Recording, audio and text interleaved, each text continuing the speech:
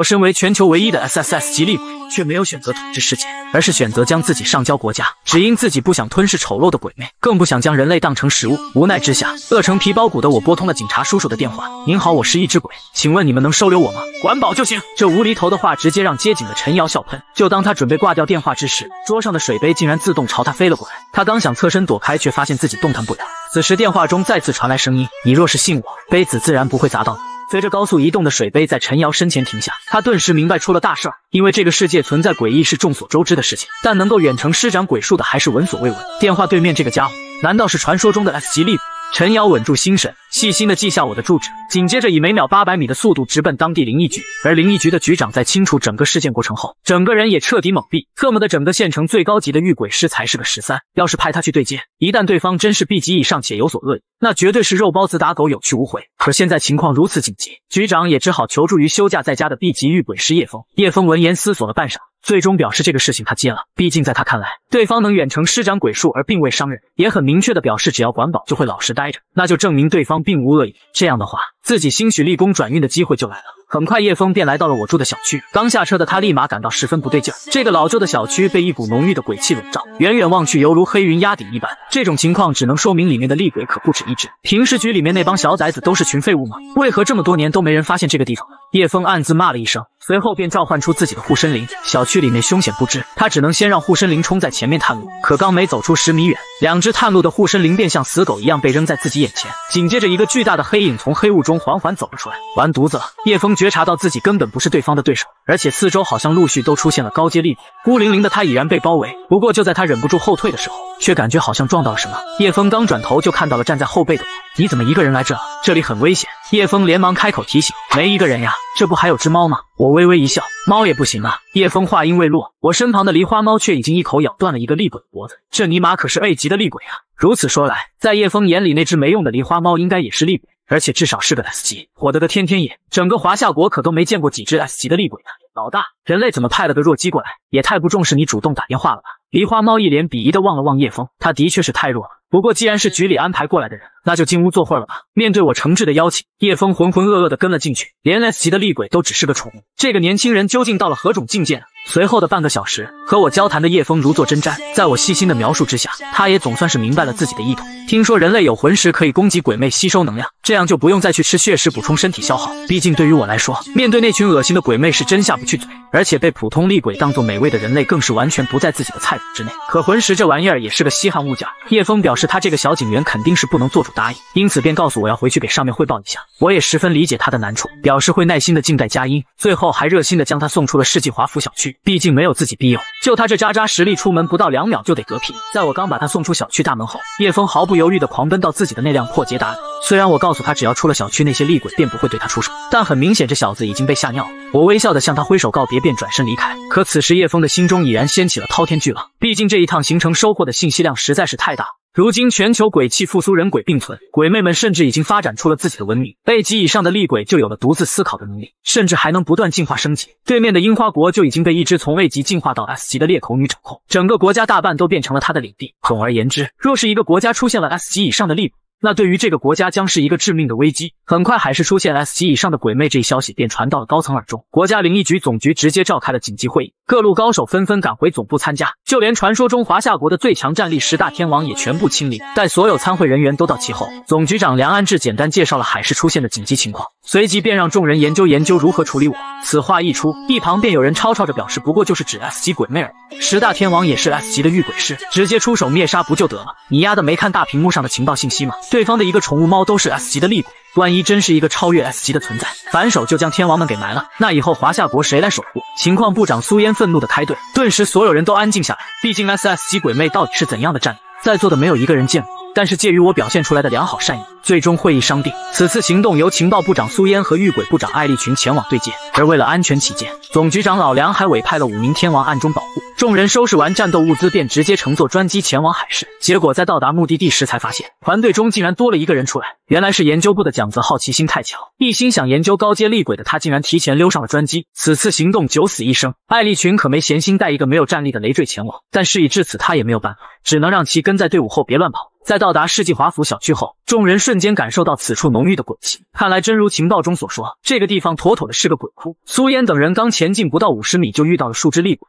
虽然都成功将其击退，但众人却发现有些不对劲。这里的鬼魅异常的强大，就刚才的那个 A 级吊死鬼，原以为以老艾 A 级御鬼师的战力，带着两个护身灵完全可以轻松应对，可实际情况却是差点被对方吊打。要不是苏烟及时出手帮忙，堂堂御鬼部的头头可能就直接扑盖。一时间，众人也再无半点轻视之心，一旦遇到鬼魅，都立马激活秒杀。就这样缓慢前行至了小区中部，遇到的厉鬼也是越来越强悍。忽然，远处传来一声大喝：“闯入者死！”一团黑色的鬼气径直向着老艾冲了过来。此时，老艾脸上的表情瞬间凝固，他清晰的感受到了这只厉鬼强大的气势，很可能硬拼之下，自己和护身灵都得一同消散。但他不能躲，因为他绝不允许自己背后的几人受到伤害，毕竟他可是遇鬼不长。就当众人都以为老艾就此丧命之时，那团黑色的鬼气却忽然调转了方向，径直奔向了一旁的苏烟。这家伙看来已然有了灵智，十分清楚这群人中最值得攻击的目标。一旁的蒋泽看到这一幕，完全呆住了。自己研究厉鬼多年，完全没遇到过这么高智商的 A 级鬼魅。他忽然感觉华夏国现在面临着前所未有的危机。不要啊！老艾根本无暇思索这些事情，此刻的眼里只有苏烟。只见对方已然被黑烟包围，刺啦！一声撕裂的声音从鬼气中传出，老艾瞬间犹如雷击，他根本就不敢去想那声音到底是苏烟被撕碎了。还是他的护身灵。忽然，一道金光从远处呼啸而至，径直的打进了那团黑色的鬼气中。随着鬼气的消散，苏烟也完好无缺的站在了原地，只是脸上挂着一抹淡淡的忧伤。一群废物，区区极厉鬼就把你们打成这样了。不远处忽然传来一个声音，众人警惕的往一旁望去，原来来人竟然是十大天王之一的古拓。这回咱们得救了，天王可是华夏国最强战力 S 级别的御鬼师。蒋泽顿时兴奋的对着身旁的人说道。可是他并未注意到，此时古拓的脸色并不好看。所有人都认为 S 级的御鬼师单挑 S 级鬼魅应该很简单，但只有身为 S 级的天王才知道，想要除掉一只 S 级的鬼魅，十大天王可能至少需要出动一半的人。此时，由于天王的出现，作为队长的老艾也松了口气。他拿出对讲机和叶枫进行沟通，可刚说话不到两秒，忽然从远处的黑暗中飞出一把鬼气凝聚的利刃，直接将艾丽群的对讲机削成两半。而小区外围的叶枫发现通讯莫名中断，顿时也是急得不行。看来里面的情况并不顺畅，即使有天王到场，也是凶险万分。而真实情况的确如此，在老艾的对讲机被毁掉后，他们的周围又再次浮现出一些恐怖的身影。还要往前面走吗？进来这么久了都没有接触上那只 S 级的鬼魅，如果他心存祸心，那我们可就真出不去了。蒋泽的声音已经开始颤抖，现在这个情况已经不能再深入了，先固守在此处防御就行。通讯的莫名中断肯定会让外面意识到咱们这里不太平，等着总部救援吧。古托淡淡的说道。他的话音刚落，几人周围就已经围上了五只厉鬼。最低的也是个 B 级，都打起精神来，保护好自己和身边的同伴。古托大喊一声，随即转头朝着最强大的两只极厉鬼冲了过去。此时，在小区外围的叶枫接到了总局梁局长的电话，在得知古拓等人的通讯已然中断后，他顿时皱起了眉头。看来，哪怕是有一个天王存在的情况下，小区里面的几个人也不能成功离开。那主动联系灵异局的那个 S 级鬼魅到底是什么意思？他连忙联系当初委派暗中支援的剩下四名天王，要求他们尽快出动支援。先不管任务是否成功，最起码进去的人得活着出来。与此同同时，刚灭了两只 A 级厉鬼的古拓还没来得及喘气，又有两只 A 级的小可爱冲了出来。我尼玛车轮战啊！这些家伙真特么不讲原则。灵域展开，古拓低吼一声，一道金色的光芒以他的身体为中心向四周扩展，迅速的将两只 A 级厉鬼圈进了金光范围之内。而进入灵域范围的鬼魅也瞬间被压制，完全不能动弹。古拓随即召唤出了自己的魂钉，只要将其钉入厉鬼的脑袋，那么也就能瞬间将其制服。可是他拿着魂钉戳了半天，却发现根本就扎不进去。眼看灵域已经逐渐压制不住厉鬼，古拓的眼中不由得产生了一丝慌乱。难道今天自己就要交代在这？就在这紧要关头，两颗银色的魂钉从远处疾飞而至，直直的扎进了两个厉鬼的脑袋。古拓，才几天不见，你怎么变得这么弱啊？听到远处传来的声音，古拓这才终于放心下来。是麒麟来了，这也代表这天王一分队的其余四人全部已到。五大天王齐聚，就算真是 S 级的鬼魅出手，他们也有信心将对方斩杀。外面打得稀里哗啦，可此时的我还在自己的沙发上葛优趴。虽然早就觉察到了小区内鬼气的动。但狸花猫却告诉自己，那是几只厉鬼打架而已。这种事儿平常经常发生，只不过今天打的激烈了些。我翻了个身，刚想继续再睡一小会儿，脑袋中却忽然闪过一道亮光。小叶子好像说过会尽快安排高层的人过来对接，那万一真是他们的人过来，我这一个没注意，导致他们被外边那群厉鬼给吃了，到时候上哪说理去？不睡了，不睡了，赶紧看看去！我翻身起床，拎着狸花猫就往外走。虽然小猫咪十分的不爽，但在自己手里，这小家伙可翻不起一丝的浪。刚走出家门，我就感觉四周有一股鬼气正在释放，随即便询问了手里的猫咪啥情况。是隔壁那栋楼的一个 S 级厉鬼，不过他就是菜鸡一个，咱们要不就别管他了呗。那可不行，如果这只厉鬼对国家的人动手，那我的铁饭碗可就没着落了。说完，我便快速的向隔壁楼走去，发现那只厉鬼正在探查着四周。喂。你小子干哈呢？我大大咧咧的走上去询问，对方微微转头望向了我，在他眼中，我虽然是只鬼，但是却未散发出一丝鬼气，自然而然，他把我当成了菜鸡、小兔崽子。跟大爷说话这么不客气的吗？厉鬼说着便聚起一道鬼气向我袭来，可这足以开碑裂石的一击到我跟前，却烟消云散。这什么玩意儿？此时厉鬼有些愣住，虽然他不知道我是怎么做到的。但他还是下意识的瞬间就爆发了自身的鬼域，这可是 S 级厉鬼的鬼域，那威力自然是不同凡响。只见一股澎湃的黑色能量向四周扩散，刚刚清理完周边鬼魅的五大天王立马感应到了危机，急忙让负责防御的宋启明展开护盾。眼看着黑压压的鬼域瞬间笼罩了几人的头顶，五人顿时冷汗直冒。这就是 S 级厉鬼释放出来的吗？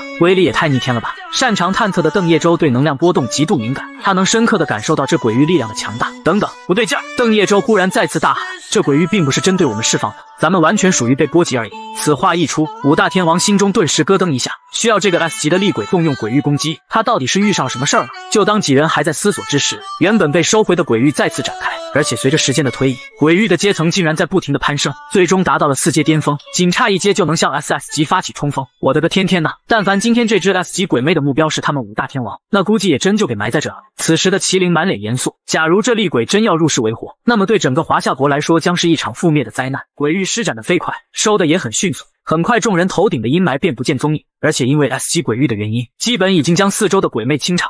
麒麟转头让老艾和苏烟都撤出小区，毕竟后面的探查，以他们这个级别的实力，基本都是送死的份儿。老艾也不矫情，痛快的带着队伍迅速离开了现场。走了没多久，老艾忽然停下了脚步，因为他发现队伍少了个人，研究部的蒋泽不见了。就当他正考虑是否要掉头回去找人之时，苏烟冷冷的表示不用找了，成年人总得为自己的行为负责，没必要为了他再让大伙涉险。说完，便毫不犹豫地继续向小区门口走去。众人顿时面面相觑，最终也只能跟了上去。此时，在另一边，楼顶的厉鬼已经被我彻底降服。你丫的继续放啊！施展个破鬼域就像放屁似的，一次不够还得整个好几下。你不知道那玩意儿连我头发丝儿都吹不起来吗？我带着满脸的不屑对着眼前的厉鬼骂道。而厉鬼现在是完全懵逼的，他很清楚自己的等级，妥妥的 S 级的王者。多少人类看到自己都是四散逃命的，可眼前这个长得像人的鬼。竟然完全无视自己的鬼域，那对方到底是什么等级呢？就当我以压倒性的优势修理 S 级厉鬼的时候，五大天王们也迎来他们的危机。一只 S 级的镜面鬼竟然变成了蒋泽的样子，向他们靠近。还好擅长探测的邓叶舟及时发现不对劲，立马大喊让队友们瞬间远离。眼看硬偷袭不成，只能硬刚。镜面鬼瞬间展开鬼域，天王们的反应也是相当迅速。队长麒麟的灵域和宋启明的护盾同时开启，在两者的效果叠加下，这应该算得上目前华夏国的最强防护手段。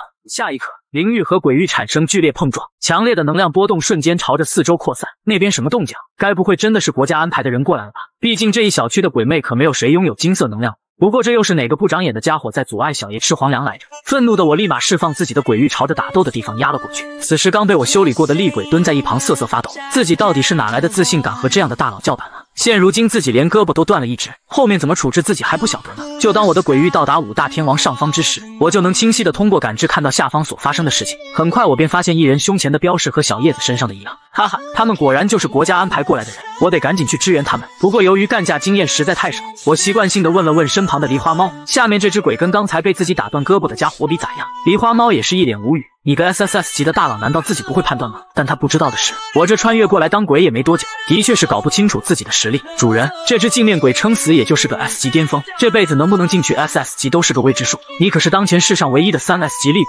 收拾他不就跟玩似的吗？哟呵，原来我是这么强的吗？一直以来我还以为只是你们太弱而已。既然如此，那咱们赶紧救人去。就在我火急火燎的准备往五大天王交战的地方赶去时，平时万般顺从的梨花猫此时却没有动。主人，这些人类实在太弱小。你何必非要去拯救他们呢？挖了个蛐蛐！你个死猫咪，今天怎么了？这不是你告诉我的人类有魂石可以让我填饱肚子，我才主动去找他们的吗？现在要不就下面这五人，我的铁饭碗就没了。是的，的确是我告诉你的，但是我也真没想到你会如此上心。不过有一件事我必须得让你知道，过不了多久，鬼潮就要爆发了，到时候厉鬼们会主宰这个世界，所以即使你现在救他们，也是暂缓死亡而已。梨花猫这么一说，我的心里顿时闪过一丝震惊。虽然在大野地里捡到他的时候就觉得这小家伙不简单，但是现在看来他的确隐藏着很多秘密。鬼潮是什么玩意儿？我盯着梨花猫冷冷地问道。在这个世上，鬼界是一直存在的，现在人鬼共存的状态，是因为以前鬼界大门短暂打开过，来到人类世界的厉鬼并不多，因此人类还能聚集力量抵抗。但不久之后，鬼界大门将再次打开，到时候万千厉鬼将如潮水般蜂拥而出，这个世界的所有人类都会全部覆灭。因此，我们完全没必要救他们。还不如直接吞噬了，提高自身实力。我忽然望着梨花猫那双诡异的双眼，没说话，身上猛然爆出出一股强大的鬼气。此时，梨花猫浑身的毛发瞬间竖了起来，内心已然出现了深深的恐惧。他十分清楚，我真要起了杀念，那么他估计连三秒钟都撑不下去。我说过自己不吃人，而且人类也不会这么轻易的就灭绝，因为我就曾经是一名人类。咱们华夏人从来都不惧怕任何灾难。下一刻，我收敛了向外散发的鬼气，随即转身向楼下走去。你的秘密我不想去探究，但是今天这事儿以后不准再提。如果你不愿意，可以随时离开这里。反正你就是我捡来的，无论你以后想做什么，那都是你的自由。现在我就要去救那几个人类，你俩要愿意跟我一起去，那就跟上来吧。一旁的断臂鬼想都没想就跟了上去，表示以后认我为主，一切都以我马首是瞻。看来这家伙刚才是彻底被自己打服了。而一旁的梨花猫沉默了片刻，随后也缓缓地跟了上来。对了，主人，你以后可以叫我小七。我没有多说话，只是微笑的点了点头，随后就带着断臂鬼和小七直奔镜面鬼而去。而就在此时的大洋彼岸，一个针对华夏国的巨大阴谋正在酝酿着。原来樱花国的情报人员截获了灵异局的日常信息，发现了十大天王有一半被困于鬼窟，生死未卜。当前护国之力极度缺乏，一直都想搞事情的樱花国哪能错过这样的机会？连忙召集本国的灵异部门高管商讨，最终决定将正在樱花国作恶的三只 S 鬼魅祸水东流。这样不仅解决了国内危机，而且也达到了打击华夏国的险恶用心。虽然这缺德事儿会遭到其他各国强烈谴责，但对于丧尽天良的樱花国来说，已经习以为常了。紧接着，樱花国的所有人便开始安排这个事情，而他们现在所面临的三只厉鬼也是很有特色。第一个 S 级厉鬼是裂口女，作为樱花国的头号大女，这妹子却是十分随性，她见到人就会询问对方自己颜值如何。一旦你对她那咧到腮帮子的大嘴有丝毫嫌弃，那她立马就让你嗝屁。可是如果你对她颜值大加赞赏，那么恭喜你，她会让你成为和她一样的裂口女。第二个 S 级厉鬼是叫梦中人，他并不会主动出现在人的面前，只会选择进入人类梦境进行作恶，而且对象只是年轻女性。在梦里，他可以做任何想做的事情，包括直接让其死亡。第三个 S 级厉鬼叫红披风，这家伙完全继承了樱花国的猥琐传统，只会出现在厕所和浴室之中。他会主动询问对方是否需要红色或是蓝色的卫生纸，但其实不论对方选择哪个颜色，最终都难逃一死。不得不承认，小樱花的办事速度极为迅速。他们很快就以 F 鬼魅的喜好设置诱饵，成功的将其引到了与华夏国的边境线上。当初将五大天王派到小区执行任务的老梁，怎么都没想到，原本以为的碾压局，如今却要快被人破了高地。对付一只 S 级鬼鬼魅都这么费劲，这次小樱花故意引过来的三只 S 级厉鬼该如何应对？仅靠剩下的五个天王去拦截，那妥妥只能送给对方五个人头而已。与此同时，在小区内，镜面鬼和麒麟等人的战斗已经进入白热化，感觉到镜面鬼的鬼气正在疯狂的暴涨，我不由得心中一紧，随即身形一闪，直接瞬间消失在原地。这操作也让身后的断臂鬼愣在当场。大佬的实力原来已经强到这个地步了，竟然还能隔空瞬移。就当他转头准备询问小七的时候，却发现那只狸花猫只是鄙夷的看了他一眼，随后也瞬间消失在原地。我的个天天呐，这主仆二人到底是啥怪物啊？此时的断臂鬼才明白自己现在能活着是多么的幸运。而在镜面鬼那边，他也已然彻底发怒了。原本以为是几个可口的食物，但没想到吃的时候竟然还被对方弄伤了嘴。你们都得死！随着镜面鬼的一声怒吼，五大天王脚下忽然蔓延出大片浓郁的黑色鬼气，几人下意识的准备闪躲，却发现为时已晚。镜面鬼的能力直接将他们五人禁锢到五个不同的空间。原本天王一分队的作战模式就是以团体协助为主，麒麟和古拓负责攻击，宋启明负责防御，薛宇擅长医疗，邓叶舟负责侦查。原本五人联合作战还能和镜面鬼再碰一碰，可现在被对方这么一分割，五人顿时沦为待宰羔羊。看来这次很难活着出去了。麒麟作为队长，他必须考虑着做点什么。华夏最强的几个战力不能全部折损在这里，不然其他周边国家就会蠢蠢欲动。想到这里，麒麟已然下了决定，他快速利用密语传音通知周边几人：“兄弟们都听好了，待会我会拼尽全力给你们打开一条生路。当鬼域破开后，你们不要管别的，只需要一个劲儿的往前跑就行，以最快速度逃离这个小区。一定记得要将这里的信息带出去。”四人听到麒麟如此安排，都很清楚他即将要做什么事情。不行，你可是队长，以后需要你做的事情多着呢。我实力比你差不了多少，我来自爆更合适。古拓大声的嘶吼着：“老古，你别掺和，这事儿让我来最合适。”一旁的薛宇马上接上了话：“毕竟自己实力最弱，能给团队提供的帮助就只有医疗而已。”麒麟听着队友说的话，心中顿时一暖，但他知道现在不是意气用事的时候。随即立马告诉众人，当前这只镜面鬼已经无限接近 SS 级，除了五人中实力最强的他进行自爆，才有机会让其他人从这该死的鬼地方逃脱。麒麟话音落下，四人都没再开口，因为他们知道，平时那个温柔可人的队长已然下定了必死的决心。下一秒，在这伸手不见五指的漆黑鬼域中，一抹亮光缓缓的升起，那亮光就犹如初升的太阳一般，让所有人都重新燃起了活下去的希望。而此时此刻，正在自爆的麒麟也感受到了体内那股澎湃的力量，这是他一直以来引以为傲的资本，也是他可以在厉鬼群中毫不畏惧的源泉。骄傲的他原本以为自己会在遇鬼师这条路上走得更远，但没想到却是以这样的方式结束一生。再见了，我的朋友们！下一刻，麒麟体内的金色能量开始了疯狂。狂的巨变，正在朝着这边急速狂奔的我也迅速发现了不对劲。我随即询问小七，远处那越来越强烈的金光是怎么回事？小七盯着那片金光片刻，随即眼里也闪过了一丝惊讶，这好像是人类遇鬼师自爆产生的能量。真没想到这群人类还挺血性的。什么玩意儿？自爆？这该死的镜面鬼！我这躺平吃皇粮的好差事真要被他搅黄了，本少爷一定把他剁碎了喂猫。说完，我体内鬼气猛然爆发，再次瞬间消失在原地。主人，你慢些啊，一直跟着你这速度狂飙，一会本喵准得跑岔气儿。小七话音刚落，便意识到身旁有人过来，他转头一看，原来是正气喘吁吁追上来的断臂。主人呢？怎么只有你自己在这？断臂鬼四处看了看，小七鄙夷的看了他一眼，随即摇了摇头，哎，真是个弱鸡，连吃粑粑都赶不上热乎的。说完，再次瞬移又消失在原地。你们又往哪去啊？这倒是给我个方向啊！断臂鬼顿时欲哭无泪。此时麒麟的自爆已然完全进入临界点，就当他缓缓闭上双眼之时，却猛然发现一股力量拍在了自己后心，不仅将自爆的能量巨变瞬间打断，而且还直接把自己从镜面鬼的鬼域中拍了出去。这什么情况？麒麟顿时有些发懵。这五大天王联手都打不破的鬼域，自己是怎么出来的？而且刚才的自爆竟然在最后关头被打断了。齐队长，你们都去哪了？吓死我了！其他四位天王呢？鬼域外躲着的蒋泽忽然从一个草丛中钻了出来。听到蒋泽的问题，麒麟一时间也不知道如何回答，但他知道自己的四个队友还在里面。因此没有犹豫，转头便就向鬼域再次冲进去。可就在下一秒，四道人影嗖嗖嗖的鬼域中飞出，随后重重的摔在地上。正是剩余的四大天王，几人一瘸一拐的缓缓站起身来，脸上都是充满了困惑和懵逼。你们怎么也出来了？麒麟连忙上前询问。几个人面面相觑，半晌也没有一个人说出个所以然来。此时镜面鬼察觉到鬼域中已经没有任何人类气息，好不容易圈起来的食物被人弄走。镜面鬼瞬间怒火中烧，他看到了站在不远处的我，自然而然的就把怒火发泄到我的身上。要不是因为你把他们放跑，等我吞噬这五个人，一定能达到 SS 级。镜面鬼一边说一边向我走近，我望着他那一张空荡荡的脸，忍不住说了句好丑。这句话更是刺激到了一向爱美的镜面鬼。随即便毫不犹豫的向我发起了攻击，可他手里刚聚起一团能量，一只梨花猫闪电般从我身旁窜出，紧接着一巴掌拍在了镜面鬼的脑袋上，直接将其拍飞八百米远。主人，这玩意儿就交给我了吧，它是我的菜。说完，小七舔了舔嘴唇，化作一道闪电向镜面鬼冲了上去。既然小七出了手，那就没有啥事了。随后我便缓缓地走出了鬼域。此时，外面的五大天王看着一个毫无鬼气的人走了出去，先是疑惑，随后便是惊恐。麒麟颤抖着上前询问：“您难道就是？”“对的，你猜的没错，我就是之前打电话报警的那个厉鬼。”我望着眼前的妹子，露出了一丝邪魅的笑容。魏明的话音刚刚落下，五大天王看向他的眼神之中，便瞬间夹杂起了更多的警惕。他们都知道自己来到这个小区的目的。便是因为最开始的时候有一只厉鬼报警举报了自己，而他们能够沦落到如今这种地步，也多亏了这只厉鬼，便也正是眼前的魏明。再加上方才他们可是看得清清楚楚，魏明从镜面鬼的鬼域之中走出来，他整个人都轻松无比，甚至一丝一毫压力都没有。这也正说明魏明的真正实力比他们想象之中的还要强大不少。队长，咱们怎么办？邓叶舟此刻的额角已经渗出了汗水，他后退两步走到麒麟身旁。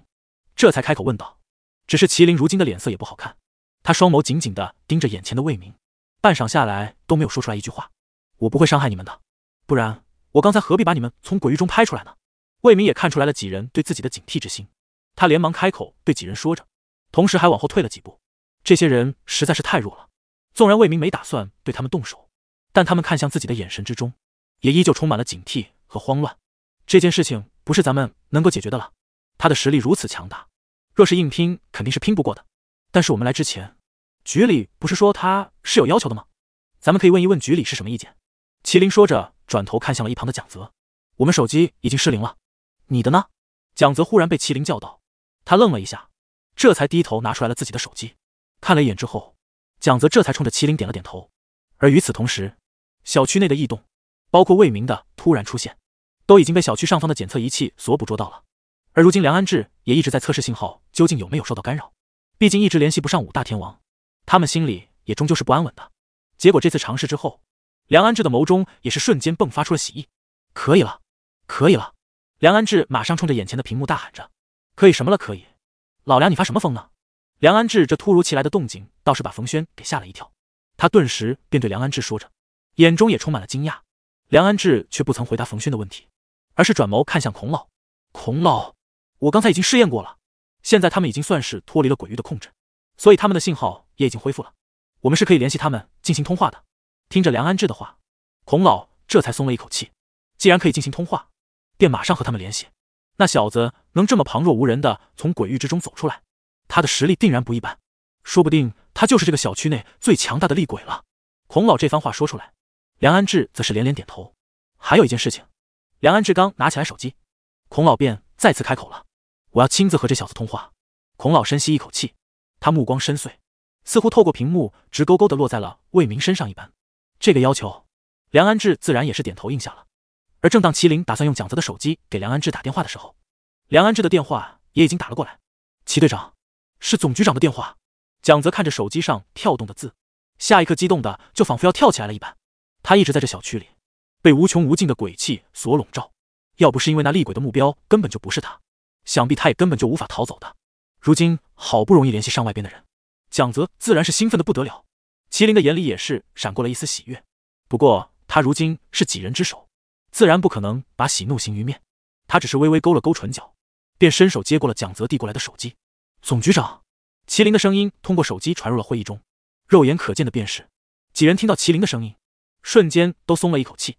而孔老便也正准备开口，可就在这个时候，几人背后的鬼域之中忽然爆发了一声巨响，紧接着，漆黑的鬼域再次暴涨，竟是再次把五大天王以及魏明和蒋泽全部笼罩了进来。信号戛然中断，会议之中听到的也只是嘟嘟声。完了！邓叶舟双目失神的盯着眼前的这一幕，镜面鬼一直都在被碎嘴溜，简直就像是狗一样。镜面鬼自然受不了，他一个堂堂 S 级巅峰厉鬼，竟然被一只猫戏谑到这种地步，他此刻的愤怒已经达到了顶峰，而恼羞成怒之下，竟是直接冲破了 S 级巅峰的。其余的，不管是你所需要的任何东西，生活用品，亦或者是魂石，我们也都是无限供应，只要你能加入我们，并且不做任何伤人的事情，一切条件随你提。听完孔老的话，魏明则是连连点头，而与此同时，他脸上还有些尴尬。这件事情他多少也是有些不好意思的，毕竟之前正是因为自己差点让国家有关部门蒙受损失，这几个人差点就在这小区里出不去了。要不是自己来得及时，怕是晚来两分钟，过来看到的就只是一捧灰了。结果这国家不但不计前嫌，还直接反手就给了自己这种豪华待遇。这些话全部凑在一起，他也只听出来了一个意思：只要愿意加入，那么福利待遇任他提。魏明又不傻，吃住都有保障，还入编制。这在他前世也是从来没有过的待遇。答应下来之后，魏明便开始思索：对方给了自己这么多的好处，那么自己究竟应该怎么样报答他们呢？魏明正在思索着，而与此同时，孔老背后的会议室大门则是忽然被人推开了，所有人都下意识的看向了走进门来的那人。大家都知道孔老现在正在开会，敢在这个时候推门而入的，一定不会是太过于简单的小事。果不其然，走进门来的那情报人员的脸上也充满了焦急。孔老。咱们边境线现在很不安全，来自樱花那边的三只 S 级厉鬼已经逼近边境线了。不久之前，我们派出去的五大天王虽然已经阻挡他们，可那毕竟是三只 S 级厉鬼，就算五大天王再强大，也终究是阻挡不住的。并且五大天王的情况也不容乐观，已经有三位身受重伤了。听着情报人员传达的消息，孔老的脸色瞬间就沉了下来。而小区内的五大天王闻言，脸色也是瞬间凝重了起来。他们直到这个时候才知道，原来在他们进入小区之后。外边竟然发生了这么大的事情！现在那三只 S 级厉鬼，距离我们华国边境线还有多远？孔老深吸了一口气，这才连忙开口问着眼前的情报人员。那情报人员虽然有片刻的犹豫，但他心中也明白，此事根本就不能考虑太多。孔老既然问了，那么他就一定要回答。孔老，那三只 S 级厉鬼，如今距离咱们华国的边境线，已经只有不到十公里的距离了。五大天王拦不住！听着情报人员的话，孔老瞳孔骤缩。这番话他自然是清楚意味着什么。一旦三只 S 级厉鬼成功抵达边境线，那等他们的将是永无宁日。孔老深吸一口气，紧接着便看向了依旧站在小区内的五大天王，他们也已经听到了情报人员所说的话。此刻每一个人脸上也都布满凝重。孔老，这次直接让我们去吧。麒麟盯着手机屏幕中的孔老看了半晌，他忽然开口对孔老说着：“如今这件事情也已经算是迫在眉睫了，根本就容不得半点差错，更来不及拖拖拉拉。”而麒麟的话也刚好迎合了孔老的想法，他沉重的冲着几人点了点头：“你们有这个想法就好。现在我命令你们，即刻赶赴边境线支援。”麒麟几人点了点头，他们每一个人脸上都带着视死如归的神情。至于捧着手机的蒋泽，他本就是研究部的人，就算去了也没什么大用，他便一直处在原地半晌都没动静。而孔老也不在意，他看向了视频中的另一个人，军部总指挥冯轩。冯指挥，军部马上进行协同。海市的部队立刻抽调军用直升机过去，务必要让五大天王用最快的速度赶往边境线。孔老的话音刚落，冯轩便马上点头：“是。”冯轩着手去办这件事情，孔老这才稍稍心安。至于十大天王合体到底能不能打得过那三只 S 级厉鬼，倒也不是他们如今能够考虑的事情了。随后，孔老的双眸透过屏幕，直直的落在了魏明的身上。魏明道也没有开口，只是回望着孔老。魏先生，刚才我们的建议，你是否同意？孔老沉默了很久之后，这才开口问着魏明。毕竟方才情况紧急，也并未确认魏明到底是不是要加入。可孔老的问题问出来之后，魏明却并未开口，他只是依旧沉默的盯着孔老。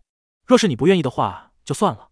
我们，孔老微皱眉头，但他话刚说一半，魏明便开口打断了他。方才你们在说什么？边境线怎么了？到底发生什么事情了？魏明这突如其来的一个问题，倒是让孔老有些诧异。毕竟魏明也还没有答应下来，而如今就直接问起来，边境到底出了什么问题？孔老盯着魏明半晌没说话，毕竟他还没摸透魏明到底在想什么。可眼见孔老不开口，魏明不免开口问了第二次：“孔老，若是情况危急的话，你还不如告诉我，反正生死存亡也不是你能控制的，不是吗？”魏明这话说的有些残忍，可孔老清楚，这话确实是事实。深吸一口气，孔老的眼神之中充斥着坚定。现在边境线确实很麻烦，而现在这三只 S 级厉鬼距离我们的边境线已经不足十公里了。可十大天王纵然全部出现，也不一定能够成功阻拦他们。唉，孔老说完之后，则是重重的叹了一口气。这件事情确实已经超过了他的控制范围，可如今除了派人去阻拦，也别无他法。可谁都没料到的是，孔老的这番话说完之后，魏明则是沉了沉眸子。他眸光微冷，抬眼看向了边境线的方向。没想到他们竟还是这么烦人。魏明话音未落，便已经消失在了眼前。周围的人只看得到魏明身影闪烁片刻，便不见了踪迹。主人走了，快追！碎嘴边说边快速冲了上去，而断臂鬼孙飞也连忙冲了上去。两鬼本就吸收了镜面鬼的鬼精，碎嘴本就行动迅速，所以自然没有半点压力。至于孙飞，他的境界也已经有了提升，所以。倒也可以勉强跟上去，只是三鬼离开之后，则是留下了众人面面相觑。他们怎么一声不吭就走了？行动这般迅速，是打算做什么？蒋泽愣了一下，他往前走了几步，却也并未看到他们的身影。这种速度，若是放在任何一个城市，怕都直接便是灭顶之灾了呀！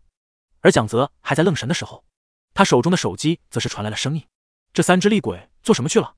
孔老，难不成是他们看不上咱们的条件，不愿意加入？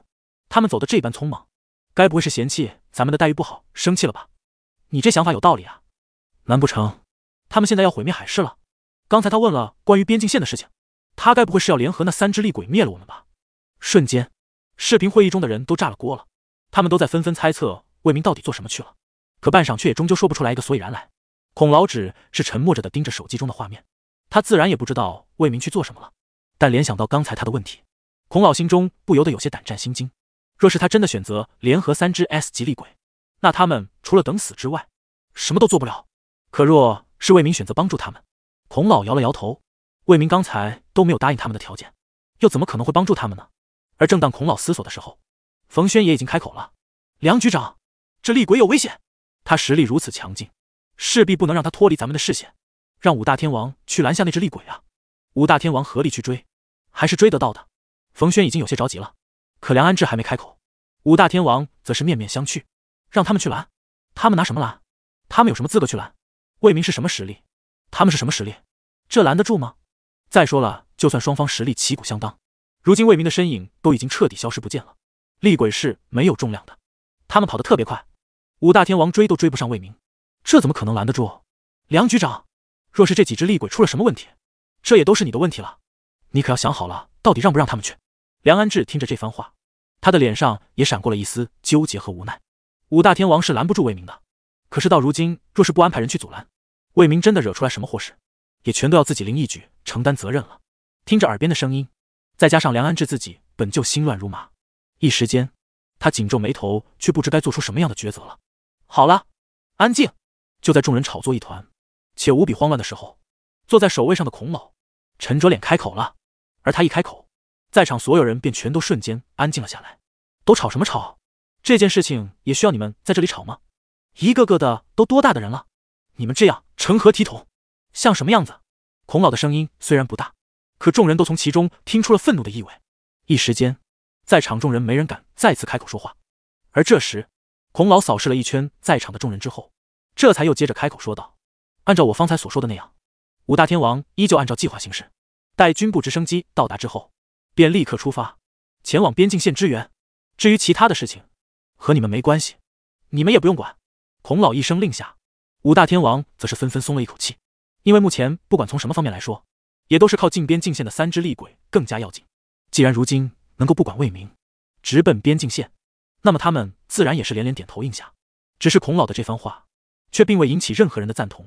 冯轩和顾广权两人虽然不常在一条战线，可对于这件事情，两人却都秉持着一个想法，那就是不能不管魏明啊。因此，在短暂的沉默过后。很快，两人就再次开口，对着孔老说道：“可是孔老，那魏明怎么办？这么强大的厉鬼，若是真的放任他不管，那万一出了什么事，可该怎么办啊？”顾广权满面愁容的开口询问着孔老，而孔老则是无奈的摇了摇头：“我自然知道他实力强劲，但是你们别忘了，这件事情根本就不是咱们能够管得到的。你们自己心中也清楚，这只厉鬼的实力如此强大，难不成你们认为，咱们派人去拦了，便一定能够拦得下来？对于这只厉鬼。”我们别无他法，只能希望他不会对我们动手。”孔老说着，他微微转头看向了窗外，天气晴朗，只是也不知道这蓝天白云，他们到底还能看多久了。孔老的话音落下之后，视频会议之中也无人开口，所有人都陷入了沉默。他们自然也清楚这件事情究竟有多么难做。魏明的实力已经远远超越了他们所能控制的范围，他们顶多能够消灭一只 S 级厉鬼，可这也是需要十大天王付出代价的，更何况。这魏明对付起来 S 级厉鬼，甚至不费吹灰之力，这样的实力，他们怎么可能阻拦？可是孔老若是不加以制止的话，我们还能怎么做？难不成我们就只是等着吗？冯轩哽了哽，却也只得出来这些话。他心中自然是希望魏明不要对他们动手，也可以说在场所有人谁的心中不是这么想的。可没有人知道魏明到底会做什么事情，他们也只能寄希望于魏明不会做出什么过激的举动。若是他真的生气，那么整个 H 国。乃至整个世界，也都只能认栽了。孔老，顾广权沉默良久之后，忽然开口，他的声音瞬间变得十分沙哑。孔老微微抬眸看向顾广权，示意他继续往下说。顾广权深吸一口气，这才看向孔老。如果说这只厉鬼真的十分生气，并且一定狠下心来要对咱们动手呢？对此，我们又该怎么做？现在若是阻拦，虽然机会不大，可好歹也算是有机会的，尽管渺茫。但如果等到他真的开始动手，那我们就真的没机会了。顾广权的眼中已经浮现出了血丝。孔老盯着他，可这件事情，孔老又怎么想不到呢？只是，纵然他知道这件事情的后果，他也只能这么做。如今魏明的举动，我们暂且不知，而边境线的三只 S 级厉鬼则是越来越近。五大天王现在都已经顶不住了，边境线随时可能被冲破。若是这个时候，我们让余下的五大天王去追击魏明，也只会有一个结果：追不上魏明。并且边境线被冲破，那么现在我们只能赌，赌魏明对我们是友善的，赌他不会动手。所以十大天王必须全体出现，让边境线的三只厉鬼无论如何都进不来。孔老一锤定音，再也没有人开口否定他的计划。如果没有其他事情或是其他问题的话，今天就先到这里吧，会议也可以先断掉了。孔老说着，有些无力的靠在了背后的椅背上。眼前的几人沉默片刻，这才终于有人再次开口了。孔老，如果被攻破，我们该怎么办？听着这声音，孔老抬头看向了说话的那人，两人对视半晌，孔老这才终于缓缓开口道：“若是真的到了这种实在无法挽回的结果，我们只有一件事情可以做，那便是提前启动火种计划。”此话一出，会议中的所有人都不知该说些什么了。火种计划是他们对于灭亡的最后一步了，留下一批军队，还有一批孩童和成年人，他们都是经过精挑细选出来的。对祖国忠心耿耿，绝对不会有二心，且祖上都是冒红光的军人。可真的启动火种计划的话，没有人能够控制这批火种到底能否存活下去。毕竟到时候也只剩下了这批人，能不能活下去，全凭他们自己的本事。但凡敌人或者魏明要斩草除根，那么就连火种都无法存活。这项计划一直都被隐藏，就算是在鬼气复苏的时候，就已经在暗中开始准备。但一直到现在为止，所有人也都只是放在心中。从来没有人把这件事情摆到明面上讨论的，毕竟大家心里都明白，一旦火种计划启动，就已经证明撑不下去了。这个话题本就十分沉重，在孔老提出来之后，所有人心中也只有一个想法，那便是绝望。毕竟谁都不想启动火种计划。可就在孔老等人满面阴霾的时候，魏明也正在赶往边境线的路上。他当然不会对华国动手。之所以听完孔老的那番话之后，选择果断离开，也只是因为魏明意识到，如今的情况确实有些棘手。那情报人员和孔老汇报的时候，魏明也算是听了个七七八八。如今那三只 S 级厉鬼，距离边境线甚至已经不足十公里了。按照厉鬼的移动速度，怕是很快就能够抵达华国境内了。就算有五大天王在阻拦，可五大天王当中也有三人已经受伤了，怕是他们根本就无法抵挡了。魏明自然不可能任由那三只 S 级厉鬼为所欲为。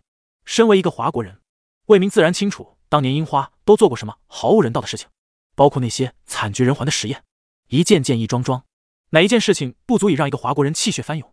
就算现在这些事情已经过去这么久了，可但凡一个华国人提起来，眼中也不免会依旧充斥恨意。就算魏明如今已经不是华国人。而是一只华国鬼了，可无论如何，他也不可能看着自家的人被小樱花欺负啊！再说了，旁人就算不知道，但魏明自己可是一清二楚。他上一世祖上可是英雄，在对抗战役之中屡建奇功，哪怕最后依旧是死在了敌人手中，却也无法掩盖这一份份勋章。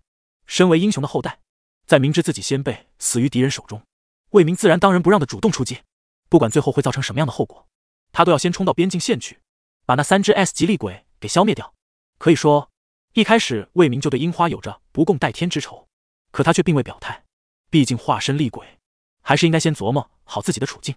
却未曾料到，他自己不主动去报仇，敌人反倒是胆子够大，竟然主动出击。既然都主动送上门来了，那么接下来会发生什么事情，那就别怪他了。魏明脸上的神色十分冷冽，本就是厉鬼，心情不好的时候，周身自然是更加阴冷。就算是跟在他背后的碎嘴和孙飞，都忍不住颤了颤。主人看起来心情不是很好的样子，难不成边境线的这几只厉鬼招惹过主人？孙飞打了个喷嚏，这才转头问向了身旁的碎嘴。碎嘴倒是摇了摇头，纵然他跟在魏明身旁的时间不算很长，可也多少算得上是华国土生土长的猫，所以对于一些历史，他也多少清楚一些。简单的和孙飞形容过后，孙飞的脸上也染上了愠怒。好啊，这小樱花竟然做这种上不得台面的事情。怪不得主人这么生气！我现在听完这些事情，都只觉得肺都快要气炸了。碎嘴转头瞟了他一眼，这才缓缓开口：“你是厉鬼，没有肺。”话音落下，碎嘴猛然提起了速度，朝着魏明追上去。不过顷刻间，便只剩下了孙飞独自一只鬼，远远的追随在魏明背后。与此同时，此刻华国边境线附近，五大天王根本就无法抵挡那三只 S 级厉鬼，他们甚至也在尽力躲开对方所释放的鬼域。毕竟，如果单独一人被鬼域所笼罩，那么他们的结果也是显而易见的，便是再也出不来了。我们现在已经有三人负伤了，如果再这么和他们打斗下去，怕是连咱们自己都无法从这里离开了。十大天王二分队队长程岩冲着不远处的四人喊着：“可如今，他们是唯一的一道防线了。若是他们也被攻破，那么这三只 S 级厉鬼也会彻底毫无阻碍的进入华国境内。”队长，咱们虽然三人身负重伤，但是我们也并不是盲目受伤的，不是吗？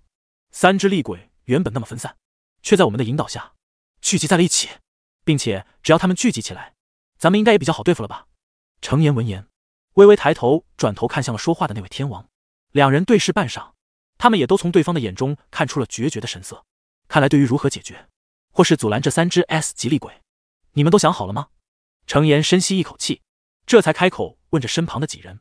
他们看向程岩，眼中也都带着一丝坚定。队长。一开始过来的时候，咱们就知道是什么样的任务，不是吗？可咱们不也还是义无反顾？程岩深吸了一口气，他微微转头看向了自己背后，海岸线附近的群众早就已经被疏离了，可背后还有那么多城市，那么多民众，若是被这三只 S 级厉鬼踏入华国领土，那么随之而来的，必定是他们都不愿看到的结果。我们现在也许只有一条路可以走了，你们也都想好了吗？程岩盯着背后看了半晌，这才转过头来。满眼坚定的问着面前的几人，几人没有过多犹豫，而是直接冲着程岩点了点头。队长，我们都做战友这么久了，我们是什么样的人，你一定也清楚，所以我们都已经做好准备了。我们视死如归，男子汉大丈夫，从不会说一句不愿。我们也都是为了咱们背后千千万万个华国同胞啊，哪怕就这么离开了，我也不会后悔。听着自己身旁的声音，程岩终于冲着几人点了点头。他知道，二分队的所有人此刻都想到了一起去。二分队的五位天王已然准备一起自爆三只 S 级厉鬼，根本就不是他们能用普通手段所阻拦的下来的。若是想要阻挡，或是对他们造成重创，也是不太现实的。所以他们唯一能够想到的办法，便是采取自爆的方法，让三只厉鬼都受到重创。毕竟，那可是五大天王，纵然他们无法用实力灭掉厉鬼，却也可以用自爆的方式。五人只要围成包围圈，能够让厉鬼笼罩在他们的自爆范围之内，那么，不管这三只 S 级究竟多么强大，也终究无法逃过这自爆产生的波及。就算无法彻底消灭三只厉鬼，但起码也能让他们遭受重创。只要能够拖延他们的行动速度，为华国争取时间，他们的任务便也算是完成了。火灵头，此刻五大天王的脸上已然纷纷浮现出了一抹视死如归的神情。而与此同时，樱花那边也通过卫星一直在观察着华国海岸线附近的情况。此时的他们已然发现，纵然是五大天王出手，也终将无法抵挡这三只 S 级厉鬼。松本局长。通过观测卫星，我们现在可以清楚的看到，五大天王面对三只 S 级厉鬼，似乎已经束手无策了。他们已经彻底是强弩之末了，并且松本局长，我认为他们马上就要采取自爆，用来对抗厉鬼了。情报局负责人景田拓十分激动的对松本木说着，而松本木此刻自然也是一直盯着检测卫星所传回来的实时画面，看着画面上已然没有阻拦能力的五大天王，他脸上的神色也染上了一丝兴奋。快快快，把大家都叫上！我们要庆祝一下！松本木一边喊着，一边联系他能联系上的所有人：樱花情报局、灵异部，还有一些乱七八糟的部门。只要是手头没紧急事件的，则是全部聚集在了一处。他们每个人的脸上都挂着欣喜的神情。他们是不是马上要被灭了？就算这五名御鬼师选择一起自爆，可他们也终究无法杀死三只 S 级厉鬼。一个满面油光的男人兴奋地凑到了大屏幕前，他一边指着屏幕上的边境线，一边开口对身旁的人说着：“这是自然，快快快！”录下来，今天的这一幕将是我们崛起的象征。一旁已经有人手忙脚乱的走向一旁去，打算把大屏幕中的画面全部录下来了。松本局长，这次多亏了你们情报局，因为你们的消息传达足够及时，所以我们才能做出反应，趁他们不注意，打他们个出其不意。灵异部长樱井南笑着走到了松本木的身旁。这件事情能够发展到如今这副局面，多亏了他们两人。而面对樱井南的赞赏，松本木也是连连摆手。樱井部长。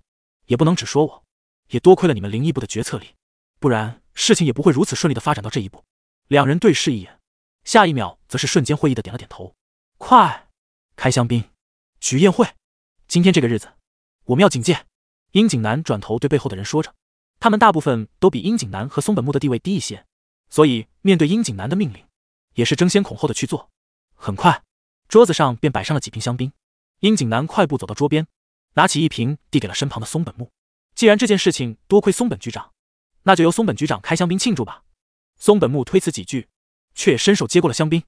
随着香槟打开，所有人都兴高采烈的欢呼雀跃。而樱花在庆祝的同时，其他国家也正在观测着华国附近的战斗情况。毕竟三只 S 级厉鬼同时出现，尽管不是在自己国家的掌控范围内，也还是引起了一阵轰动。当他们发现三只厉鬼都是朝着华国的方向冲去的时候，他们便再也没有了紧张。反倒是满脸兴奋的盯着观测屏幕，其中包括鹰将国和美丽国，他们自然不打算帮助华国度过这次的危机，恰恰相反，对他们来说，这还是一件好事。他们都是一副事不关己、高高挂起的样子，同时也在兴奋。一个古老的国家，一个拥有如此悠久历史的国家，竟然会在鬼气复苏之后，成为第一个被厉鬼攻占的国家。这一幕已经被全球大大小小的国家所注意到了，所有国家如今都已然做好了看笑话的准备。没有一个国家愿意伸出援手。若是要论的话，毛熊国倒是愿意帮助。可如今的毛熊国已经是处于自顾不暇的地步了。毛熊国境内也有大量厉鬼存在，他们国家的御鬼师此刻根本就腾不出手来，更是无法帮助华国。纵然毛熊国的人看着这一幕，心中也万分难受，可他们也终究只能眼睁睁的看着这一幕发生。此刻的五大天王携手围在三只厉鬼身旁的画面，已经算得上是被全球所直播了。队长，今天过后。我们会被人民所铭记的吧？五人都准备好之后，年龄最小的那位天王苦笑一声，这才开口问着程岩。程岩微微一怔，半晌却也并未回答。他也根本就不知道，今日一战之后，他们的名字会不会被人民谨记？可他们的任务本就不是被人民所记住。二分队所有人都听好了，咱们的任务是阻拦三只 S 级厉鬼踏入我华国境内。可如今我们虽然无力阻挡，但我们也绝对不能就这么放任他们走进去。所以。二分队所有人，准备好自爆，势必要用我们的生命来捍卫我华国的领土和人民。程岩的话音落下，余下四人也纷纷重重点头。五人深吸一口气，他们都已经站在了自己的位置上，下一刻便是自爆了。而全球的人也都在屏气凝神的盯着屏幕，他们都在等，等五大天王自爆，等三只厉鬼进入华国境内，等华国覆灭。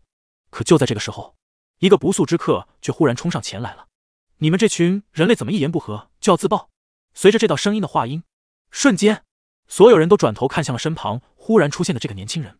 而在看到魏明身上并未有任何的能量波动后，一时间，五大天王的脸上不由全都被疑惑之色所代替。小子，你是什么人？来这里做什么的？程岩率先开口，他缓步走到了魏明眼前，同时也上下打量着魏明。可就算离得如此至今。他已然未能从对方身上感受到丝毫鬼气或者是能量波动，也因此可以说几乎是瞬间，他程岩便直接认定对方只是一个普通人。可一个普通人为何会在这个时候出现在这里？与此同时，那些正在监测这一幕的其他国家，如樱花、毛熊等等，他们在看到忽然有一个人冒出来的时候，所有人也都是瞬间怔住了。所有人似乎都不理解，为什么在这种紧要关头，在马上就能看到五大天王自爆的时候。竟然会有一个人冒出来，几乎是瞬间，樱花人的脸上就都有了别样的表情。这个人竟然无声无息的便出现在这里了，难不成他是华国隐藏的高手？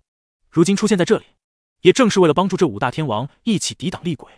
樱花的众领导之中，也不只是谁忽然开口问了一句，只是他的话音落下，半晌却也未曾有人开口应声。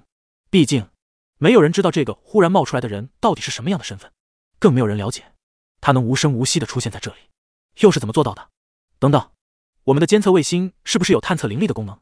一旁的樱井南忽然开口询问了一声，而灵异部的人自然也是马上接话：“是的，部长，我们的检测仪器经过了改装，是可以监测到灵力波动和鬼气波动的。”樱井南这才松了一口气，马上监测。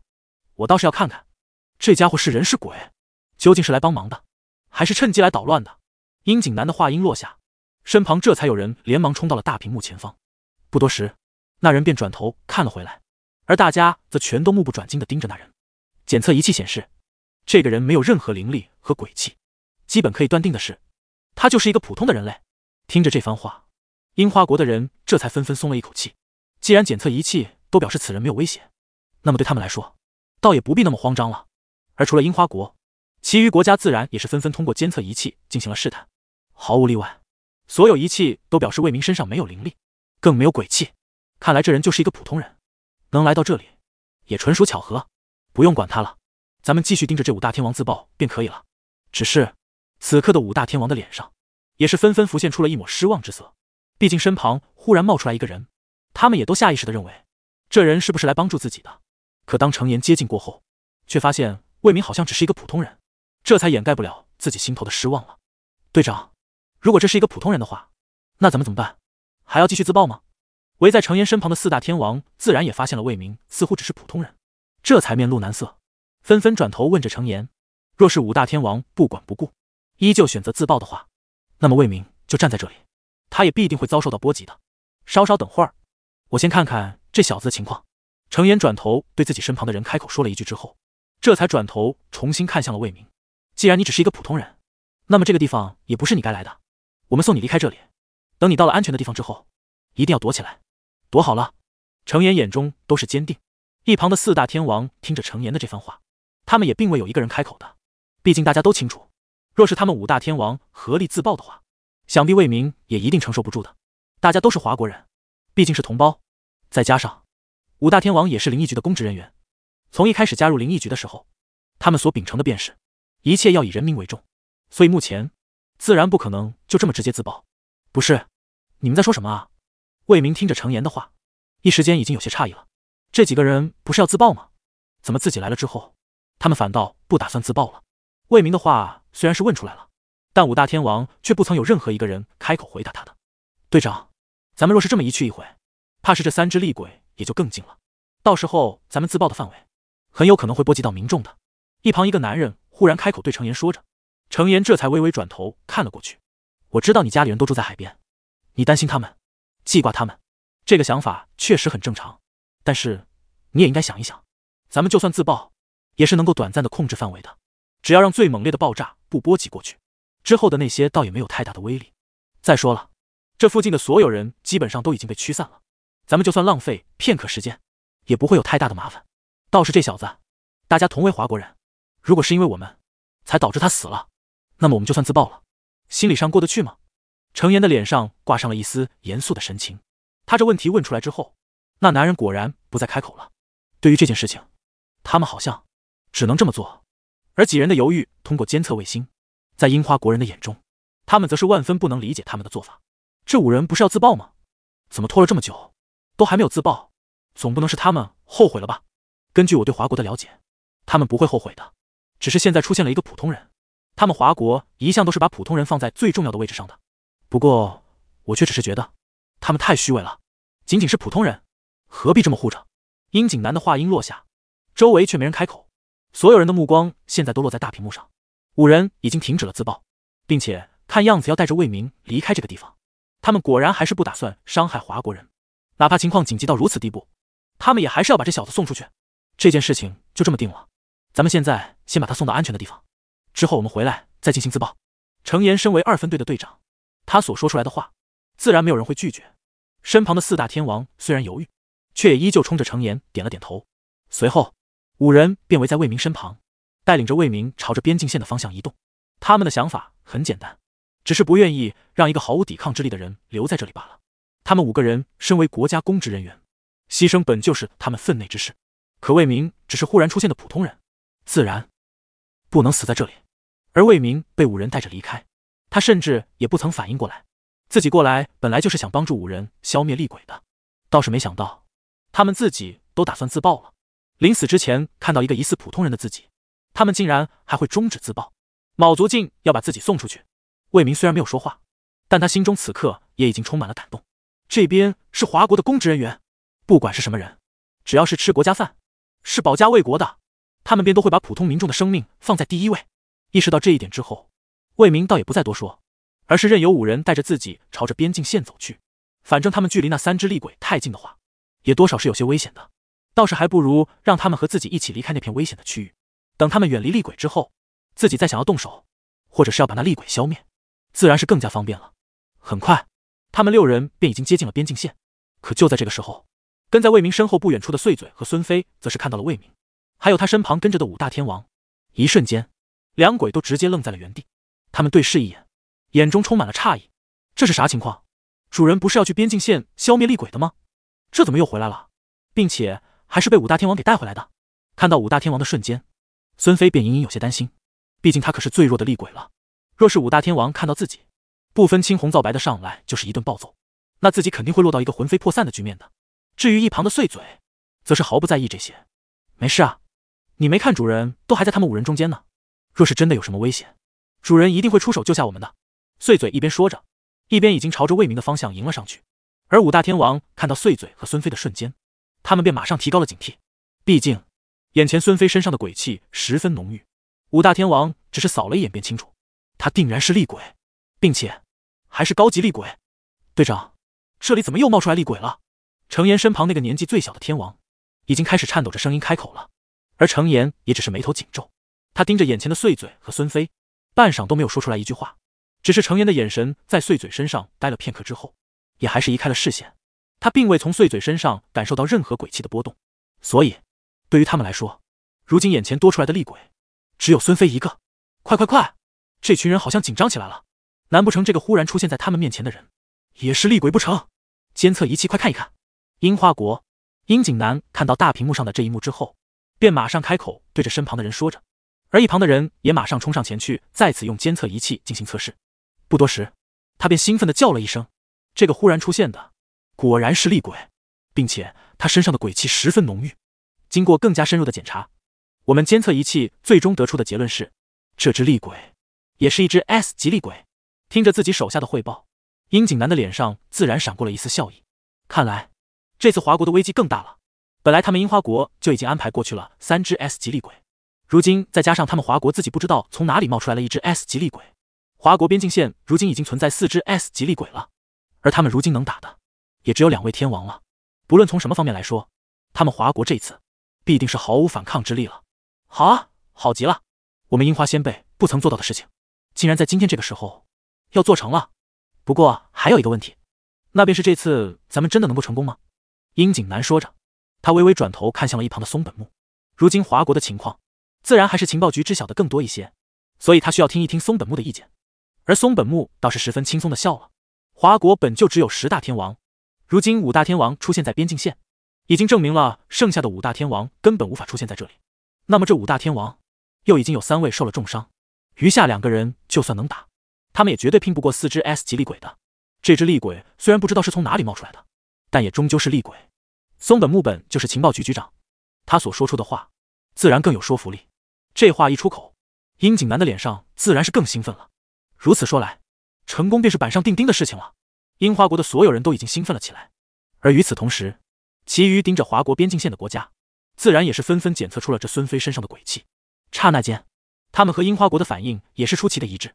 所有人都认为，今天便一定是大家的死期了，甚至他们所有人也都兴奋了起来。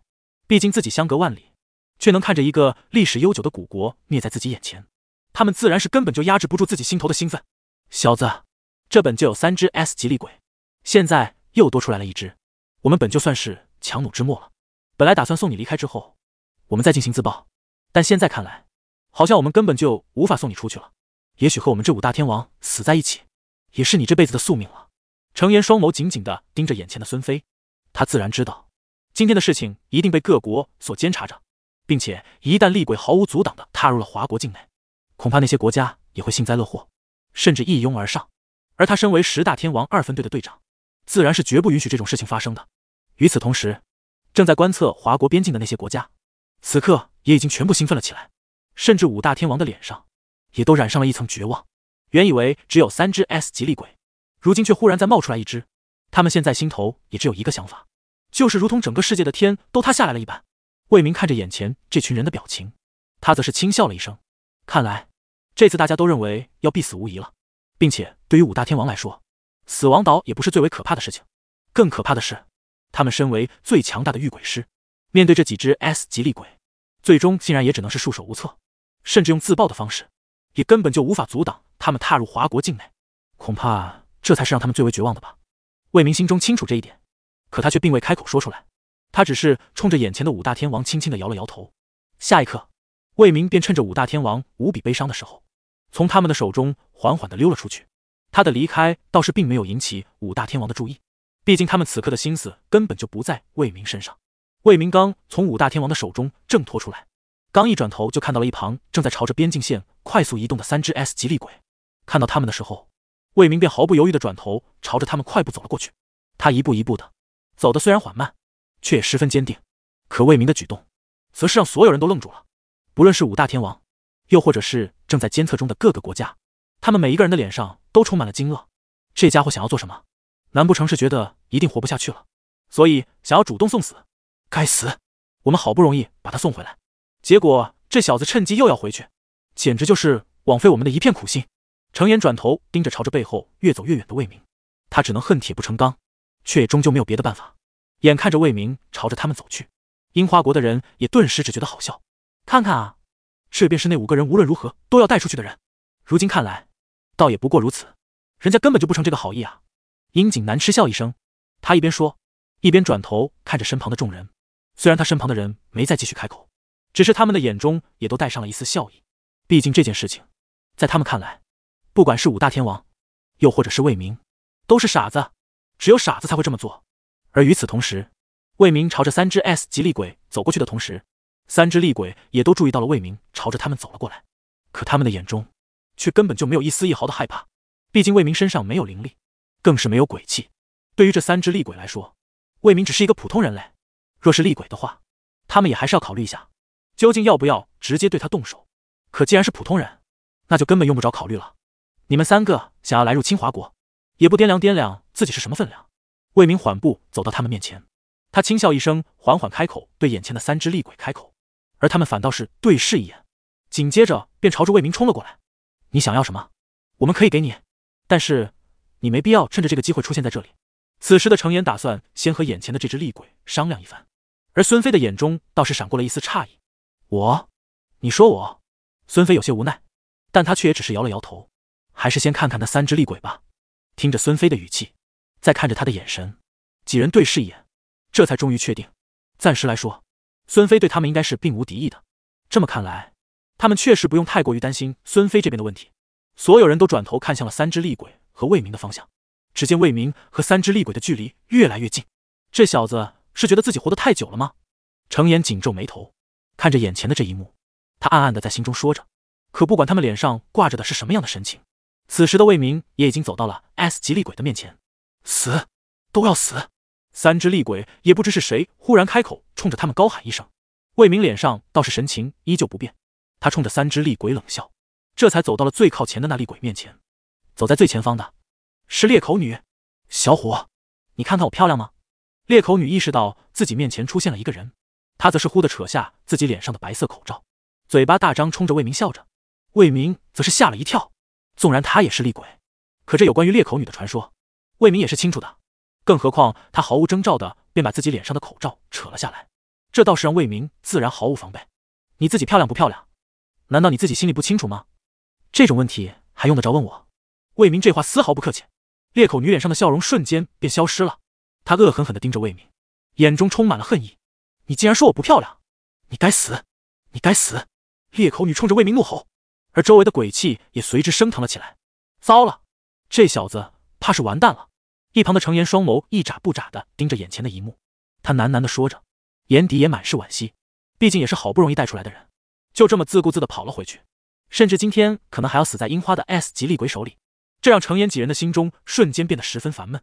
只是裂口女的鬼域展开的同时，魏明的脸上却也不曾有丝毫慌张，他只是面带笑意的看着眼前的这一幕。裂口女的鬼域彻底把魏明包裹进来，而与此同时，他那一头发丝也在空中飞舞着。就你这副样子，还好意思出来问好不好看，漂不漂亮？你要是只老老实实的待在樱花，去祸害樱花的那些人，我倒是也不会对你怎么样。只是你现在既然来到了我们华国的边境，你以后也就别想出去了。魏明的话音落下，下一刻，一道化身为剑的鬼气便冲着魏明冲了过来。魏明只是转头看了一眼，可他的眼中却毫无惧意。他直直的冲着裂口女走上前去，紧接着便是一巴掌拍在了裂口女那凌乱的头顶上。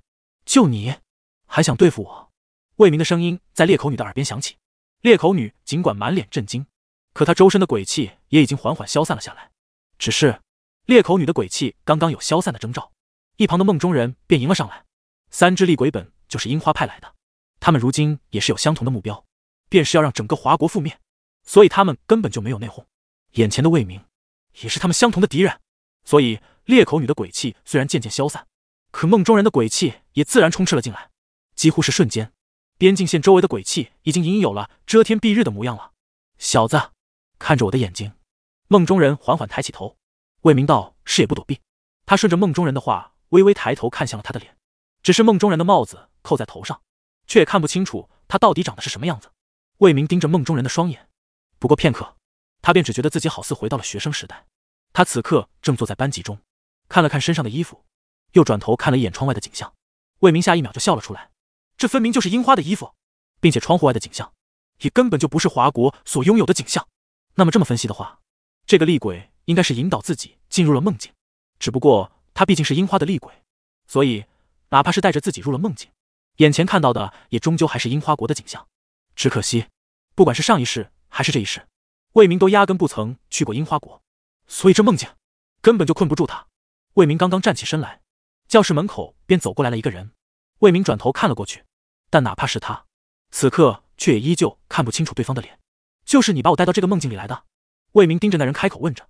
尽管此刻根本就看不清楚对方的脸庞，但魏明的猜测却并未出错。眼前站在魏明眼前的人，确实是那三只 S 级厉鬼中的其中一个梦中人。你和我出来一下，有些事情找你。梦中人并未回答魏明的问题，而是自顾自的开口对魏明说着。魏明转头看了一眼自己周围，身旁没有人注意到自己这边，他倒是也没有继续开口，而是缓缓的站起身来，跟着梦中人往外走。你看，楼下的花丛是不是很适合躺下？走到走廊之后，梦中人忽然抬手指向了楼下的花丛。魏明顺着他的眼神看了过去，只是他却和梦中人保持了距离。片刻之后，魏明这才轻笑了一声，对其说道：“你的能力。”就是可以在梦中杀人吧？话音落下，他这才转头看向了梦中人。刚巧，魏明此时也看到了梦中人朝着自己伸来的双手，尽管这是梦中人造出的梦境，所有人在他的梦境之中都要遵循他的规则。可魏明是谁？他的等级比梦中人可是高了不少的，所以梦中人尽管可以把魏明拉入梦境之中，却也根本对他产生不了任何影响。那你说说，我若是在梦中把你反杀了，在现实之中，你会不会活下来呢？魏明说完，便是冷笑一声，紧接着他便直接伸手拉上了梦中人的手臂。梦中人的身躯微微一顿，可下一秒，魏明便卯足了力气，抬手就把梦中人从楼上丢了下去。梦中人落地的瞬间，现实中的魏明这才睁开了双眼。怎么样？难道你还觉得你能把我灭掉？魏明看着站在自己眼前的梦中人，他冷笑了一声，眼底充满了不屑。与此同时，梦中人也已经缓过神来。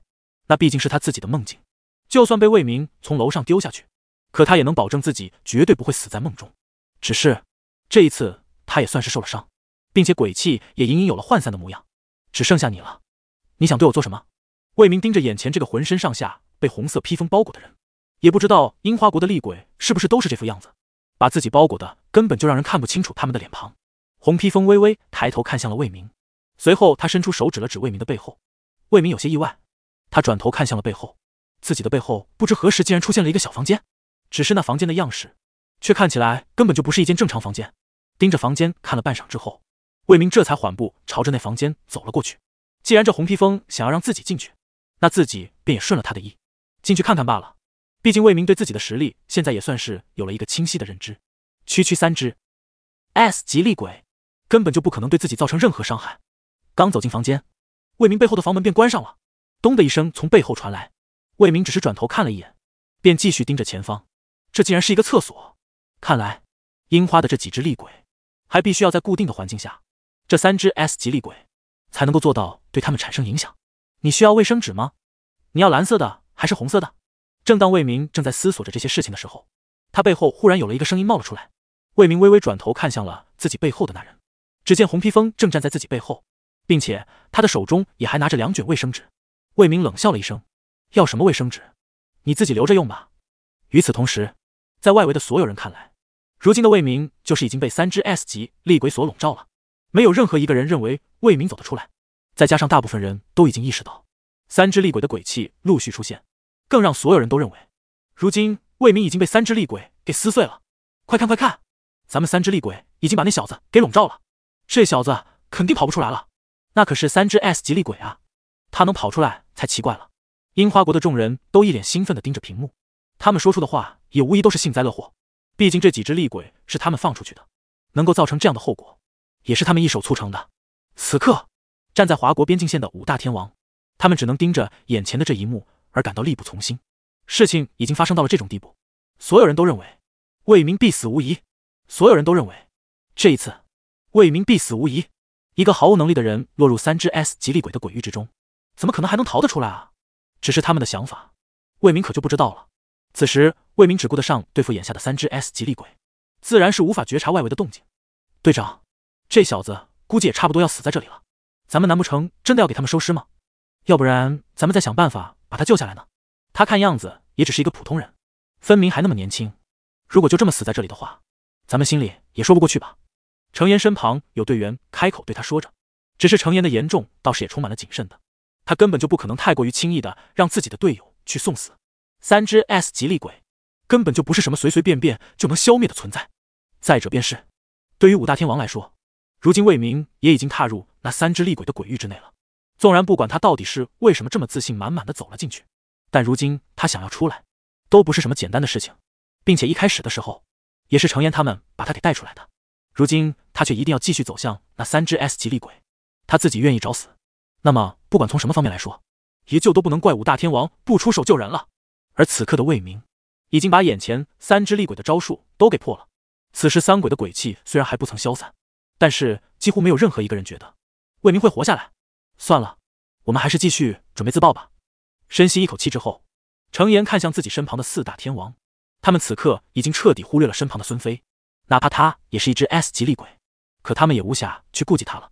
你们就这么放弃管我了？孙飞看着眼前的五大天王，他有些意外的对五人说着。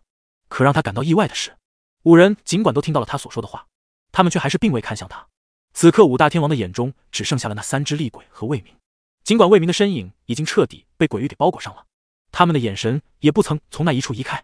半晌之后，鬼域稍稍退散，几人这才终于看到那片区域此刻只矗立着一个身影，只是因为距离并不近，倒是根本就不清楚是魏明还是三只 S 级厉鬼之中的一只。所有人都在沉默的盯着眼前的那抹人影看着，就连其他国家监视的屏幕上也都拉近了那抹身影。随着鬼域彻底消散之后，众人这才终于意识到，眼前站着的人。竟然是魏明，而那三只厉鬼竟已然不知所踪，怎么回事？那三只厉鬼呢？那可是三只 S 级厉鬼，怎么可能平白无故的就消失了？程岩转头看向了自己身旁的四大天王，可是自然没有任何一个人能够回答他这个问题。而魏明消灭三只厉鬼之后，则是低头看向了地上的三颗鬼晶，这自然是方才那三只厉鬼被魏明打死之后所产生的鬼晶。五大天王的眼神一早就被吸引过去了。尽管他们不曾想到魏明会消灭那三只厉鬼，可面对着地上的三颗鬼晶，他们的眼中也是闪过了一丝诧异的。而下一刻，碎嘴和孙飞便朝着魏明冲了过去。两鬼的速度非常快，不过片刻便已经站在了魏明的面前。主人果然还是一如既往的威武。纵然方才在小区里已经消灭了一只厉鬼，如今跑来边境线又消耗了这么大的体力，可主人对付起这三只厉鬼，依旧是如鱼得水。一旁的碎嘴开口对魏明说着，他的话里话外。全都是对魏明的恭敬和夸赞，魏明听着，却是根本就不为所动。而一旁的五大天王自然也是听到了碎嘴的声音。直到这个时候，他们这才终于认识到，原来这一只狸花猫竟然也是厉鬼。这几个鬼精就给你们两个了，反正我也用不着。魏明伸手拿起地上的鬼精，他随手就丢给了碎嘴和孙飞。碎嘴双眸紧紧的盯着鬼精，就在鬼精要落在他脑门上的时候，他则是直接跳了起来，便把一颗鬼精叼在了嘴里。而一旁的孙飞则是伸出手，一只手抓了一颗鬼晶，两鬼都转头看向魏明，眼中自然也是充满了狂热的。主人，你真的要把这三颗鬼晶都给我们吗？一旁的孙飞开口问着魏明，而魏明则是毫不犹豫的冲着两鬼点了点头。自然，我留着也没别的用处，倒是不如给你们。两鬼见状，则是马上开始吸食吞化，一套动作如鱼得水，没有丝毫的犹豫。只是见着眼前的这一幕。整个世界都好似瞬间安静了下来，没有任何人能够想到，这位明看上去只不过是一个普通人，且他身上还不曾有灵力和鬼气波动，他却能无比轻松的把三只 S 级厉鬼给消灭掉。那么他的实力到底已经到了哪种地步？队长，那两只厉鬼对那小子的态度看上去如此恭敬，难不成这两只厉鬼是这小子养的吗？程岩整个人都充斥着震惊，还未回过神来的时候，他身旁便有人开口问着他，对于这个问题。程岩只是盯着他们，如今两鬼对魏明的态度已经很明显了，根本就不难看出来，这两只厉鬼定然是魏明养的。这小子的身份一定不一般。我们都是国家灵异局的，从头到尾都没有听说过有比我们十大天王还厉害的人存在，所以这小子的身上之所以没有灵力，也没有鬼气，现在倒是有了另外一种可能，那便是他不是御鬼师，更不是普通人，他是一个远超我们级别的厉鬼，所以我们在他身上。感受不到任何的鬼气，程岩这番话说的十分谨慎，同时他的双眸也是一眨不眨的盯着眼前的魏明。只是现在魏明的心思倒是还在身旁的两鬼身上，他根本就没有看向一旁的五大天王。主人，我们又突破了。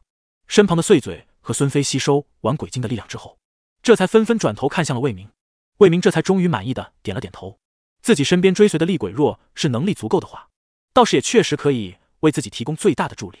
魏明总不可能次次。都是单打独斗，总要让自己身旁的鬼也培养的更加强大的。只是碎嘴和孙飞两鬼吞噬完鬼晶之后，他们两个的鬼气都是瞬间暴增。五大天王双眸一眨不眨的盯着他们两个。这一次，好几个国家的监测卫星也都瞬间侦测到了这变化。所有盯着眼前这一幕的人，全部愣在原地。他们根本就不理解，为什么魏明会把三只 S 级厉鬼这么轻轻松松消灭。只是魏明从做事开始，也就没指望有人能够理解自己。他忽然抬起头来。这一下更是让所有人的视线都落在了他的身上，而此刻魏明所看向的方向，正是大洋彼岸的樱花。魏明盯着樱花的方向看了半晌之后，这才微微转头看向了身旁的两鬼。原本我也不曾打算大开杀戒的，但是这一次，却也不是我主动惹事。若是从一开始樱花就没有招惹过我们的话，自然也就不会发生这么多乱七八糟的事情。可是既然他们都动手了，那么接下来我们也就只能叫做正当防卫了。你们两个愿意随着我一同前去樱花吗？魏明的双眸之中闪烁着光亮，他开口问着眼前的两鬼，碎嘴则是毫不犹豫的便答应了下来。从一开始，碎嘴便跟在了魏明的身后，他自然也清楚魏明是一个什么样的秉性。再说了，魏明所认定的事情，哪怕是十头牛都不一定能够拉回来。而孙飞看出来碎嘴要跟随魏明之后，他便也是冲着魏明点了点头：“主人，我们当然是要跟随你了，不管主人要做什么，我们都会跟着主人的。”听着孙飞的话，魏明这才满意的点了点头：“那我们就可以直接冲着樱花去了。”之后他们究竟会怎么样，便让他们自求多福吧。话音落下，魏明已经朝着樱花的方向快速移动了过去。只是魏明的这一举动，则是让所有人瞬间都提高了警惕。所有其他国家的检测人员都全部傻眼了，他们根本就没有想到，魏明竟然会直接转头冲着樱花冲过去。而如今，樱花的人更是不知道接下来究竟应该怎么办了。樱井部长，一开始这件事情就是你答应的，所以我们樱花才会这么做。可如今造成这样的结果。你倒是说一说，究竟该怎么办？这小子一看就不是什么善茬，能够轻而易举把咱们三只 S 级厉鬼消灭的，能是什么善茬？身旁的情报局局长松本木冷着脸开口对樱井南说着。只是事情发展到如今的这步境地，自然也不是樱井南想要看到的。一时间，樱井南对这件事情，自然也是根本就没有别的方法。他们樱花的人只能盯着眼前这一幕，不论到底发生什么事情，他们如今却根本就没有处理方案。这小子距离咱们也已经算得上是越来越近了。我们已经几乎可以感受到他带给我们的压力了。接下来咱们应该怎么办？若是不能及时处理好这件事情的话，怕是咱们樱花也将会彻底覆灭啊！一旁已经有人开始表态了。可是这件事情也不是他们想要怎么样便能怎么样的。魏明的速度非常快，樱花的人却只能眼睁睁的看着他靠近过来。一时间，这股无能为力和窒息感，则是让他们瞬间有了一种想要自杀的冲动。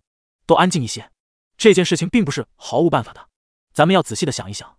究竟怎么样才能够让他放过我们？樱井南转头看向自己身旁的几人，他冷声冲着他们开口说道。只是樱井南的这番话说出来之后，却也未曾引起任何人的支持。不论是从什么方面来说，这群人目前也都认为这件事情都是樱井南一手造成的。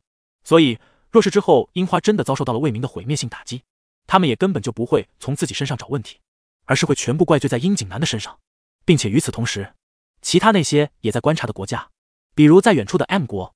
他们也早早的便安排了人，早在知晓此次事件之后，他们就已经派人前往了。他们的心思明眼人都能看出来，可是他们却根本就不曾想到，不知道从哪里冒出来的一个毛头小子，并且还是一个看上去十分普通的人，给全盘打乱了他们的计划。此时，M 国的总统也已经拿起了一旁的手机给军武指挥打电话。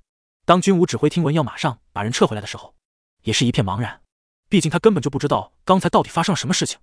你们必须马上把人全部撤回来。但凡这群人激怒了那个年轻人，那么等待我们就是樱花那般的下场。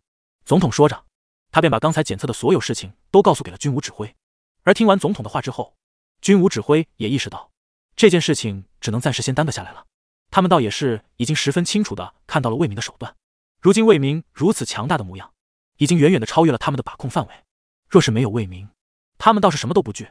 可单凭魏明不费吹灰之力便能瞬间斩杀三只 S 级厉鬼这件事情来看，他们对于魏明的警惕程度，便也是瞬间就提升了一个档次。若是他们这群人真的把魏明给激怒的话，说不准魏明到时候会对他们做什么。只是他们不知道的是，魏明走着走着，却是微微转头看向了这边。主人，是发生什么要紧的事情了吗？孙飞看到了魏明的动作，他这才连忙开口问着魏明。魏明轻笑了一声：“有些人已经暗中安排上了，只不过如今他们看到我们的实力，所以打算把人给撤掉了。”魏明轻笑了一声。他已经感应到了那些人的举动，只是既然对方打算退一步，他倒是也不打算直接追上去。毕竟现在最要紧的还是樱花，并且魏明可不仅仅只是打算对樱花动手，他要从樱花开始，一个一个的去收拾这些刚才看好戏的。眼见着魏明已经带着两只厉鬼离开了，五大天王这才终于缓过神来。刚刚发生了什么事情？那个年轻人把樱花派过来的三只 S 级厉鬼给消灭了，该不会我在做梦吧？身旁不知是谁开口说着。程岩愣了半晌，不曾开口回答那人。眼前的这件事情带给他们的冲击，未免算得上是太大了。他们根本就不曾想到，魏明一个看上去如此普通的人，竟然能够消灭三只 S 级厉鬼。队长，难道咱们现在连一个普通人都比不过了吗？程岩听着身旁的声音，他顿时只觉得有些头疼。这个人看上去是普通人，但其实绝对并非如此。若是他真的毫无本领的话，那为什么会有两只厉鬼一直跟在他的身旁？此人绝对不简单。但是如今我们却还不清楚他到底是什么样的人。只是目前来看，不管是他，还是他养的两只厉鬼，起码对咱们华国都是不曾有敌意的。所以，咱们也暂且可以不用管这些，只要他对我们没有敌意，我们便可以先放一放。说着，程岩转头看向了身旁的四人，四人这才冲着程岩点了点头。既然现在那三只厉鬼都已经被消灭了，那这里也没咱们什么事情了吧？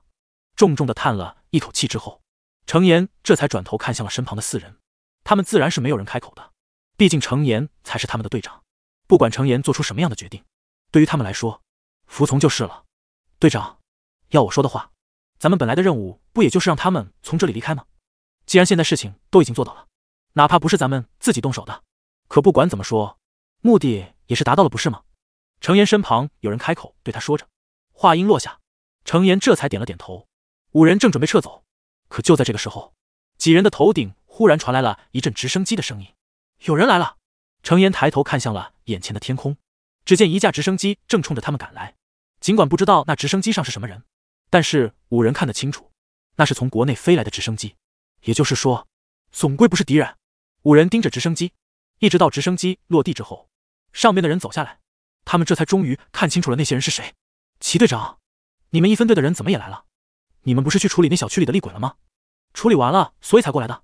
程岩开口问着麒麟。他的脸上也带着一丝诧异。根据一开始的消息来说，一分队所去往的地方可是一个鬼窟，没想到他们如今竟然这么快就出来了。看着程岩眼中的诧异，五大天王倒是没有解释那么多。我们过来是总局长的意思。他说：“你们应付那三只 S 级厉鬼非常勉强，所以总局长才安排我们过来的。”听着麒麟的话，程岩的眼中倒是闪过了一丝无奈。紧接着，他便微微转头看向了不远处空荡荡的边境线。还有便是空无一人的海面，麒麟顺着程岩的眼神看了过去，这才终于发现，眼前哪里有厉鬼啊，就是连个人都不曾有。他愣了片刻之后，这才终于转头盯着程岩，同时他的眼中也满是意外和不可置信。你们五个把那三只 S 级厉鬼给灭了，我们连一只 S 级都难以处理，你们竟然能够同时对付三只？听着麒麟的语气，程岩自然看得出来，今天的事情是他误会了，并且他们来的也足够晚，自然是什么都没有看到。程岩还不曾开口，一旁便有人开口了。说到这件事情，我们可就有的说了。齐队长，那三只厉鬼当然不是我们消灭的，那可是三只 S 级啊。只是我们虽然打不过那厉鬼，却有一个人可以打得过。听着身旁的声音，麒麟马上转头看向了开口的那人。什么人？竟然能够灭掉三只 S 级厉鬼？此人若是可以联系的话，定然要让他加入咱们灵异局。麒麟的情绪未免给太过于激动。一旁的程岩走上前来。抬手在麒麟的肩膀上拍了拍，我们自然也是有你这个想法的。可是不瞒你说，那家伙看上去根本就没有灵力波动，甚至还跟着两只 S 级厉鬼，所以我们倒是觉得这家伙很有可能也是一只厉鬼，并且是更加高级的那种。听着程岩的话，麒麟则是微微皱起了眉头。所以你们口中所说的这个人，可能是一只厉鬼？程岩冲着他点了点头。只是根据他们话中所描述的这人，怎么那么像是他们在小区里看到的那人呢？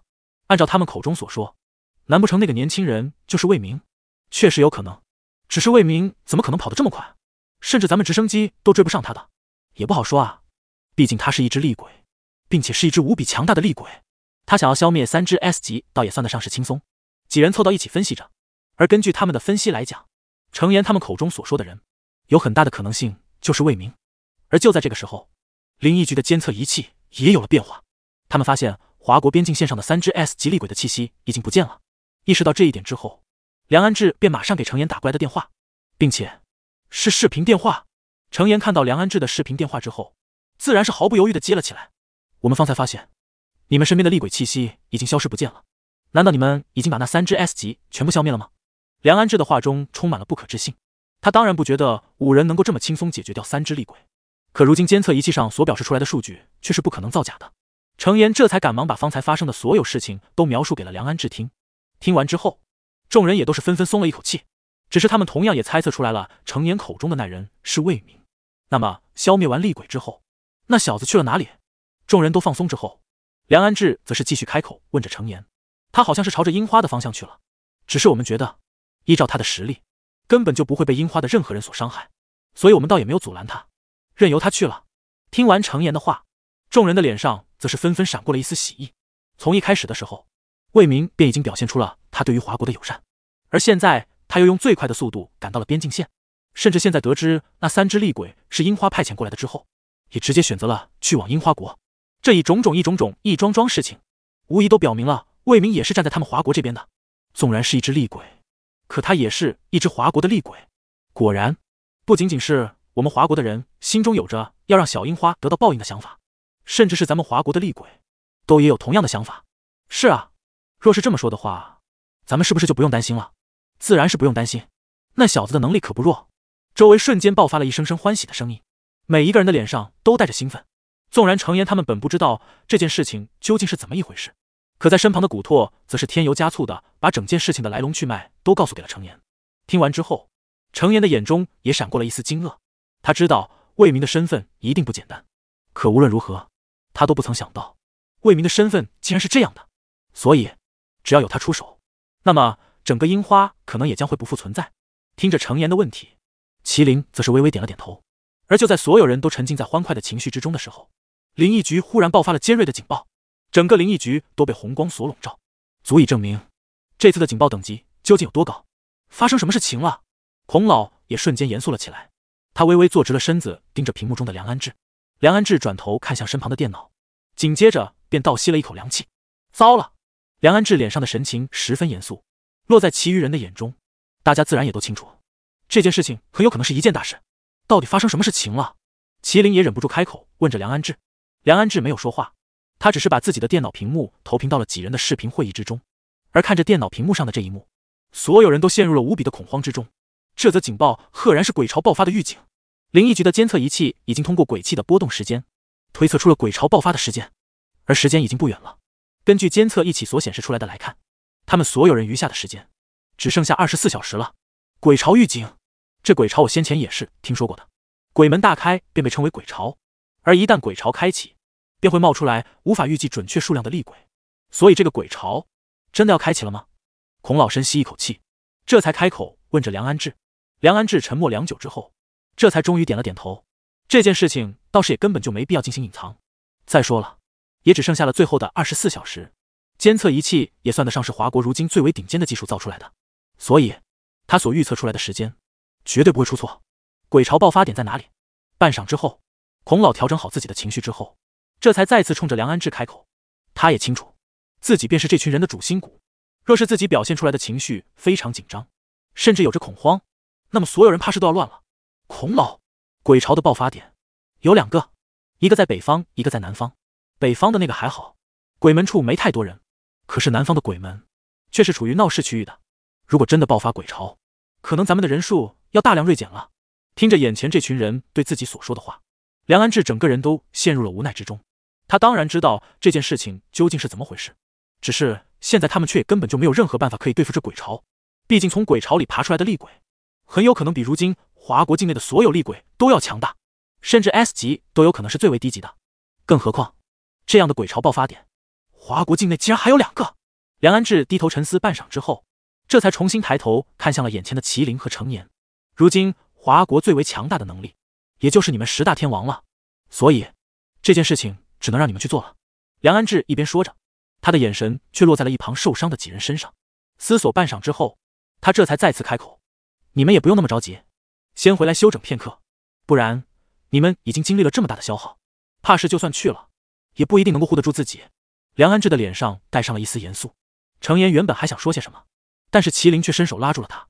你三名队友身上的伤看起来倒是也很严重，我劝你先带着他们回去简单处理一下。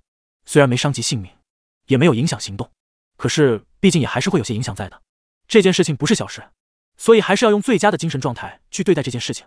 程岩转头看着眼前的麒麟，半晌之后，这才深吸了一口气。齐队长，你说的确实不错。这件事情是我没考虑周全，麒麟没再多说，而这件事情也便这么敲定了。反正直升机就在一旁不曾离开，他们便直接登上了直升机，准备回到灵异局了。包扎休整一番过后，他们又要马不停蹄的出发，赶赴鬼潮爆发的地点了。如今他们的时间也非常紧迫，若是他们来不及的话，到时候鬼潮爆发起来，整个华国都将会毁于一旦。而此时另一边，魏明带着碎嘴和孙飞也已经到达了目的地，便是樱花国的海域上空。低头看着眼前的樱花国，魏明这才嗤笑了一声：“就这么小的一个弹丸之地，还想要撼动我们那么大的华国？这樱花简直就是痴心妄想！区区小樱花，数年前都做不到的事情，难不成如今就能做到了？魏明盯着樱花，眼中充满了愤怒，而碎嘴和孙飞也已经开始摩拳擦掌，他们已经准备好了发动攻击。很快，魏明便已经带着碎嘴和孙飞进入到了樱花，而等他们到了之后，这才发现眼前樱花的不对劲。街道上很少有人类，倒是充满了鬼气，而路上行走的也大部分都是厉鬼，反倒是根本就看不见几个人。这樱花好奇怪，怎么一路走来，我们都没见到几个人类，反而看到的全都是厉鬼？一旁的孙飞喃喃地说了一句，而他的话音刚落，碎嘴就冷笑了一声：“这难不成还不够明显吗？当然是因为这里的人都已经被厉鬼消灭了，所以现在剩下的自然就全都是厉鬼了。”碎嘴的话音落下，一旁的魏明则是连连点头：“不错。”你这个想法说的确实不错，我也是这么认为的。他一边说着，一边转头看向了身旁的碎嘴。既然如此，那么我们自然是不用手下留情了。若是这樱花内大部分都是人类的话，那我们倒是还要思考一下，到底要不要动手。虽然我已经成为厉鬼了，却也不愿意自己手中沾染上一些人类的性命。这样一来，倒是正合我意。魏明的话音落下，身旁的碎嘴和孙飞则是冲着他连连点头。那么就从这里开始吧，我倒是要看看。这一次，他们想要怎么对付咱们？魏明的嘴角扬起了笑意，碎嘴和孙飞则是即刻冲了上去。另一边，随着他们三鬼来到樱花，此刻的樱花也已经彻底乱了。现在他们已经彻底进入我们的领域了。樱井部长，一开始这个建议也是你提出来的，你现在倒是告诉我们，怎么做才能够赢得最后的胜利？还有就是，如今如此强大的厉鬼已经过来了，咱们到底应该如何对付这厉鬼？樱井南的面前，已经有好几个人开始质问樱井南了。可他面对魏明，却也只能是束手无策。几位，你们先不要着急，咱们首相还没有联系咱们，那么这件事情倒是留有余地的。如果咱们……樱井南的话音未落，便被一阵手机铃声给打断了。几位稍作等候，让我先接一个电话。樱井南说完，则是拿起来自己的手机放在了耳边。首相大人，他倒是没有想到，自己怎么还说曹操？曹操就到。刚还在说，首相根本就没打电话过来，下一秒电话就直接打了过来。殷景南的声音之中无疑带上了一丝颤抖，而手机那头的首相似乎对于这件事情也十分的生气。殷景南，这件事情是怎么回事？你最好给我一个解释。若是无法解释的话，你便是最先死的人类。电话中，首相的情绪似乎十分不满。樱井南的额头上已经渗出了汗珠，他咽了咽口水，这才小心翼翼的对着电话那头的首相开口：“首相大人，这件事情是一个意外，先前我们倒是也不曾想到。”竟然有实力如此强劲之人，现在既然都已经惊动他了，并且他也已经到我们这边来了，咱们如果无法驱赶，便也只能采取其他想法了。樱井南的话说出来之后，无疑更是让首相愤怒。现在你们所有人来到总部会议室，十分钟之内必须到。首相强行压抑着自己心头的愤怒，他说完之后便把电话丢在了一旁。这件事情如今已经超出了殷景南能够控制的范围，既然在这个时候首相也打电话过来了，那么他自然是要听从。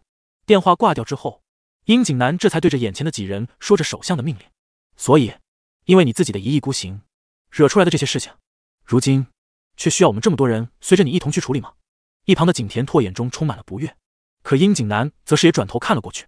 这个提议最开始就是你们所说出来的，现在倒好，全都要怪在我身上吗？两人你一句我一句的争执着，一时间倒是让身旁的其他人纷纷起身劝架。外敌来袭。可他们内部若是最先开始分崩瓦解，这不管怎么说都是对他们樱花不利啊！在身旁人的劝说之下，两人最终这才不再继续争吵。可经历了这么一件事情之后，两人看向彼此之间的眼神也都多少夹杂了些许不耐烦的。行了，现在咱们也别内讧了。不管这件事情到底是谁的问题，总之就是因为我们两个合作，所以才导致了如今的这个结果。要我说，咱们谁都别争了。现在首相的电话都打过来了，若是十分钟之内咱们没有赶到的话，那么咱们所有人大概都要被首相所数落了。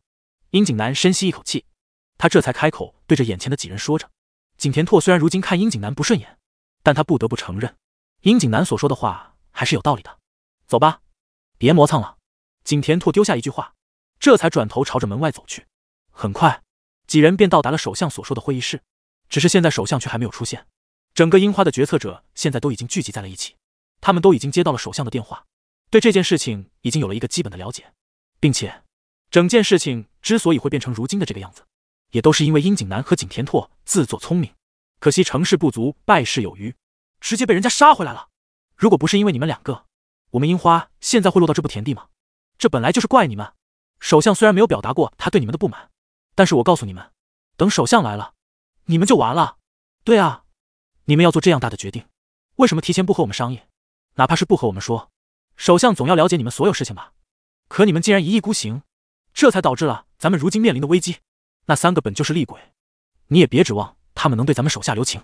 本来现在的人口就锐减的厉害，现在又是因为你们，引来了这么几个变态的厉鬼，你们可好好想想吧。过会儿怎么和首相说？身旁的声音不绝于耳，两人此时也已经没闲心把责任推到对方身上了，他们都选择了缩在一旁，任由他们斥责自己。而就在这个时候，一旁会议室的大门忽然被人打开了。你们吵够了没有？闹够了没有？这声音很大，且夹杂着愤怒，瞬间便引得身处于会议室的所有人都转头看了过去。此时站在会议室门口的人。正是首相，首相大人，首相大人来了！会议室里的人纷纷站起身来，他们朝着门口的首相鞠躬，而首相这才沉着脸走到了一旁的椅子旁。现在外敌当前，你们的表现令我很失望。首相一边说着，一边缓缓的坐了下来，而余下的不管是什么身份的人，也都纷纷的找了椅子坐了下来。说说吧，目前对于这件事情，你们想要怎么做？首相一边说着，一边转头看向了樱井南和景田拓。毕竟这件事情也是因为他们两个人而起的，如果他们两人说不出来一个所以然来的话，怕是没有人会罢休的。首相看样子是在质问两人，可他却也是在给两人找台阶下。两人对视一眼之后，这才纷纷转头看向了面前的首相。首相大人，咱们可以尝试和他们商议，如果条件让他们满意的话，应该也不会对咱们做任何过分的事情了。你这简直就是胡闹！那个家伙，我们根本就不知道他们是怎么一回事，你就要盲目的去和他们商议？说不准到最后咱们商议不成，反而是全军覆灭呢。那你倒是说说，咱们应当怎么做？要我说，咱们要不然尝试一下热武器，总能多少造成一些伤害吧。热武器没有任何作用，这是众所周知的。难不成你以为你能成为这个特例？两人你一句我一句的陷入了争吵，而一旁的首相听着听着也是有些生气了。我让你们商量接下来究竟该怎么办，不是让你们当着我的面争吵的。首相的话音落下，两人这才纷纷闭上了嘴。半晌之后，景田拓则是微微转头看向了身旁的首相。首相大人，那个厉鬼真的十分强大，若是实在无法强行斩杀的话，那么我们也只剩下了一条路，便是启动火种计划。我们如今的人本来就不多了，所以还希望首相大人能够考虑一下这个想法。樱井南深吸一口气，这才开口对首相说着。而他的话音落下之后，首相倒是也冲着他点了点头。你这想法可以。深吸一口气之后，首相这才缓缓的站了起来。之前咱们已经选定的人也可以带出来了，只不过不要让他们太过于猖狂，而我先走一步不过分吧？首相说着，眼中还闪过了一抹金光。他身为首相，如今又正是中年，如果能够平平安安的，倒是也还能活上很久。他当然不愿意留下来。而听着首相的话，一旁的樱井南和景田拓自然也是顺从的点了点头。他们也不想死得太早，所以这个想法倒是引得了在场所有人的同意。既然大家都答应了。那么这件事情就可以着手去办了。首相一边说着，一边朝着门口的方向走去。我们现在便直接去太空飞船，只要我们离开了，那厉鬼也不会对咱们怎么样的。听着首相的话，在场的所有人便也是连连点头。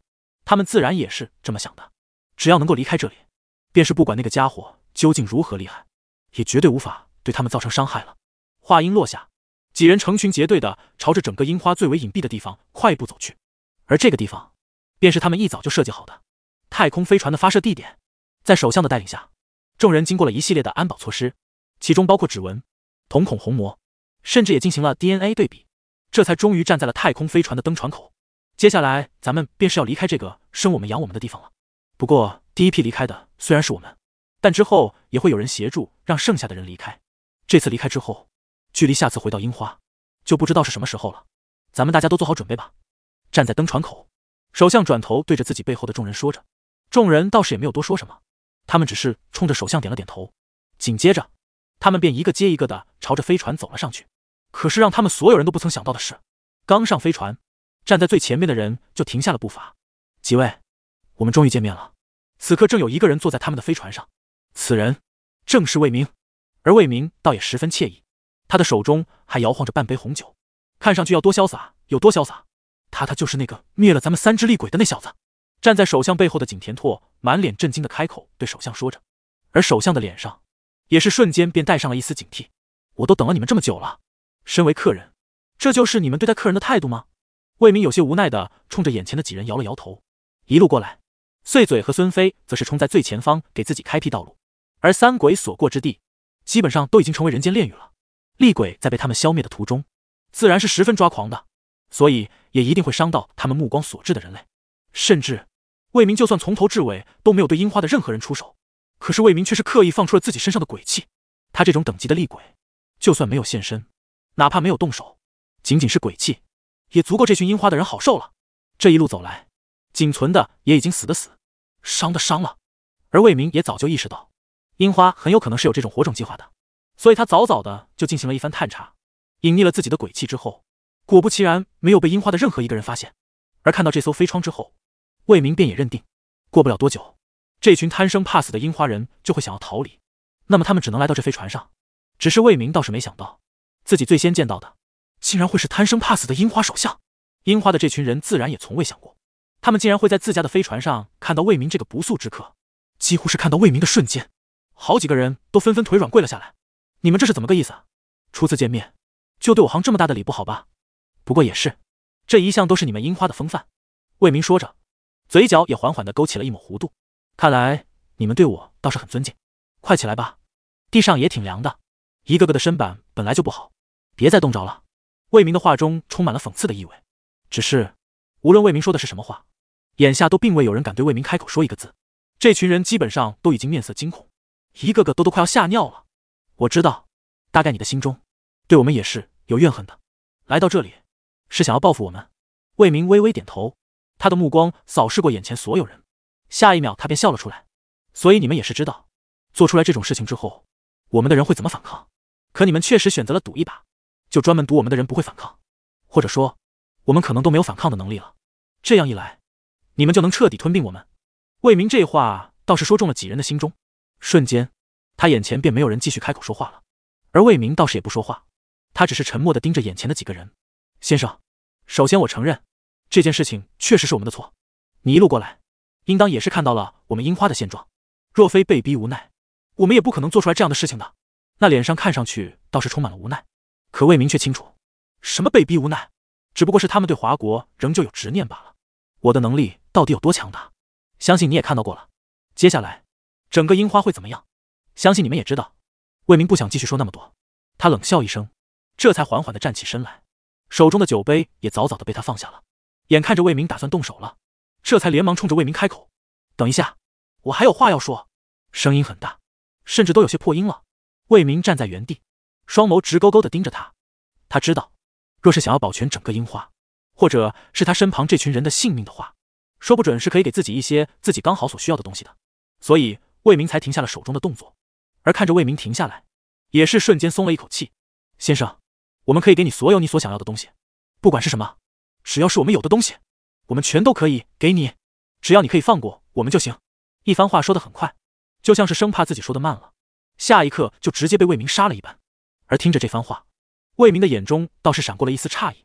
他有想过樱花的人会给自己什么好处，然后让自己放弃对樱花动手，可他却没有想到，他们竟然会直接说，不管自己要什么都会给。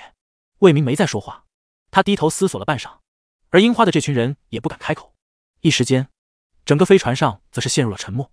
半晌之后，魏明总算是想明白了，他抬头，这才冲着他开口了。我要你们所有的魂石，包括鬼晶，数量不限，有多少拿多少过来。听着魏明的话，樱花显然有人不满了，毕竟他想要的实在是太多了。樱花也是需要魂石来给御鬼师补充能量的，若是全部都交给了魏明，他们樱花岂不是就像是砧板上的肉，只能任人宰割了？只是那人还没开口，便一口答应了下来。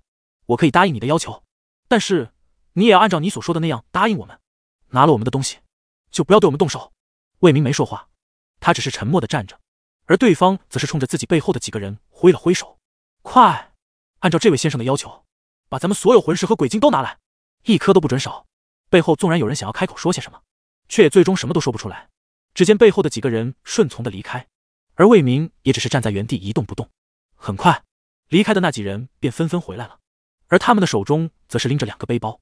先生，这个背包里装着的都是魂石，而这个都是鬼晶。这就是我们所有的魂石和鬼晶了。魏明的眼中很明显的闪过了一丝嫌弃，仿佛是没想到他们竟然只拿出来了这么一点。不过转念一想，樱花本来就是一个小国，能有这么多也已经不容易了。所以魏明伸手提过眼前的袋子之后，在手中拎了拎，这才轻笑一声：“还行吧，算得上满意。”魏明轻声开口。樱花众人闻言，纷纷松了一口气。那么，先生，除了这些东西，难道你就没有别的想要的了吗？看着魏明的模样，他便缓缓开口对魏明说着。听着这话，魏明倒是有些诧异。他转头，尽管不曾开口，但对方也还是被魏明的眼神给吓到了。先生，还请你不要用这种眼神盯着我，我并没有做过太过分的事情，不是吗？魏明闻言，这才微微点头。他把手中的东西放下来之后，这才继续看着对方开口：“你说的东西是什么东西？只要是你觉得我能用得上的，便都给我吧。如果我觉得东西的分量够了，便相当于买下你们的命了。”魏明这番话说出来之后，首相自然是再次点头。我们自然是有一些奇珍异宝。包括一些，只要 S 级以下御鬼师吃了，便有大概率能够直接升到 S 级的精魄，包括能给人快速补充能量的，还有可以维持现状，不让伤势继续发展的。这种类似的药物我们也有很多。若是这位先生你愿意的话，我们都可以给你的。首相一边说着，一边充满了兴奋。他这一次也确实是把所有东西都给拿出来了，只要是他们有的，不管魏明提出来没有，他都主动说出来了。也能看出来，这首相实在是不想死。所以才会拼尽全力的想要活下去。魏明自然是看透了他的想法，只不过魏明没有说话，就只是单纯的盯着眼前的首相看着。首相似乎也感受到了不对劲，魏明的眼神从某一时刻来讲是充满了锐利的，也正是首相最不喜欢的。可如今魏明才是主导者，他们只能低下头，当做自己看不到魏明的眼神。能让 S 级以下的御鬼师突破 S 级，这种精魄能给御鬼师用吗？说不定下一秒就吸收不了，直接在吸收精魄的途中死掉了呢。还有你们所说的其他东西，难不成我们华国没有吗？还真的想用这些东西糊弄我过去？我是没见过什么世面吗？还是说我什么都不懂？魏明一边说着，一边走向首相，他的脚步一点一点逼近。首相的脸上都已经闪过了一丝恐惧的神情。先生，我们已经把我们最为重要的东西都给你了。先生，你断然不能这么草率的把我们都斩杀在这里啊！首相的眼中闪过了一丝不甘。他们都已经成功的踏在飞船上了，难不成尽管这样？也还是要被魏明斩杀吗？看着首相眼中的恐惧，魏明这才笑了一声。如果想要让我放过你们，不是不可以，至少要拿出来足够的诚意吧。听着魏明的话，首相这才深吸了一口气。自然是可以。我们有一种你们都没有的东西，给厉鬼提升能力用的。也正是因为如此，我们才会派三只厉鬼过去，给厉鬼提升能量的，并非魂石或者鬼晶。我们有另外一种东西，你想看看吗？听着首相的话，魏明则是站在了原地。他并没有继续往前走，而是思索着：若是这个东西真的可以补充厉鬼的能量的话，自己倒是也可以留着。至于手中的这些鬼晶，给碎嘴和孙飞就足够了。他们两只鬼甚至连鬼晶都消耗不完。思索半晌之后，他才转头看向了眼前的首相：“可以，你这个要求很合理。把东西拿过来，我先看看。”首相这才点头。他转头看向自己背后的樱井南。樱井南身为灵异部部长，那东西也自然是在他手中的。可樱井南对上樱花首相的眼神的时候，却明显表现出了不情愿。那东西是他好不容易得来的，对所有厉鬼来说，都是让他们都能为之疯狂的，还不快去？难不成站在这里等死？首相转头看到樱井南并没有离开，他这才冲着樱井南喊了一声。樱井南眼中纵然存在愤怒，却也仍旧转头离开了。看着樱井南的背影，首相这才终于松了一口气。半晌之后，樱井南这才终于回来了。并且他手中还拎着一块漆黑的石头，这石头倒是很大，并且在樱井南过来的时候，魏明便瞬间感受到有一股能量冲向了自己的体内。下一刻，他便意识到这个东西确实是一个好东西。樱井南黑着脸放下手中的石头，这才往后退了两步，而魏明则是缓缓走上前来。他低头看了一眼之后，这才扬起笑脸看向眼前这几人：“这些东西我自然是收下了，都是你们给我的礼物。如果我不收，岂不是有些不合适？”魏明的这番话说完之后，樱花的人则是纷纷露出了笑脸。他们都知道，魏明既然已经收下了他们的东西，那么就也说明魏明不一定会对他们动手了。整件事情还是有转机的。只是樱花的人并未想到，自己脸上才刚刚洋溢出笑意，下一刻，魏明便转头看向了他们。那么东西我收下了，人留着就没用了。魏明话音落下，鬼气瞬间笼罩几人。顷刻间，飞船上便只剩下了几具尸体。把东西都收拾好之后，魏明便站在飞船上等着碎嘴和孙飞。半晌之后，两鬼这才终于姗姗来迟。主人，我们都已经消灭了路上的大部分厉鬼，并且这樱花我们已经看过了，基本上没什么活人了。听着碎嘴的话，魏明这才点了点头。既然这样，那么咱们就可以考虑去下一个地方了。反正这群人都不想看着咱们华国好过，那么我当然也是要让他们知道，看戏也是有代价的。魏明揉了揉自己的脖子，这才转头看向了眼前的两鬼，他们也是顺从的点了点头。就在三人准备出发的时候，魏明忽然意识到一阵强大的鬼气朝着四面八方袭来，魏明瞬间紧紧的皱起了眉头。转头看向了身旁的碎嘴和孙飞，你们感受到这一股强大的力量了吗？把这个拿去补补，别还没和人打照面，就先被这能量给碾压了。魏明说着，从一旁的包里拿出来鬼晶丢给两鬼，两鬼皆是面色一喜，随后便接过来开始吸收着。而碎嘴一边吸收鬼晶，一边对魏明开口：“主人，根据这个能量波动，我大概可以确定的就是，应该是鬼巢开启了，并且虽然这能量是四面八方来的，一时间。”根本就无法判断出到底是哪里来的能量，但是我可以说的就是，这定然是华国的鬼巢要开启了。接下来，整个世界都将会大乱。华国仅凭那几个所谓的天王对抗鬼巢，根本就不可能抵挡得过。同一时间，华国感受到能量波动了，看来鬼巢马上就要开启了。咱们接下来要马上安排人去鬼巢附近勘察情况了。如今十大天王是否已经都守在鬼巢附近了？梁安志看着眼前大屏幕的预测，这才深吸一口气。转头看向了身旁的人，总局长，十大天王已经兵分两路，现在应该已经到达鬼巢附近了。有他们守着鬼巢，应该不会有什么大问题的。梁安志听着手下的话，这才没再多说话，他只是沉默的盯着眼前的屏幕。而这时候，鬼巢也已经迅速开启了，鬼气瞬间使得鬼门附近的活物全部瞬间枯萎。至于动物，他们早就意识到了危险，现在也已经根本就不在附近活动了。队长，队长，你快看那边！那是不是鬼巢的中心点？这是什么鬼气吗？十大天王一分队，邓叶舟忽然开口对麒麟说着，同时他还伸手指向了麒麟的背后，他整张脸上写满了惊恐二字。听着邓叶舟的话，麒麟这才缓缓转头看向了自己的背后。果不其然，看到自己背后的一幕之后，麒麟也是瞬间愣住了。这怎么会忽然升腾起一阵浓雾？麒麟一边说着，一边缓缓的站起身来。只是那浓雾的速度非常快，邓叶舟尽管已经意识到危险。却也来不及开口提醒。下一刻，鬼门瞬间增长，而五人在浓雾的掩盖下，根本就不曾发现。等他们回过神来的时候，身旁已经出现了大量厉鬼。而至于这浓雾，则是以飞快的速度往外扩散，不多时，就已经笼罩了附近方圆百里的范围。被浓雾覆盖下的五大天王，也已经不见了踪影。等梁安志发现的时候，他们的监测仪器早就无法看到五大天王的身影了。几乎是瞬间，梁安志就慌张了起来：“快快快！”叫研究部的人去，快看看这浓雾到底有没有什么影响。那五大天王难不成刚出现就要陨落了？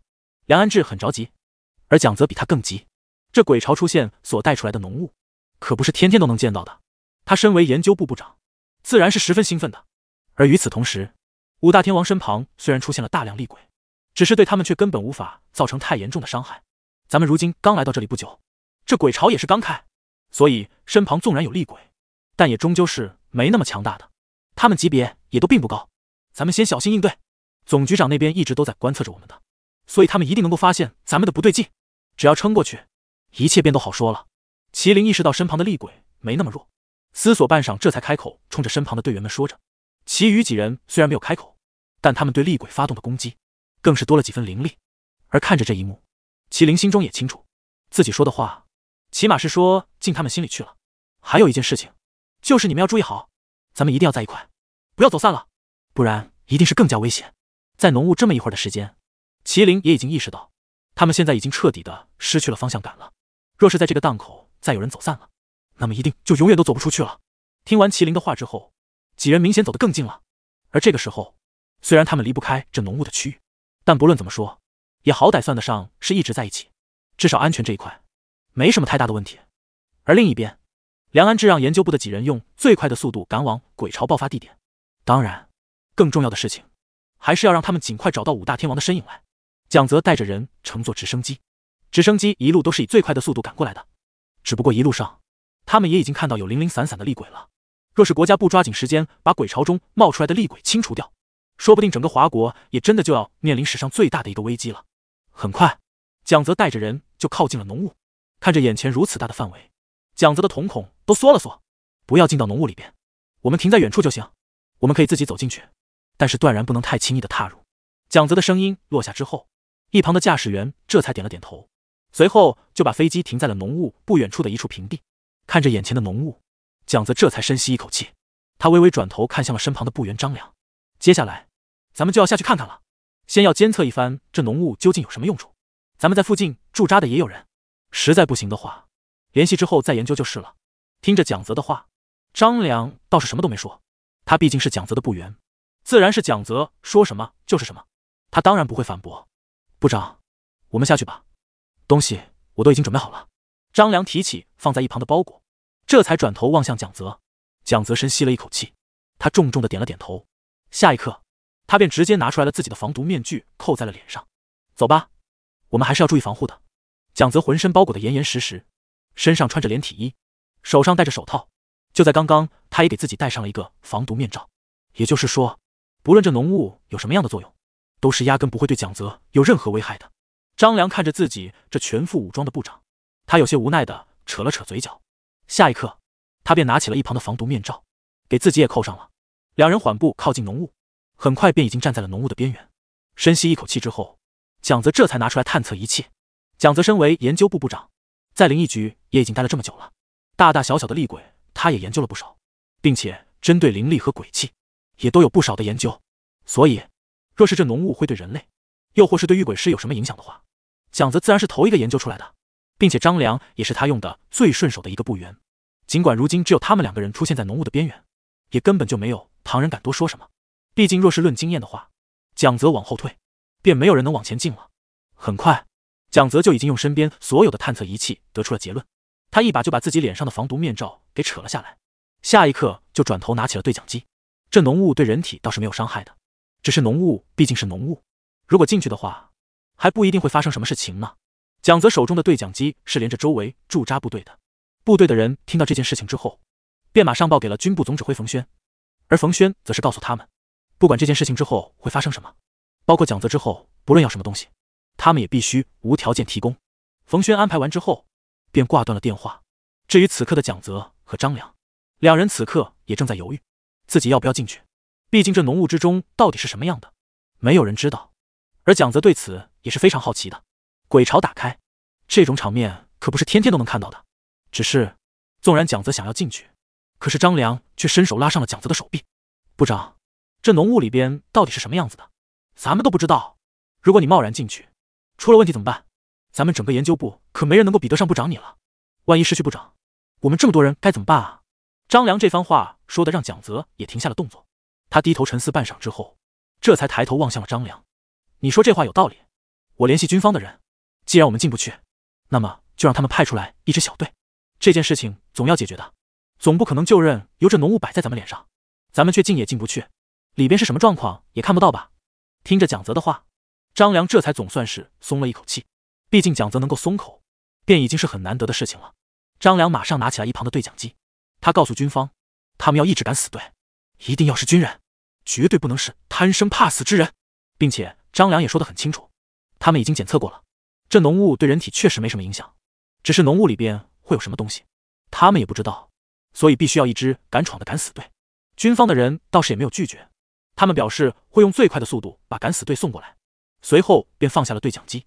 只是张良听完军方的态度之后，一时间却是有些不知所措的，他不是很能理解，为什么现在军方的态度和之前相比，竟然有这么大的差距。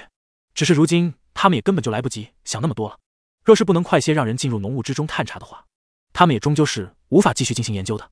好在，过了没多久，军方的人果然来了一支敢死队。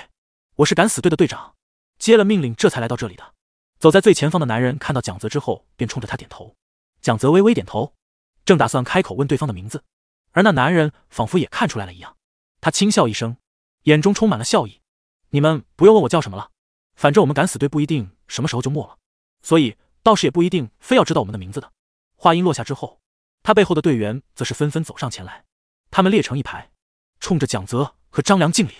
两人纵然不曾开口，可他们看向这支小队的眼神也充满了敬意。很快，这一支小队便装备精良的踏入了浓雾之中。只是让所有人都不曾想到的是，他们分明刚走进浓雾，可下一秒，站在浓雾外围的蒋泽和张良就已经看不到那小队的身影了。部长，这是怎么回事？他们不是刚刚进去吗？张良瞪大了双眸，他转头看向身旁的蒋泽，只是蒋泽也充满疑惑的摇了摇头。等拿出对讲机的时候，他们这才反应过来，刚进入的那支小队不仅仅是消失了，就连任何电子设备都无法联系上他们了。他们就好像进入了一个莫名的空间，并且将外围的消息也彻底屏蔽了。意识到这件事情后，蒋泽和张良不由连忙往后退了几步，同时蒋泽也是立刻给梁安志打过去了电话。梁局，我们刚刚已经派出去了一支敢死队，但这敢死队竟然在踏入浓雾的瞬间就消失了。蒋泽通过电话如实将所有事情汇报给梁安志，可此刻电话那边的梁安志却也只是沉默。他的面前是一个大的电子屏幕，因为在派出蒋泽的同时，各个高层领导人便也决定用现有的所有卫星，还有灵异局的专业检测仪器，一起在高空中对着浓雾进行拍照，而最后得出来的照片，如今就摆在梁安志的面前。这浓雾所覆盖的区域很大，并且还是十分规整的椭圆形，就好似是一个巨大的鸡蛋壳，直接盖在了这片土地上一样。只是如今这片浓雾却没有要继续扩张的模样。梁安志沉默了很久之后，这才把这个消息告诉给了蒋泽，同时他告诉蒋泽，让他们暂时和那浓雾保持距离，之后便等着消息就可以了。挂断电话之后，不管是梁安志还是其他领导人，他们纷纷陷入了沉默。面对这种从未见到过的状况，他们也属实是不知道接下来该做什么了。只是现在，不仅仅是华国，其他国家也同样出现了这一幕。这次的危机让很多国家都乱了阵脚，他们纷纷把自己卫星所拍到的图片发了出来，而众多国家经过对比之后，这才发现，这个所谓的椭圆形浓雾已经在多个国家出现了，并且如今大家都不知道究竟该如何对付这个东西。这种一模一样的状况，则更是让那些国家们瞬间认为自己好像找到了盟友，或是和自己一样的倒霉国家。只是另一边，樱花国魏明此刻已经感受到从华国蔓延过来的鬼气了。这鬼气实在是太过于强大，以至于他尽管不在华国，却还是能够感受到鬼气。魏明站在飞船上，他微微侧过身子，双眸盯着远处的华国，他的心中不由得开始担忧：如今的华国到底能不能平稳的度过这次危机？只是魏明还没想出来答案，下一刻，他便忽然意识到自己身边也出现了一阵浓烈的鬼气，甚至面前的空气都已经有了形状一般。魏明微微皱了皱眉头：“主人小心，快离开这里！”碎嘴是最先意识到的，他马上冲着魏明大喊，而魏明刚刚抬起头来，他的脚下便出现了一个黑色的漩涡，几乎是瞬间，浓雾便从魏明的脚下冒了出来，源源不断的浓雾往外扩张，而魏明在毫无准备和防御的瞬间，便已经被樱花国鬼潮爆发所产生的浓雾吞噬了。而如今魏明的情况，其实也早就被华国这边注意到了。自从魏明从华国边境线离开，前往樱花的时候，华国就已经调动了一个卫星。而这个卫星也是专门用来观测魏明的行为的。在魏明出现在樱花的时候，众人便是一阵阵的欢呼。他们知道边境线发生了什么之后，便也更加清楚，魏明定然不会空手往樱花走一趟。所以，魏明在樱花所做的一切，也都是落入了他们的眼中。甚至包括魏明在和樱花的那些人对峙的时候，几人也纷纷为魏明捏了一把汗。他们自然不是怕魏明会被樱花的这几个人给欺负了，只是对于魏明来说，樱花给出来的条件看上去也算得上是非常诱人的。而他们根本不知道，樱花的条件究竟会不会让魏明打消对樱花的那些乱七八糟的念头。若是魏明真的被收买了的话，如果之后再为樱花做事，那么对于他们来说，此事就将变成危机。只不过他们还没来得及思考，便见得魏明把那几个人全都杀了，几乎是瞬间。正在盯着屏幕看的众人也是纷纷松了一口气，他们每一个人的脸上都染着一丝喜色。魏明这般举动，无疑是直接替他们所有人都出了一口恶气。数年之前，樱花对咱们那么过分。如今也总算是报复回去了，只能算是稍微出了口气吧。毕竟现在那边也没什么人了，大部分都是厉鬼。如果我是这小子，我就直接全给灭了。对啊，所谓的小岛就应该直接沉底。众人一边讨论着，双眸一边直勾勾的盯着眼前的屏幕。只是下一刻，魏明被一阵浓雾包裹的瞬间，几人也纷纷站了起来。他们每一个人的眼里都闪过了一丝惊愕。这浓雾已经在华国出现，并且进去的那支队伍也在没了动静。所有人都，魏明这么强大的一个人，他进入到浓雾之后，究竟还能不能出来？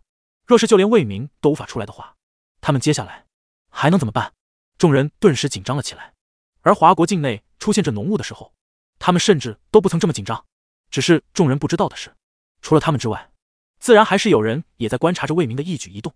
如今观察魏明的人，和之前窥探华国边境线的，也是同一批人。上次的窥探。是因为他们想站出来分一杯羹。只是在看着魏明轻轻松松便把那三只 S 级厉鬼消灭之后，他们便瞬间意识到，这件事情很有可能并不是他们能够解决的，所以他们并没有人露出来。只是他们心中也很担心，毕竟魏明去樱花的时间并不长，可那些人已然全都被杀了，因此他们都在害怕。若是魏明来找他们，他们又该如何应对？这小子不管多么强大，如今不也还是被这些浓雾给包裹了？既然被浓雾吞噬，大概率就是出不来了。这一点。咱们也已经测试过了。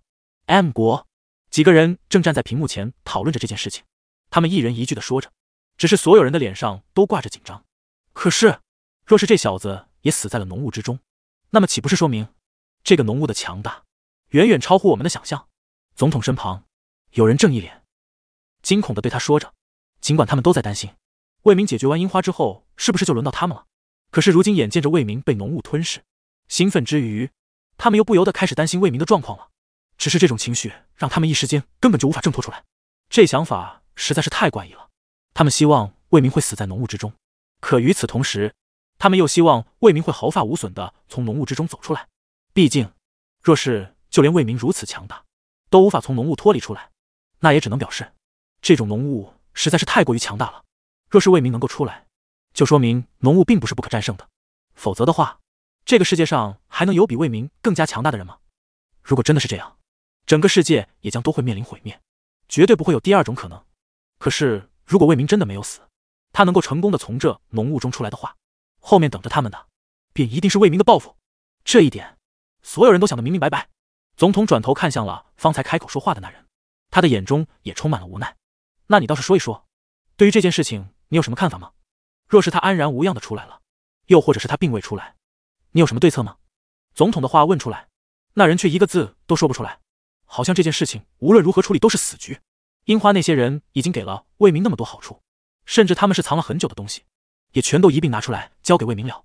就连总统都认为，魏明既然收下了这些东西，那就定然是不会再对那些人动手了。但却不曾想到，魏明收是收了，但下一刻便依旧毫不犹豫的对那几个人发动了攻击。而在浓雾出现之前的一刻，魏明在解决完那几个人之后。他抬头所看向的方向，是他们如今所处的位置啊！因此，他们毫不怀疑，等魏明从浓雾中走出来之后，定然是会过来报复他们的。半晌之后，总统这才重重的叹了一口气，说道：“咱们的人只是在边境线附近盯着，虽然确实有些不厚道，可是我们也并未有任何人主动发起攻击。那么，如果他真的过来想要报复咱们的话，我们倒是也可以考虑和他谈判。毕竟，我们和樱花的情况并不一样。樱花确实是对华国的那些人造成了伤害的，可我们顶多就是看戏。”并未伸出援手，这件事情倒是也好商量。只是若他真的死在了浓雾中，我们接下来迎来的那也一定是死亡了。就连他这样实力的人都无法从浓雾中走出来，我们这些人更是不够看了。总统的话音落下，他身旁倒是没有任何人反对的。所有人如今都在纠结，而总统的话也的确给了他们一个别样的思路。只是没有人能够知晓，魏明真的来报复的话，他们究竟有没有机会和魏明谈条件？只是。不管是特里普的纠结，还是华国这边自己人的担忧，对于这些，魏明自然也是并不知晓的。如今他身处于浓雾之中，眼前全都是浓浓的雾气，并且还夹杂着些许鬼气。面对这样的环境，魏明也算是打起了精神，注视着眼前。半晌之后，魏明则是微微蹙起了眉头。这浓雾十分浓密，他根本就看不清楚远处究竟是什么模样的。而碎嘴和孙飞也已经一左一右的紧紧贴着魏明。他们纵然不知道这浓雾是什么地方冒出来的，但是他们知道的是，魏明比他们两个都要强大。只要能够一直待在魏明身旁，便根本就不用太过于担心。可尽管他们已经站在魏明身旁了，他们两鬼的眼神也是一直在打量着眼前的浓雾。浓雾不散，几人倒也没有任何动静。毕竟在完全陌生的地方，可能走错一步，等着他们的便是万劫不复。只是魏明却紧蹙眉头的原因，却并不是因为这浓雾的可见度和身旁的鬼气，而是因为。魏明从这浓雾之中察觉到了一丝熟悉的感觉，你们两个有没有觉得，这浓雾并不会对咱们造成伤害，甚至还会对我们造成什么好处？或者说，这浓雾深处的东西是会帮助我们的？也不知过了多久，碎嘴和孙飞忽然听到了魏明的声音。两鬼听完他的话，则是纷纷满脸震惊的抬头看向了魏明，他们眼中的惊疑落入魏明的眼里，魏明便不再需要他们回答自己了。主人。你为何会感觉这浓雾有熟悉的感觉？难不成这浓雾还有迷惑心神的作用？一旁的碎嘴的双眸都已经成了一条竖线。他转头看向魏明的时候，眼中也闪过了一丝狠厉。此刻碎嘴也已经提起了万分精神，只是没有人知晓这浓雾之中到底隐藏着什么东西。孙飞，你呢？也一点都没有察觉吗？魏明的眼神转到了孙飞的身上，他缓缓开口问着孙飞，而孙飞犹豫片刻，也还是点了点头。主人，我也没有察觉到有什么熟悉的感觉，我只觉得这浓雾十分阴冷，总觉得浓雾之中似乎下一秒就会冲出来什么东西一般。至于别的，我也实在不知道了。魏明这才点了点头。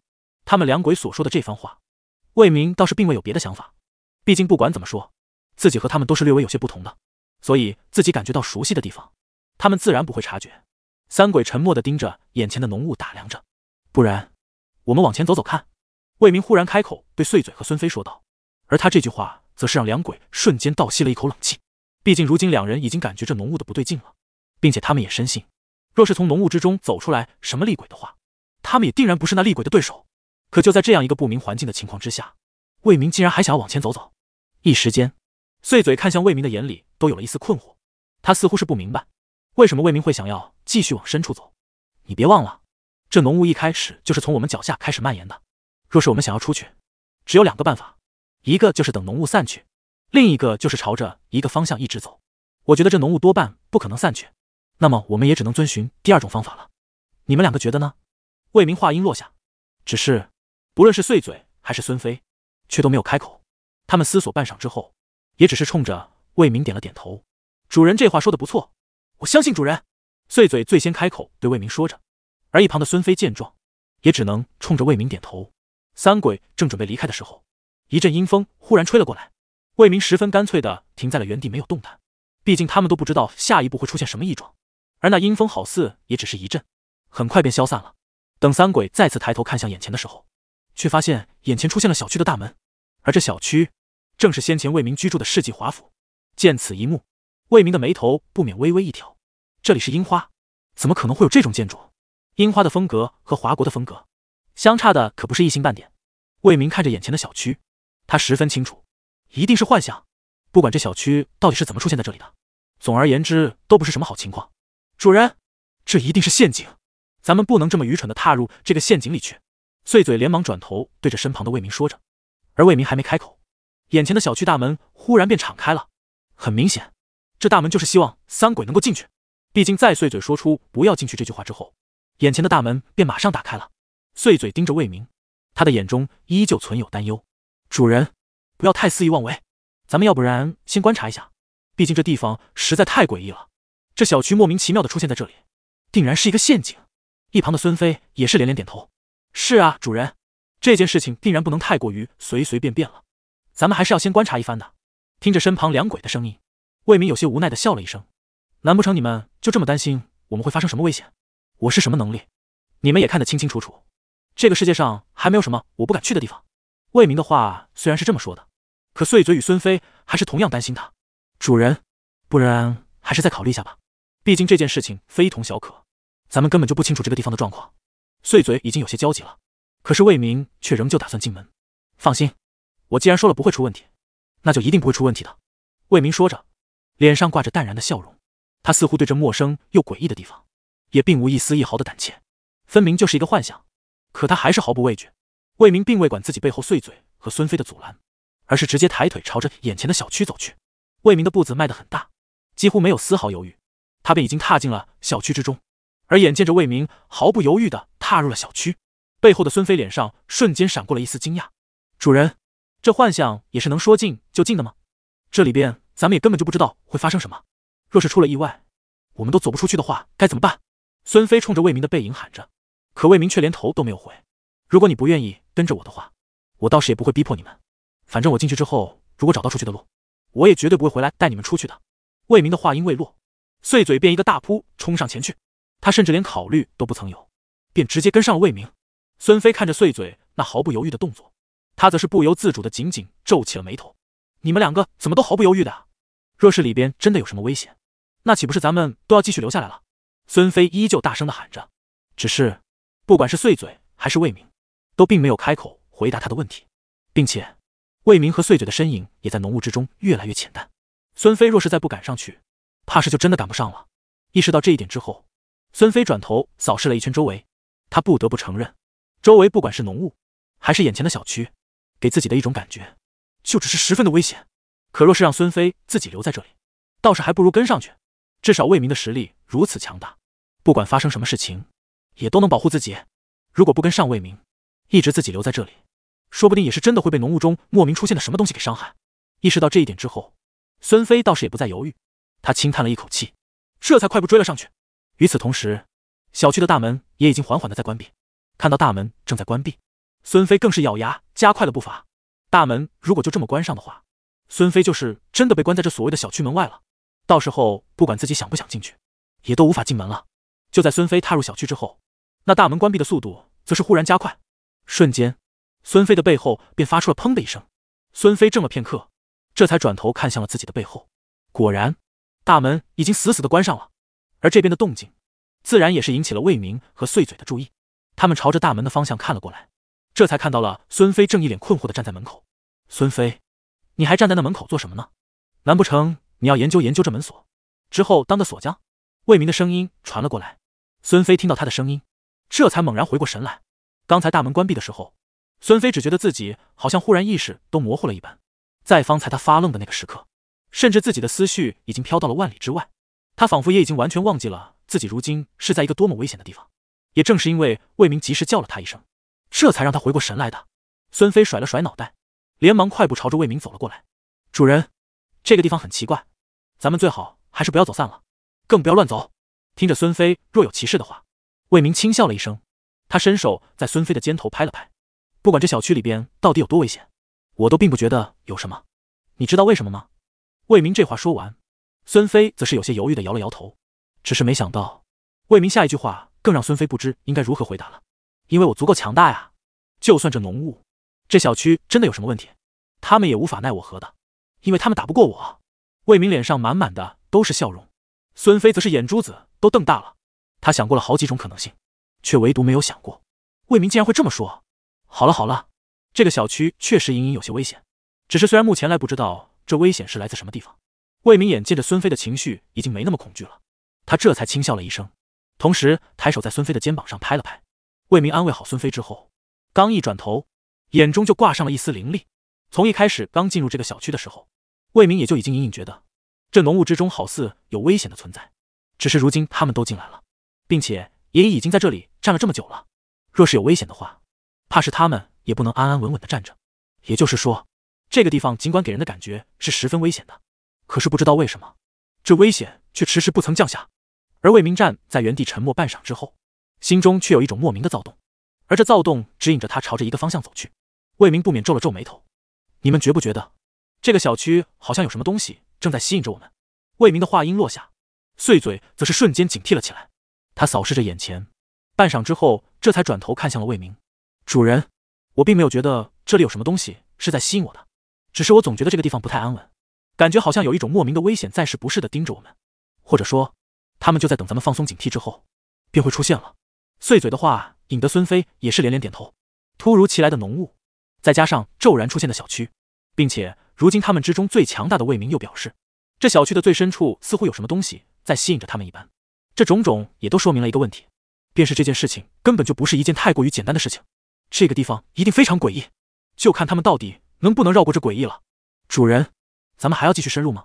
碎嘴转头看向了魏明，而魏明则是微微点头。既然咱们来都来了，若是不进去的话，岂不是有些不合适？不管这里边到底是有什么东西，至少对于他们来说，我们都是他们的客人。哪有客人进门之后就迅速转头离开的道理？魏明说着，嘴角也带上了一丝笑容。他微微转头看向了小区深处，尽管碎嘴和孙飞都并未感受到有什么东西在召唤，可魏明却感受得清清楚楚。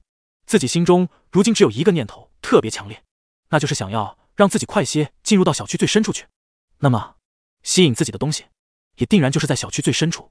走吧，咱们继续往里走走看看，说不定会有其他的发现呢。魏明话音落下。便快步往前走去，碎嘴见状，倒也是缓步跟了上去。至于孙飞，他现在已经不敢远离魏明了。三鬼一点一点的朝着小区深处挪动，渐渐的，便也远离了小区紧闭的大门。魏明走在最前方，并且他倒是没有任何惧意。碎嘴和孙飞则是十分警惕的跟在他的背后。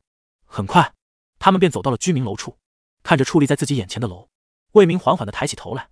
只不过当他抬头，这才发现，眼前的楼非常高，甚至根本就看不清楚楼上到底有没有什么情况，并且整栋楼也毫无人气。果然，幻象始终都是幻象。魏明轻笑了一声，这才微微转头看向了自己身旁的碎嘴和孙飞。咱们接下来马上就要靠近这居民楼了，我倒是觉得这居民楼里可能藏了什么东西。我们待会儿往前走的时候，一定要打起一万分的精神，一定不能被这群乱七八糟的东西埋伏了。听着魏明的话。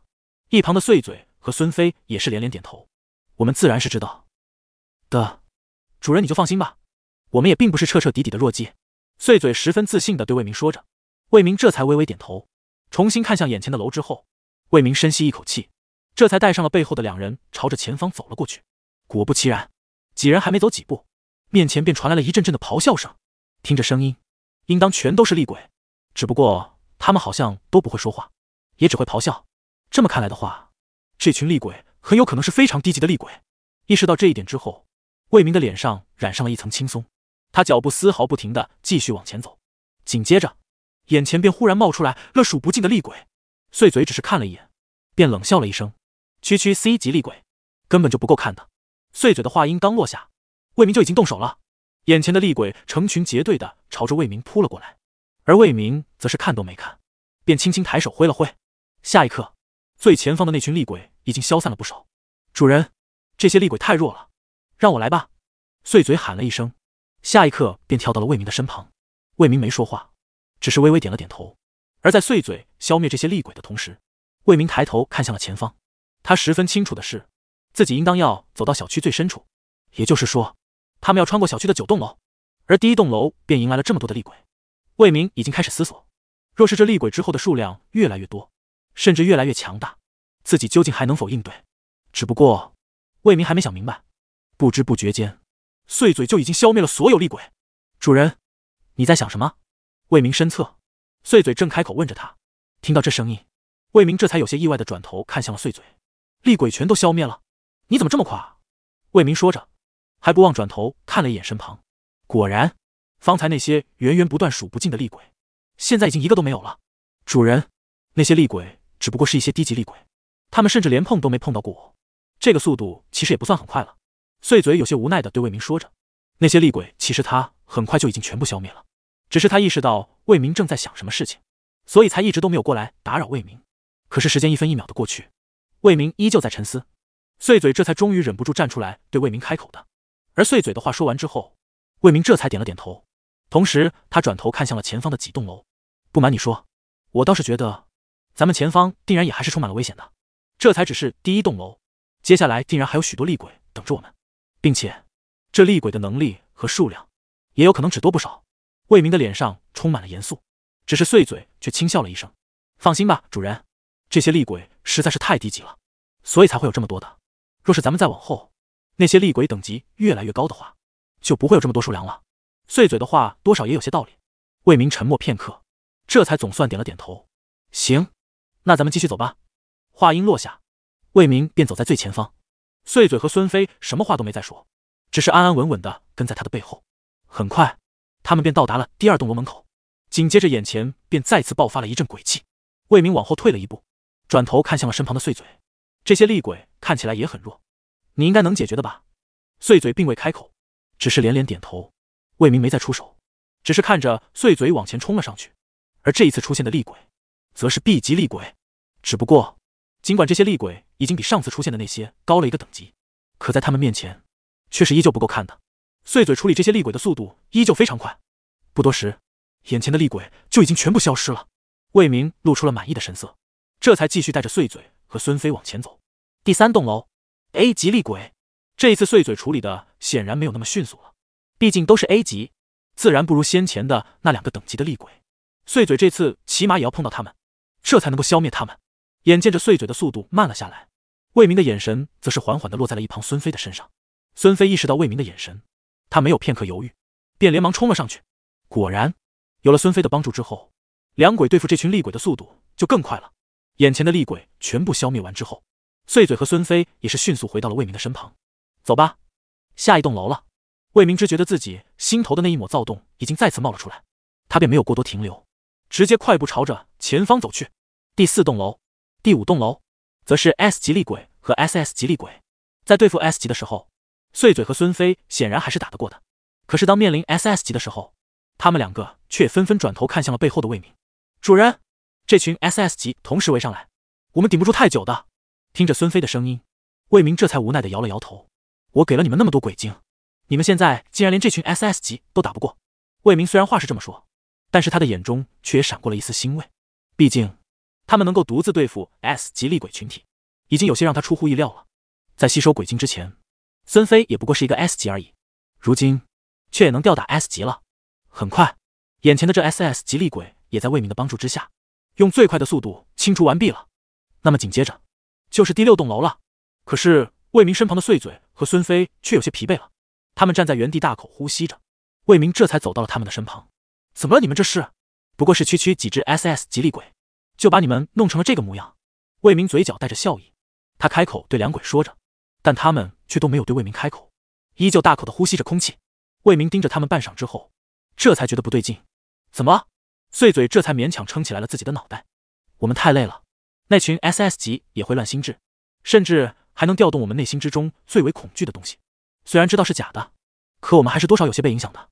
听着碎嘴的话，魏明这才微微点了点头。方才那些 SS 级厉鬼好像确实有些不对劲。虽然他面临这些厉鬼的时候，并没有发觉有任何被影响的地方，只是身旁的碎嘴和孙飞倒是动作都慢了许多。他们影响你们心神了？思索片刻，魏明这才坐在了碎嘴和孙飞的身旁。不错，只不过我们等级和他们相差不多，所以才会被影响。继续往后走的话，也很有可能更难走了。孙飞说着，微微抬头看向了前方。魏明轻笑一声，他毫不在意的开口：“那又怎么样？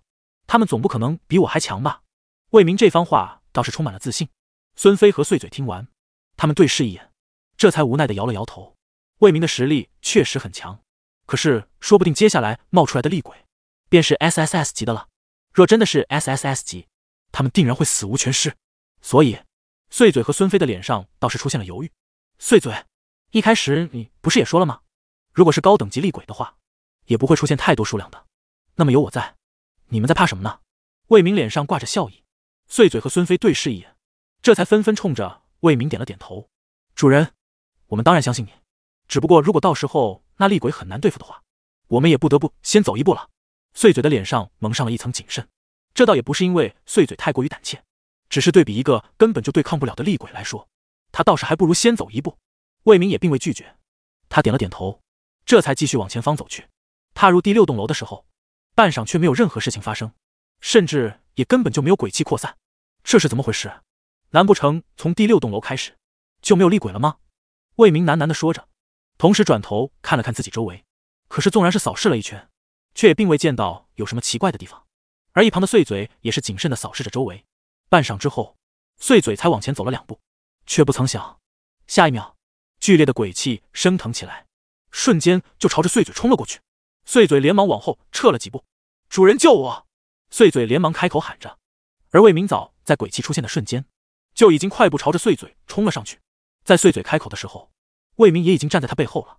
魏明伸出手，直接拎着碎嘴的后脖梗，便把他扯了回来。碎嘴深吸了几口气，而当他们转头的时候，却发现原本站在他们背后的孙飞已经不见了，怎么回事？孙飞呢？碎嘴说着，而魏明也瞬间提高了警惕。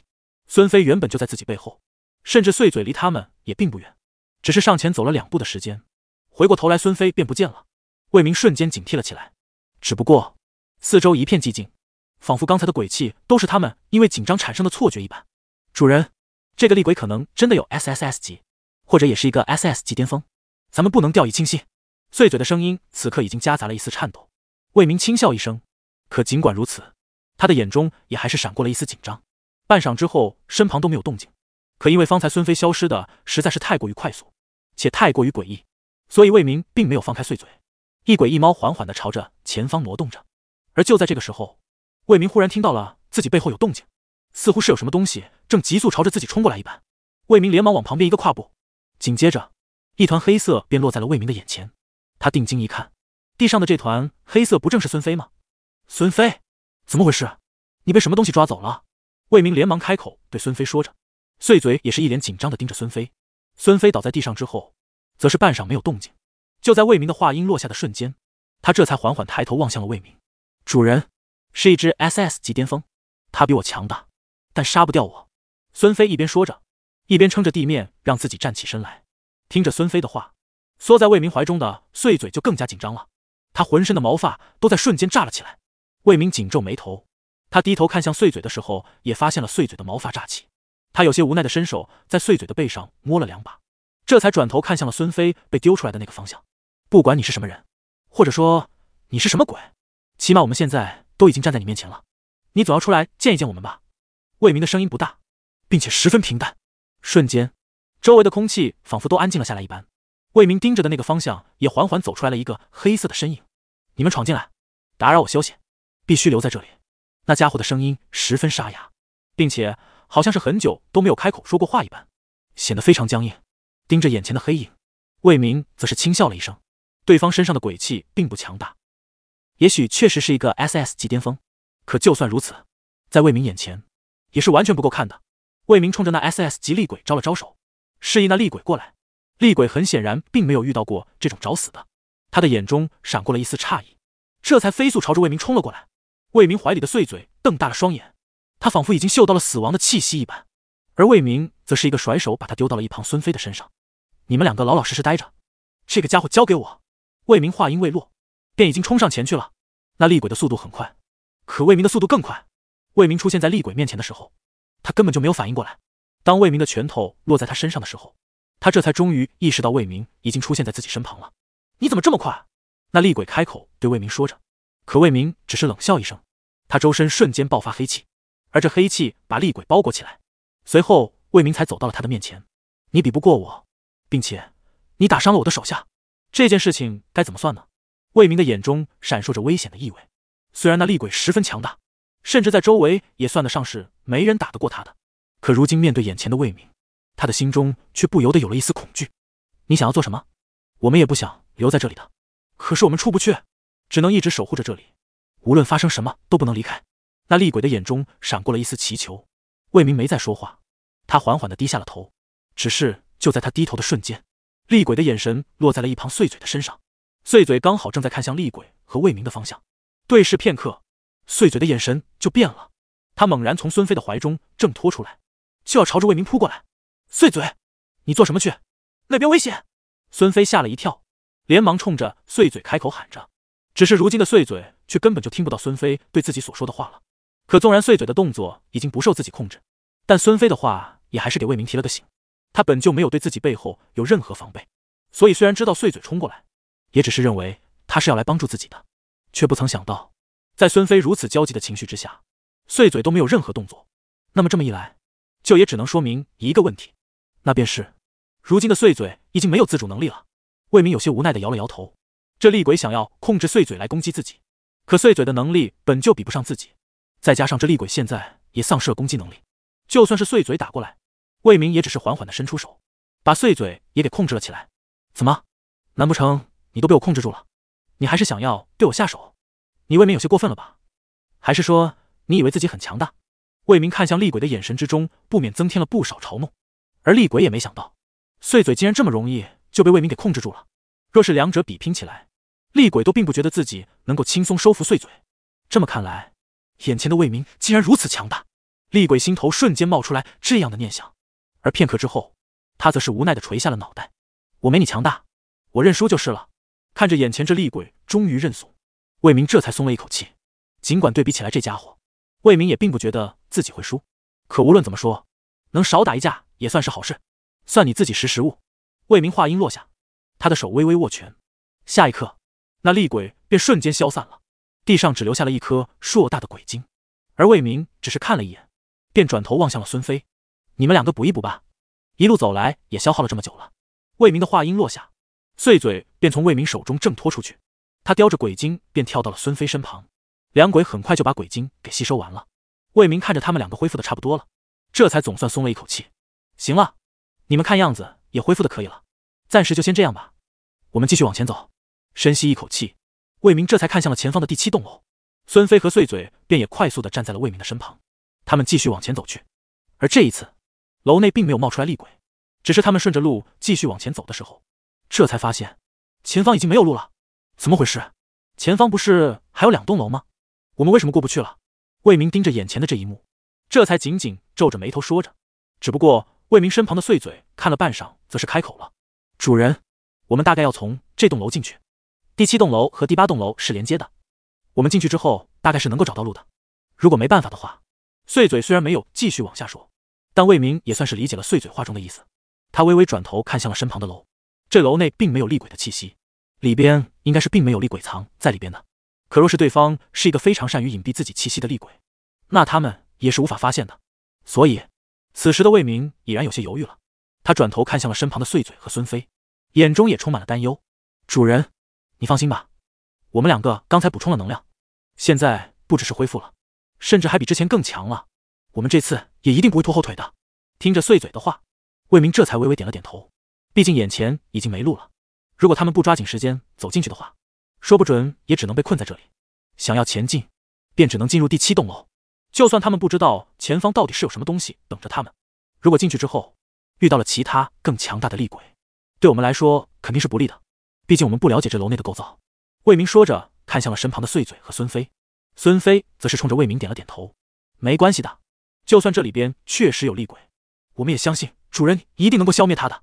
孙飞这话倒是有些捧着魏明的意思了，只不过魏明倒也点头应下了。他微微转头看向眼前的楼房，下一刻，他便忽然察觉自己脑海中有了一个声音：“来啊，快来啊，我们等你好久了。”这声音出现的实在太过于突然，魏明猛然一惊，抬头看向了眼前的楼房，可楼内依旧是一片寂静。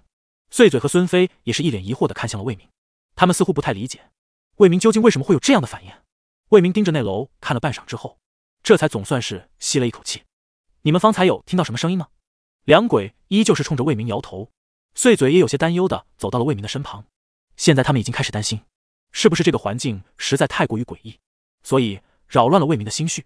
不过魏明倒也没再继续犹豫，那个指引自己的东西已经距离自己这么近了。若仅是因为不知道里边是什么情况便驻步不前，倒也不是自己的风格。思索片刻，他直接便开口了：“好了，我决定了，咱们进入这栋楼，从楼内找到第八栋楼的入口。与此同时，华国五大天王这边也早已经被浓雾所包裹了。这浓雾的扩散速度实在是太快了，导致他们还未曾反应过来，便已经被浓雾包裹了。只是浓雾出现的时候，还夹杂着一阵阵的鬼气。队长。”我们分散去探一探情况怎么样？麒麟听着身旁的声音，他犹豫半晌，却不曾开口。倒是邓叶舟盯着周围的浓雾，缓缓开口了：“队长，我已经看过了，这鬼气应当是低级厉鬼所发散出来的。也就是说，目前来讲，咱们不用担心。这浓雾虽然让人分不清方向，并且范围这么大，但终究也不会有什么危险的。”听着邓叶舟的声音，麒麟这才终于点了点头。既然如此，那咱们就先四处探查一番吧。过会儿不管发现什么情况。都要记得回来，我就在这里等着你们。麒麟满脸都是严肃的神情，毕竟若是一直待在这里，什么都不做的话，他们也根本就走不出去。眼看着周围的几人一人一个方向的离开，麒麟也是提高了警惕。他们的身影逐渐消失在了麒麟的眼前。半晌之后，他这才终于深吸了一口气。随着时间一分一秒的过去，周围也安静的可怕，甚至没有风声，更没有人的动静。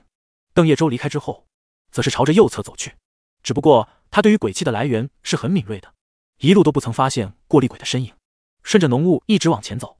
可邓叶舟却不仅仅是没有发现厉鬼的身影，甚至是任何活物都不曾见到。这浓雾好像源源不断，分明浓雾爆发的地方是有山有树的，可他面前如今却什么都没有。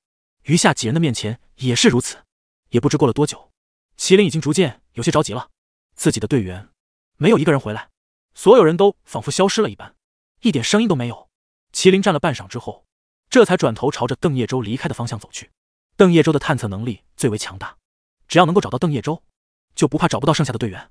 可是麒麟顺着邓叶舟离开的方向走了许久，却也不曾见到邓叶舟的身影。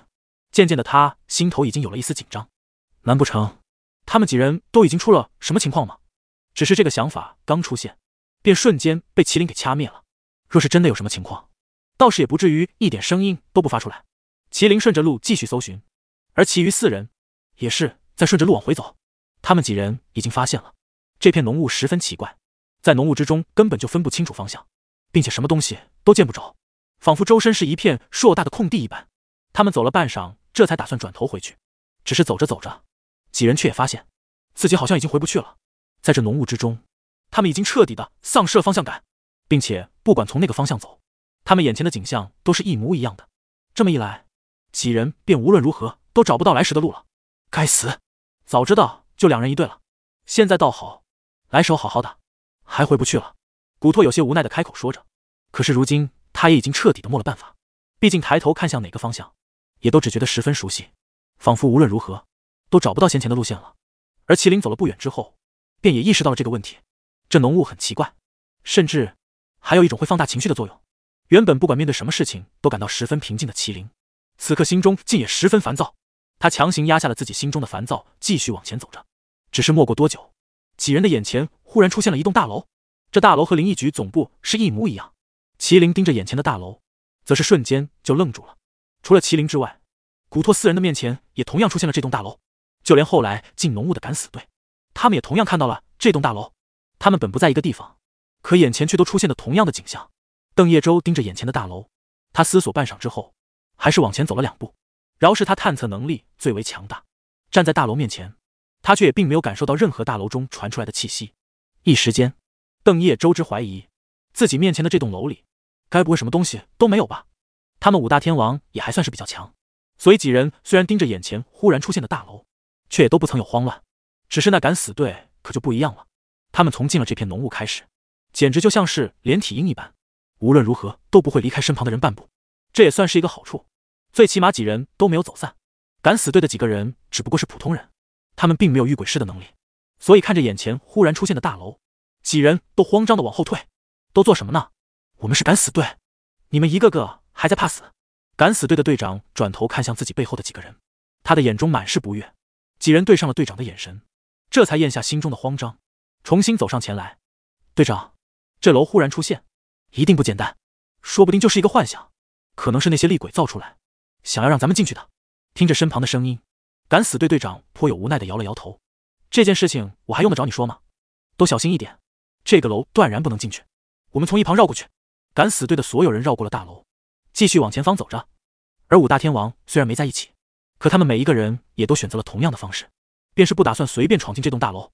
只不过邓叶舟虽然没有进去，却也不曾离开，他只是围绕着大楼一圈一圈的转悠，只是看了半晌，却也没有发现这大楼有什么不对劲的地方。另一边的敢死队。他们离开的大楼周围之后，走了没多远，便再次看到眼前出现了这栋大楼。队长，这大楼怎么又冒出来了？咱们不是都绕过它了吗？敢死队之中有一个人抬手指着眼前的大楼，他的手颤颤巍巍的。敢死队队长则是啧了一声，他的脸上写满了刚毅。队长往前走了几步，盯着大楼片刻之后，这才转头看向了自己背后的队员。这件事情现在已经不能由咱们自己控制了，很大的概率就是这浓雾一定要让咱们进入大楼之中。如果我们不进去，我们就也永远无法走出去。这么说，你们能懂了吗？除了敢死队这边，麒麟也已经意识到，这个大楼必须要踏进去。只是没有人知道，这大楼里到底存在着什么东西。若是有什么太危险的厉鬼和陷阱，那五大天王可能也都要栽在这里了。麒麟站在大楼前，半晌之后，则是深深的吸了一口气。也不知道他们几个现在怎么样了。我的面前是灵异局总部的大楼，那么若是他们面前也是，说不定我们会在大楼中遇到。麒麟这么想着，下一刻，他便抬头看向了大楼。接下来，他没有丝毫犹豫的便抬腿走了进去。可这个时候，五大天王之中也只有麒麟是朝着大楼走去的，剩余的四人都不曾轻易踏进去。此刻的宋启明已经提高了警惕，正在大楼附近转悠。他并没有远离大楼，却也不曾靠近。眼前的大楼实在是出现的诡异。宋启明最擅长的也不过是防御，他不善于攻击，自然不愿就在什么都不清楚的情况下就闯进去。只是在浓雾边转悠了很久，宋启明也不曾发现任何异常，他索性开始远离那栋楼了。宋启明离开那楼之后，这才松了一口气，继续往前方走去。他尽管是一头扎进了浓雾之中，心中却依旧是提高了警惕。这一整片浓雾，还有这突然出现的大楼，不管从什么方面来说，也都是充满了诡异的。宋启明可不愿意自己就这么死在这里，所以他提高警惕，在浓雾中继续探查着。只是让他出乎意料的是，自己才刚刚走了没多远。眼前便再次出现了一个朦胧的巨大黑影。看到那黑影的时候，宋启明几乎是瞬间就停下了步伐。他震惊之余，微微转头看向了自己背后，方才那大楼屹立的方向。可远处哪还有什么大楼？宋启明惊讶一瞬之后，也还是缓步走上前去了。我倒是要看看，你这贾玲一局不让我离开，一心想要让我进去，你这究竟是想要做什么？宋启明低声说着，同时也朝着眼前的大楼走了过去。他已经意识到了，这栋大楼既然已经出现在他面前，那么就也说明了一件事情，就是这大楼在等着自己走进去。只是进门之后，到底还会发生什么？那宋启明就不知道了。可沉思半晌之后，宋启明也还是决定要进去了。毕竟如今的情况已经很明确了，若是不进门的话，就绝对走不出去。哪怕是现在还不清楚里边到底是什么情况，但这浓雾已经都已经给出了这栋大楼，便也说明他们必须要进门。宋启明一步一步的朝着大楼走了过去，他的眼中并未有任何慌乱，却只是充满了坚定和防备。至于古拓，也已经在宋启明踏入大楼的同一时间走了进去。可另一边的薛宇却是不知道自己应该怎么做了。他已经围着大楼转悠了许久了，并且他也尝试顺着来时的路走回去，只是不论他走多久，却始终没有办法走出去这片区域。该死，也不知道队长那边怎么样了。薛宇喃喃地说着，他的眼神尽管落在眼前的大楼上，心思却也根本就不在这里。周围什么动静都没有。薛宇甚至不知道，到底是因为有更危险的东西在埋伏着，还是说这浓雾就只是单纯的雾气，周围本就没有什么危险。可是，在犹豫之下。薛宇也还是朝着眼前的大楼走了进去。很快，所有人都已经踏入了大楼之中。尽管他们此刻并未在一个地方，却纷纷做出了相同的决定。麒麟站在大楼门口，却并没有贸然进门。毕竟如今对于这大楼内部的情况，还全都是未知的。若是太草率的进门，保不齐到底会发生什么事情。并且更重要的一件事情就是，若是这大楼之内关着的全都是厉鬼，那么麒麟知道自己也许根本就跑不掉。深吸一口气之后。麒麟这才缓步朝着眼前的大楼走去，周围什么都看不出来。若是想要知道大楼之中还有什么情况存在的话，也只能走进去了。另一边的宋启明此刻也已经站在了大楼门口，尽管不知道接下来会发生什么事情，但宋启明也已经展开了防御护罩。若是真的打开门，便是无数厉鬼冲出来的话，他自认为自己的防御也能起到一丝作用的。宋启明抬起手来，缓缓地把眼前的大门给推开，只是下一秒，他便瞬间愣在了原地。大门打开之后，映入眼帘的一幕幕，和林一局简直就是一模一样。宋启明长大了嘴巴，一点一点的扫视着眼前的这一幕，这分明就是浓雾产生的幻想。可为何眼前的这一幕幕和林一局总局是一模一样？宋启明还没想明白这一点，随后他便看到了正在大厅里忙忙碌碌走来走去的人们，他们每一个人都似乎在忙着些什么。宋启明愣了很久，半晌之后，他这才抬手揉了揉自己的眼睛。随后，宋启明转头朝着自己背后的门外看了一眼，出现在自己背后的景象，依旧是浓浓的雾气。一瞬间，宋启明只觉得震惊，这浓雾竟然能够打造出如此一幕，这仿真程度，若是把背后的浓雾忽略，简直就和林一局是一模一样。宋启明咽了咽口水，站在门口半晌也没有任何动作。其他人的面前，自然也是这样的情况。麒麟一脸困惑的盯着眼前的这一幕，这群人实在太过于诡异。虽然一个个的看起来都在忙，却有一种莫名的违和感。麒麟并未发出任何动静，他只是单纯的站在门口盯着眼前的所有人。很快，他便发现了这群人的不对劲。他们虽然每一个人都在忙，走来走去的模样，好像手里有着多大的麻烦事一般，可仔细看来便会发现，他们行走的路线是一致的，几乎没有任何的变动，并且每一个人的脸上也充满了僵硬的神情，就好像他们只是木偶，或者说是被人摆布的木偶一般，盯着他们。看了半晌之后，麒麟这才缓缓的往前走了一步。只是那群员工却根本就没有看过来，就好像他们并不知道自己面前突然出现了一个外来者一般。另一边的邓叶舟也已经踏进了大楼之中，他盯着眼前的这些专心致志工作的员工，则是深吸了一口气。邓叶舟已经意识到，这群人的身上是存在鬼气的，但好在鬼气并不强烈。另一边的麒麟虽然没有邓叶舟这么强大的感测能力，可他往前走了几步之后，也意识到周围充斥着一股奇怪的能量。这种能量并不像是普通的鬼气，又或者是灵力，只是如今五大天王都是孤身一人，也断然不可能贸然冲上前去。万一发生什么意外的话，那可就得不偿失了。五大天王已经陆陆续续的意识到问题了，并且他们也十分清楚，自己绝对不能太过于贸然的前进，最好也不要打扰到这群员工的工作，不然说不准就会引起他们所有人的注意。毕竟他们如今虽然是进入了一个和林一局总局大楼一模一样的区域，可他们所有人的心中更是清楚。现在他们是在这浓雾之中，更是不可能出现在灵异局总部。再说了，灵异局总部的大楼也不是能被他们直接搬来这里的，所以一切都是幻想，全都是厉鬼的陷阱罢了。唯一让他们感到不理解的便是，为什么分明是幻想，却又如此逼真，就好像真的是步入了灵异局一般。麒麟缓步走到了一张桌子前方，他一直都十分小心，并未发出任何动静。此刻也是终于成功的站在了桌边，轻轻的松了一口气之后，他这才低头看向了桌面上的东西。毕竟这一切实在是和灵异局太相似了，麒麟不得不怀疑，难不成不论是什么细节，这浓雾都已经一比一的做出来了吗？只是当麒麟低头的时候，他的眼中却闪过了一丝诧异，眼前的这一幕根本和自己先前所想的根本不一样。他原以为摆在桌面上的东西。也都是和灵异局相同的文件，可靠近了之后，麒麟这才发现，桌面上看起来是放着很多文件，但全都是白纸，根本一个字都没有。麒麟皱起眉头，转头看向了眼前的这群人，只是他们依旧按照自己的路线匆匆忙忙的走来走去。就算麒麟伸手把桌面上的文件全部都挪到一旁，那员工过来之后，却也依旧是按照文件之前摆放的位置走了过去。员工伸手在桌面上抓了一把，随后就转头离开了。麒麟这才确定下来。这群所谓的员工都没有自主意识，也更有可能是因为现在自己并没有招惹到他们，所以他们才是这么人畜无害的模样。只不过，麒麟也不打算尝试激怒他们，他缓步朝着墙边走去。这些员工在大厅里来来回回的走着，如果想要离开大厅去往二楼，最明智的一条路便是从一旁的墙边蹭过去。所以，麒麟目前就是要靠近墙角，随后靠墙往二楼的楼梯走去。其余的四大天王如今也已经逐渐发觉了这些员工的不对劲，他们都没有发出任何动静。可五大天王纵然意识到这群员工不同寻常，只是那敢死队却根本就不知道，他们只觉得这群人很诡异，所以他们便想要火速离开这里。只不过，敢死队的队长却朝着大厅的办公室走了过去。队长，你做什么去？敢死队的队员压低了声音问着敢死队的队长，只是那队长则是转头冲着身旁的人轻笑了一声。不管这地方到底是真的还是假的，咱们去看看办公室，就知道到底是一个什么样的情况了。他们的声音都压得很低，所以这些员工也并未听到。他们依旧是机械的动作，流水线一般的路线。半晌之后，几人也是成功的摸到了一楼的办公室。敢死队队长抬手打开门之后，这才伸头看了一眼，只是这办公室内却没有任何人。扫视了一圈之后，他这才转头打算离开。可就在这个时候，背后一个队员却未曾走出来。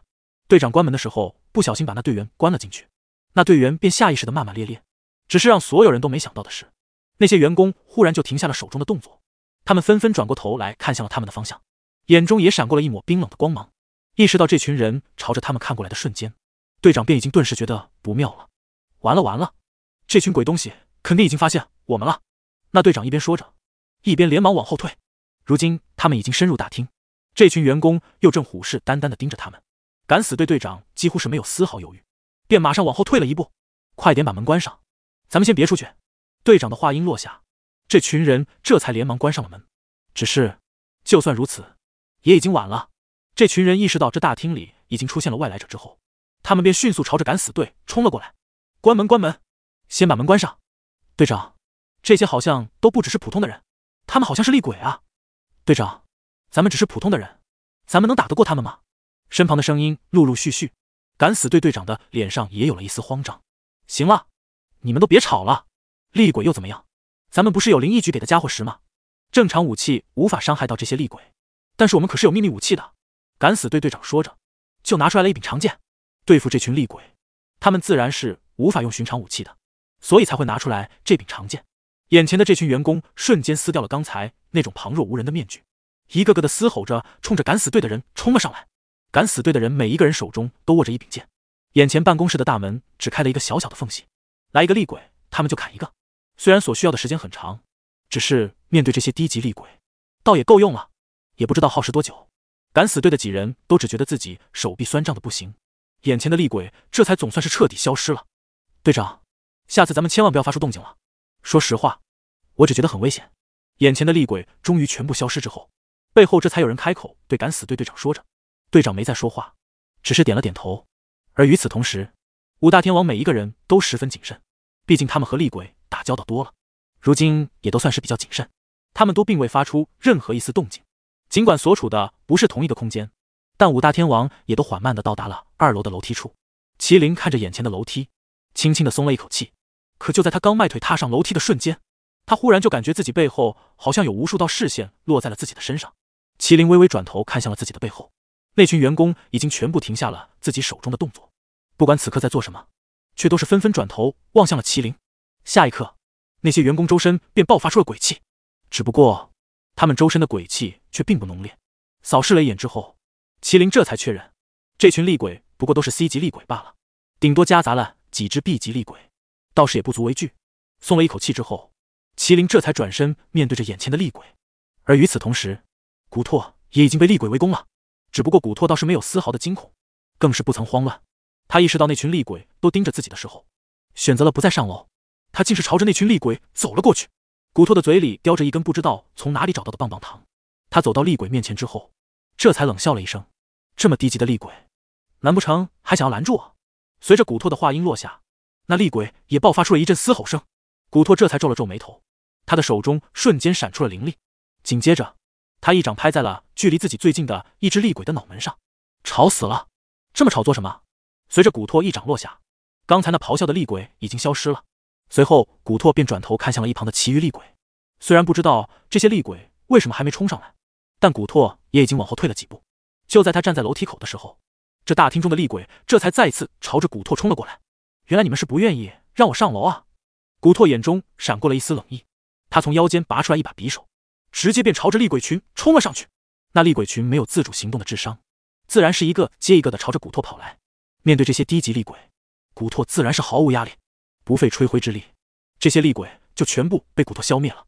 古拓深吸一口气之后，这才坐在一旁的凳子上。小样，你们这群低级厉鬼还想伤害我？他转头看向了二楼的楼梯，虽然不知道上了二楼之后还会面临什么，只是他清楚的是，自己一定要保持最好的状态上去。这样的话，不管遇到什么，都来得及应对。除了古拓和麒麟，薛宇和宋启明也已经到了二楼的楼梯口。那群厉鬼仿佛是设定好的程序一般，只要有人踏入第二楼的楼梯口，他们就迅速停下自己手中的动作，转头朝着他们冲上前来。只不过两人也都是已经彻底解决了这群厉鬼，反倒是邓叶舟，他从进门起就意识到这群厉鬼不对劲，所以他并没有着急去二楼，他一直在大厅里观察着这群厉鬼。渐渐的，他也发现。这群厉鬼虽然看上去十分杂乱无章，可仔细分析便会发现，他们每一只厉鬼行走的路线，好像都是安排好的一样。尽管数量很多，可他们却能够从不触碰到身旁的同类，并且邓叶舟也已经在大厅中站了这么久了，这群厉鬼却也仿佛根本看不见自己一般。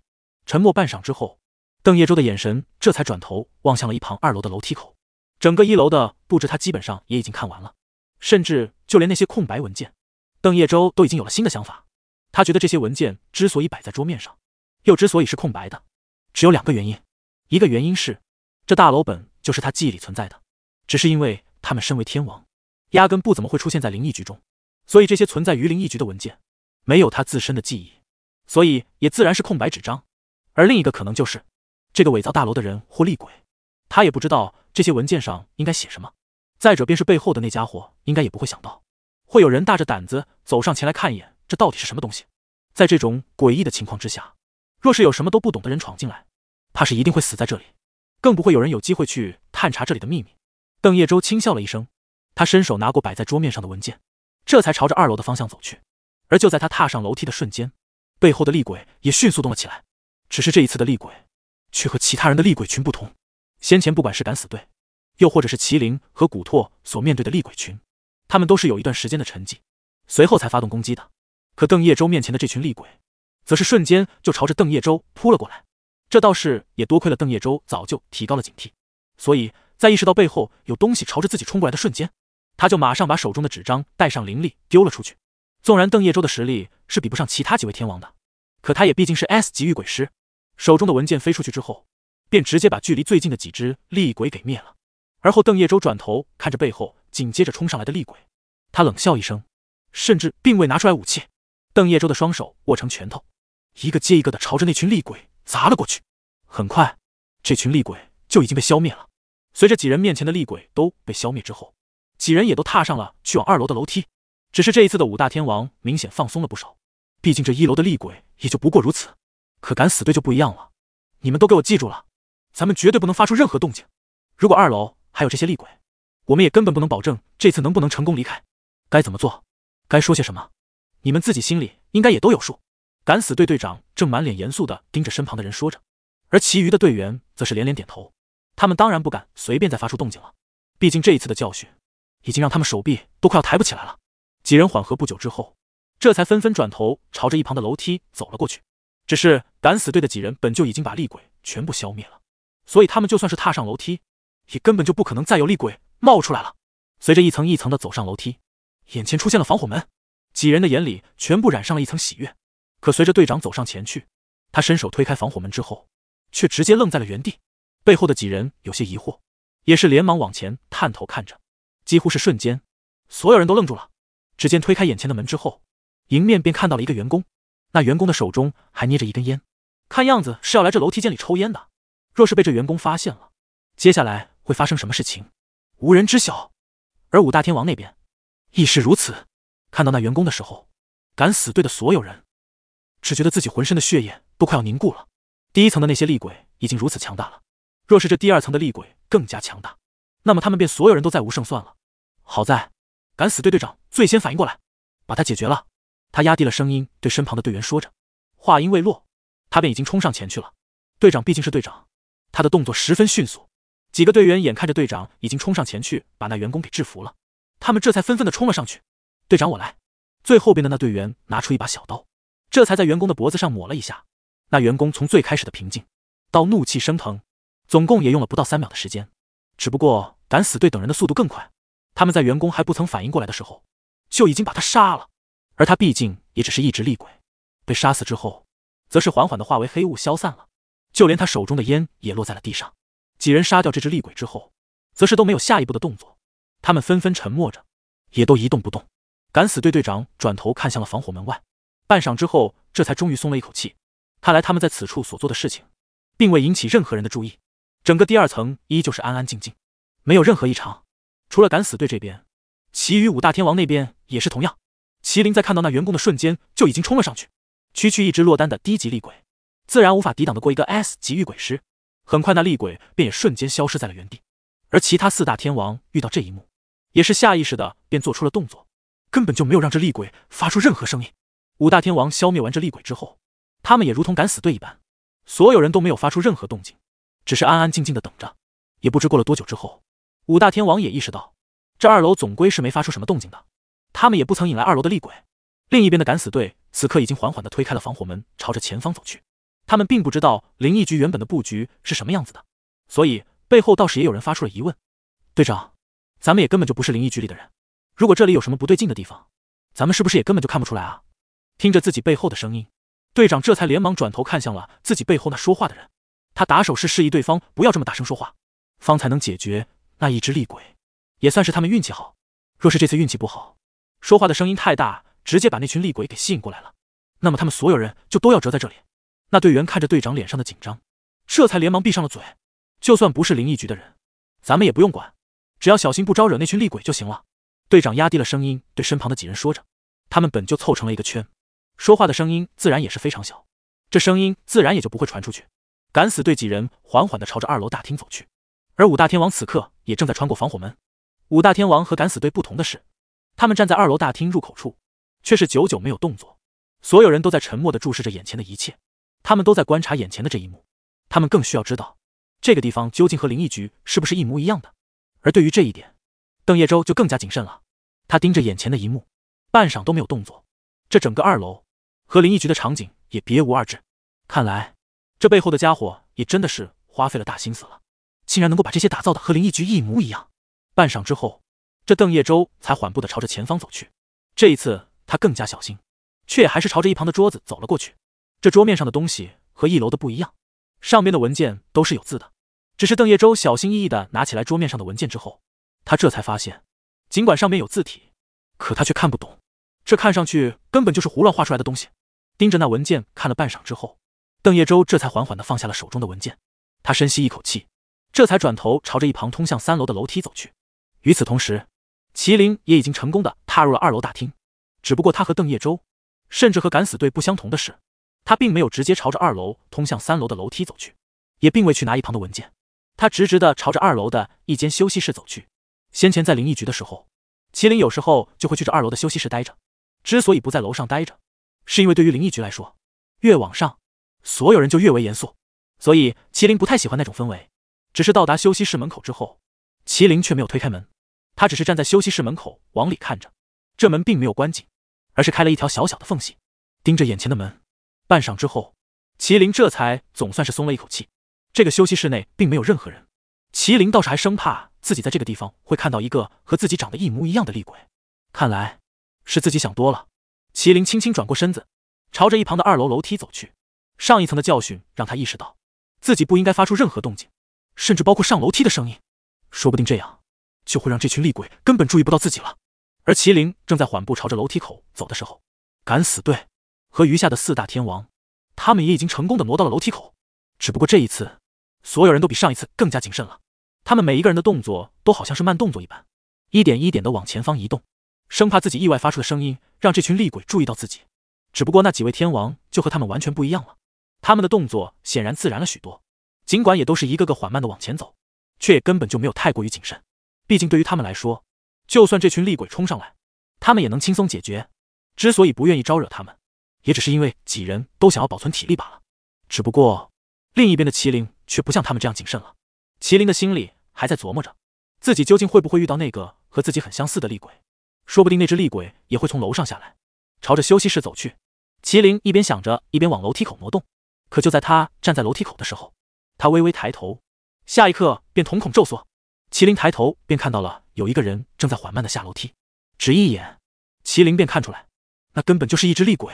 尽管浑身上下没多少鬼气，可在麒麟这么一个 S 级御鬼师的眼中，他自然还是能够轻松分辨厉鬼和人类的区别。看到那厉鬼的瞬间，麒麟便想要看清楚他的脸庞。若真的是和自己长得一模一样，岂不是更加危险？若是楼上的厉鬼和自己的那些队员长得一模一样，那么自己究竟能不能成功灭掉他们？麒麟的脑中瞬间就想到了这么一个可能性。半晌之后，他这才深吸了一口气。那楼梯上的厉鬼也已经走了下来。麒麟并不打算打草惊蛇，他缓缓地往一旁挪了挪。他的动作很轻，根本就没有发出任何的声音。而那厉鬼也并未发现麒麟，而是依旧缓步的往下走。紧接着，麒麟便看到那厉鬼缓缓的朝着二楼休息室的方向走去。看到这一幕，麒麟的眉头瞬间就皱了起来。与此同时，他不禁在心里想。原来这伪造出来的灵异局，竟然也和现实中的灵异局一模一样。除了厉鬼和灵异局员工的不同，其他的倒是别无二致。站在楼梯口思索了半晌，麒麟这才转头朝着楼梯走去。很快，麒麟便也和其他人一样，成功的到达了第三层。只不过第三层的厉鬼就少了许多，并且大部分厉鬼都是坐着的，他们盯着自己眼前的电脑，除此之外，什么动静都没有。敢死队依旧是朝着一旁的楼梯口走去，他们毫不犹豫。并且也根本就不打算惹到这群厉鬼，而五大天王抵达三楼之后，看着那群坐着的厉鬼，明显都松了一口气。如今这一幕，不是也恰好证明灵异局是什么样的布置，这个地方就也是什么布置，和前两层一样的便是。五大天王之中，除了邓叶舟，其余四人依旧是朝着楼梯口走去。他们对这些厉鬼根本就不好奇，对这个和灵异局长的一模一样的大楼，更是一点好感都没有。可邓叶舟却不同。他朝着距离自己最近的电脑走了过去，这些厉鬼都一动不动的盯着电脑。邓叶舟倒是也好奇，这电脑上都是什么东西？看了一眼之后，邓叶舟这才满脸无奈的收回了视线。这些电脑根本就没有开机，这群厉鬼盯着的只不过是漆黑的电脑屏幕罢了。有些无奈的摇了摇头之后，邓叶舟这才转头朝着楼梯口走去。既然这三楼也没什么特殊的地方，倒是也没什么需要继续在这里留下的理由了。很快，第三层便已经全员通过了。只是到达第四层之后，众人则是纷纷愣在了原地。第四层的厉鬼很多，并且每一个厉鬼都盯着四楼大厅的一个大屏幕，那大屏幕上显示的正是他们每一个人所处的区域。他们这才终于意识到，原来所有人都已经进入了大楼之中，并且他们所处的并不是一个空间罢了。敢死队看了一眼，便清楚其他屏幕里的那群人就是他们要找的人。他们没有犹豫，继续朝着通往第五楼的楼梯走过去。只是这一次。却显然不是那么顺利了。他们先是发现楼梯口已经被厉鬼给堵上了，若是他们想要从楼梯口走过去的话，也并没有别的办法。看着这群厉鬼的模样，他们倒是根本就不会主动离开的。可如果他们要想办法引这些厉鬼离开，好像也不是什么简单的事情。半晌之后，几人却也只是站在四楼的楼梯口，半晌都没有任何的动作。至于另一边，麒麟已经从中发现了自己队员的身影，他也清楚。大家如今都在和这群厉鬼战斗，只是没有人知道接下来到底会发生什么事情。深吸了一口气之后，麒麟这才转头朝着楼梯口看了过去。只不过这次的楼梯口和敢死队他们所遇到的状况是一样的，许多厉鬼正站在楼梯口，他们都纷纷抬头盯着眼前的大屏幕。除此之外，便也没有了任何动作。麒麟站在四楼楼梯口，没有过多犹豫，而是直接迎了上去。这层的厉鬼他已经看过了，最厉害的也不过是 A 级，剩下大部分都是 B 级，所以对于麒麟来说，这些厉鬼也都不过如此。就算一起冲上来，也只是解决起来麻烦了些，却根本就不会对麒麟造成任何伤害。麒麟刻意没有压制自己的动静，脚步飞快的朝着那群厉鬼冲了过去，而那群厉鬼也好像是瞬间听到了什么命令一般，他们同时转头盯着麒麟的方向。这整齐划一的模样，倒是让麒麟只觉得自己背后有些发凉。只是现在后悔也已经来不及了，那些厉鬼已经朝着麒麟冲了过来，麒麟也毫不犹豫的便朝着他们发动了攻击。至于其他四大天王，他们亦是如此。面对这群低级厉鬼，他们丝毫不惧。可是敢死队就不一样了，他们本来就是一群普通人，能够穿过这么多厉鬼到达如今的这层楼，已经是他们的极限了。虽然他们无法确定眼前的这群厉鬼究竟是什么等级的。可是他们清楚的一点就是，如果这群厉鬼真的对他们发动攻击的话，他们可能又要拼尽全力的去抵抗了。队长，咱们应该怎么办？这一次，敢死队分明小心了不少，就连交流都已经改为写字给对方看了。看着自己面前的字，敢死队队长微微皱了皱眉头，他心中忽然有了一个大胆的想法，只是他也不清楚究竟能不能实现。如果他们是依靠声音发动攻击的，那么我们倒是可以故意造出一些声音。引诱他们朝着那个方向冲去之后，楼梯口肯定也就都让开了。这样一来，我们就能直接冲上去了。敢死队队长写下这么几行字之后，这才给身旁的队员们看着。几人看完之后，眼中也都闪过了一丝诧异。方法可行，但队长你想怎么做？敢死队队长深吸一口气，这才转头看向了距离楼梯口最远的那个角落。下一刻，他就把自己的对讲机拿了出来，随后他便用尽全力，直接把对讲机丢了过去。那对讲机是军方用品，品质这块自然没得说。对讲机掉落在地上，发出了砰的一声，整个大厅都十分安静。这声音自然吸引了所有厉鬼的注意，厉鬼们纷纷转头朝着角落看了过去。可是他们却没有下一步的动作。敢死队队长的额角也已经渗出了一滴汗珠，他转头拿过身旁队员的对讲机，随后他写下了一行字，塞给身旁队员之后，这才快步离开。几人围在一起看着手上的字条，他们队长说。要用对讲机引走这些厉鬼，但是他并不能保证这件事情的成功率，所以不管这个计划究竟能不能成功，他都要让自己的队员距离自己远一些，也只有这样，自己才能更放心的去做这些事情。那几位队员又朝着楼梯口的位置挪了挪，这才纷纷抬头看向了他们的队长。只见敢死队队长站在一旁的角落之后，这才把对讲机拿了起来，随后他便冲着对讲机开口说话了。那些厉鬼则是瞬间就朝着角落对讲机的方向冲了过去。队长说话的声音倒是不大，可丢在角落的对讲机的声音则是开了最大。很快，楼梯口的厉鬼就已经都下去了。见状，敢死队的所有人这才赶忙朝着前方冲了过去，而敢死队队长也在一边对着对讲机说话，一边朝着楼梯口挪动。很快，几人就已经全部踏上了楼梯，只是那群厉鬼却仍旧未曾发现，他们面前的其实根本就只是一个对讲机。几人马上就要踏入五楼的时候，四楼大厅的对讲机忽然就没了任何动静。敢死队队长这才赶忙闭嘴，他们都明白，那对讲机应该已经被这群厉鬼给撕碎了。他们接下来必须保证一丝一毫的声音都不能发出来。那群厉鬼发觉没有任何动静之后，倒是也开始缓慢的往后移动。敢死队的几人一边缓慢的朝着楼上移动，一边转头看着自己背后的厉鬼群。很快，他们这才终于到达了五楼的入口处。几人毫不犹豫的推开门，就踏上了五楼。而与此同时，另一边的五大天王也都已经成功抵达五楼。他们纷纷推开了五楼的防火门，而下一刻，所有人的眼前便闪过了一层白光，这白光十分刺眼，几人瞬间就被刺得睁不开双眼了。随着白光缓缓消失，几人这才纷纷睁开了双眼。只是下一刻，他们便被身旁忽然冒出来的人给吓了一跳。五大天王，包括敢死队，齐聚五楼，我们终于回合了。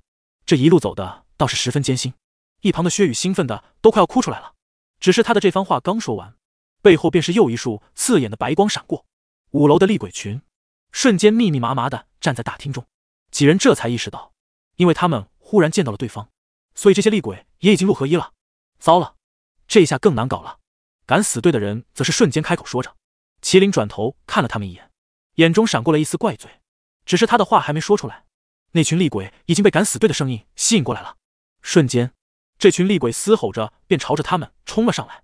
糟了，都怪你们，怎么还乱喊乱叫啊！邓叶舟吓了一跳，就差直接跳起来了。他连忙转头看向自己背后的这群人，眼中也充满了怪罪。只是如今，敢死队那几人的话也已经说出来了，厉鬼也已经被引过来了。现在不管说什么，都已经晚了。所有人准备好，这群厉鬼不好收拾。咱们所有人都必须要打起来，十二分的精神。五大天王也算是见过很多风浪的，如今这群厉鬼群虽然看上去数量很多，只是他们都不够强大。换句话说，就是只不过是打起来，有些消耗时间，并且有些消耗体力罢了。除此之外，倒是也没什么别的弊端。你们外来者，闯入，消灭！站在厉鬼群里的一只厉鬼盯着麒麟一帮人，这才嘶吼着对他们喊着。下一刻。这群厉鬼便纷纷爆发鬼气，朝着距离他们最近的宋启明冲了上来。宋启明倒是瞬间开启了防护，那些厉鬼一时间也根本就触碰不到他们。先看看这个防火门能不能打开。这些厉鬼倒也不是打不过，只是若是真的打完，我们很有可能就没有体力了。一路过来，我也已经观察过了，越往上走，这厉鬼就越强大。这一点和灵异局是差不多的。所以上去之后，我们很有可能遇到更加危险的厉鬼。我们最好还是保存好体力，不然之后。很有可能会折在这里。麒麟转头看向背后的敢死队队员，这才一脸严肃的冲着他们开口。那敢死队的人方才也是被吓了一跳，所以才会发出那么大的动静。如今他们也已经缓过神来，听着麒麟的这番话，他们也是连连点头。随后便有两个人朝着背后的防火门冲了过去，只是背后的防火门却不知道什么时候被关上了。糟了，快看看这个门能不能打开！敢死队队长当即便马上快步的冲到了防火门前方，几个人拉着防火门，想要把防火门打开。只是这门却不知为何，就好像是被焊死了一般。无论他们用了多大的力气，甚至好几个人上来，都无法打开。眼见着几人青筋暴起，这门都纹丝不动。麒麟也已经看出来了不寻常的地方，他微微转头看了一眼背后那一群蓄势待发的厉鬼，这才有些无奈的叹了一口气。行了，这防火门看样子应该是彻底打不开了。都先别管那门怎么样了，都回来吧。随着麒麟的话音落下，几人这才纷纷转头走到了麒麟的背后。如果这个防火门打不开的话，那对方的意思也已经很明显了，要么把我们困死在这里，要么就是把我们的体力消耗殆尽，总要选择一个。你们要怎么选？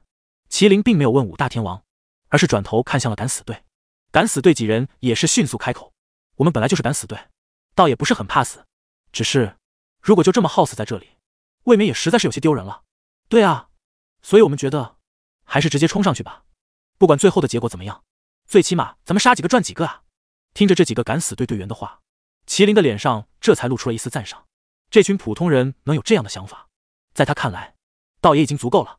既然这样，我们今日便避免不了一场恶战了。随着麒麟的话音落下，所有人都转头看向了眼前的这群厉鬼。不就是一群低级厉鬼吗？直接杀了他们！五大天王和敢死队正在和这厉鬼群对峙的时候，另一边的魏明，此刻他也成功的进入到了第七栋居民楼里。只是刚踏进楼内。魏明便瞬间意识到一阵熟悉的感觉，这种感觉来的实在是太过于突然，魏明不由得停下了脚步。他转头审视着身旁的环境，片刻之后，他才转头看向了一旁的碎嘴和孙飞：“你们有没有觉得这栋楼里好像有着什么熟悉的感觉？这种感觉很奇怪，就好像是咱们先前来过这里很多次一般。”魏明紧皱眉头看着身旁的两只鬼，孙飞倒是摇了摇头，他从进入这里开始，就从未感受到任何感觉。如果非要说的话，那应该就是感到这地方有一种莫名的恐惧。可若是真的要说，孙飞却又说不出来一个所以然来。毕竟这地方的厉鬼大部分都很弱，就算有强大的，也不过就是区区几只而已。而随着孙飞摇了摇头，魏明的视线则是再次落在了碎嘴的身上。碎嘴有些意外，他抬头看向魏明，刚好与他对视。那个主人啊，有没有一种可能，是因为这个地方和咱们在华国的时候待的那个小区长得一模一样，甚至那些十分细致的东西？也都是一比一的打造出来了，所以主人你才会感到十分熟悉。听着碎嘴的这番话，魏明倒是轻轻点了点头。不得不承认，你这话说的倒是也很有道理啊。说着，魏明就轻笑了一声，随后转头看向了眼前的场景。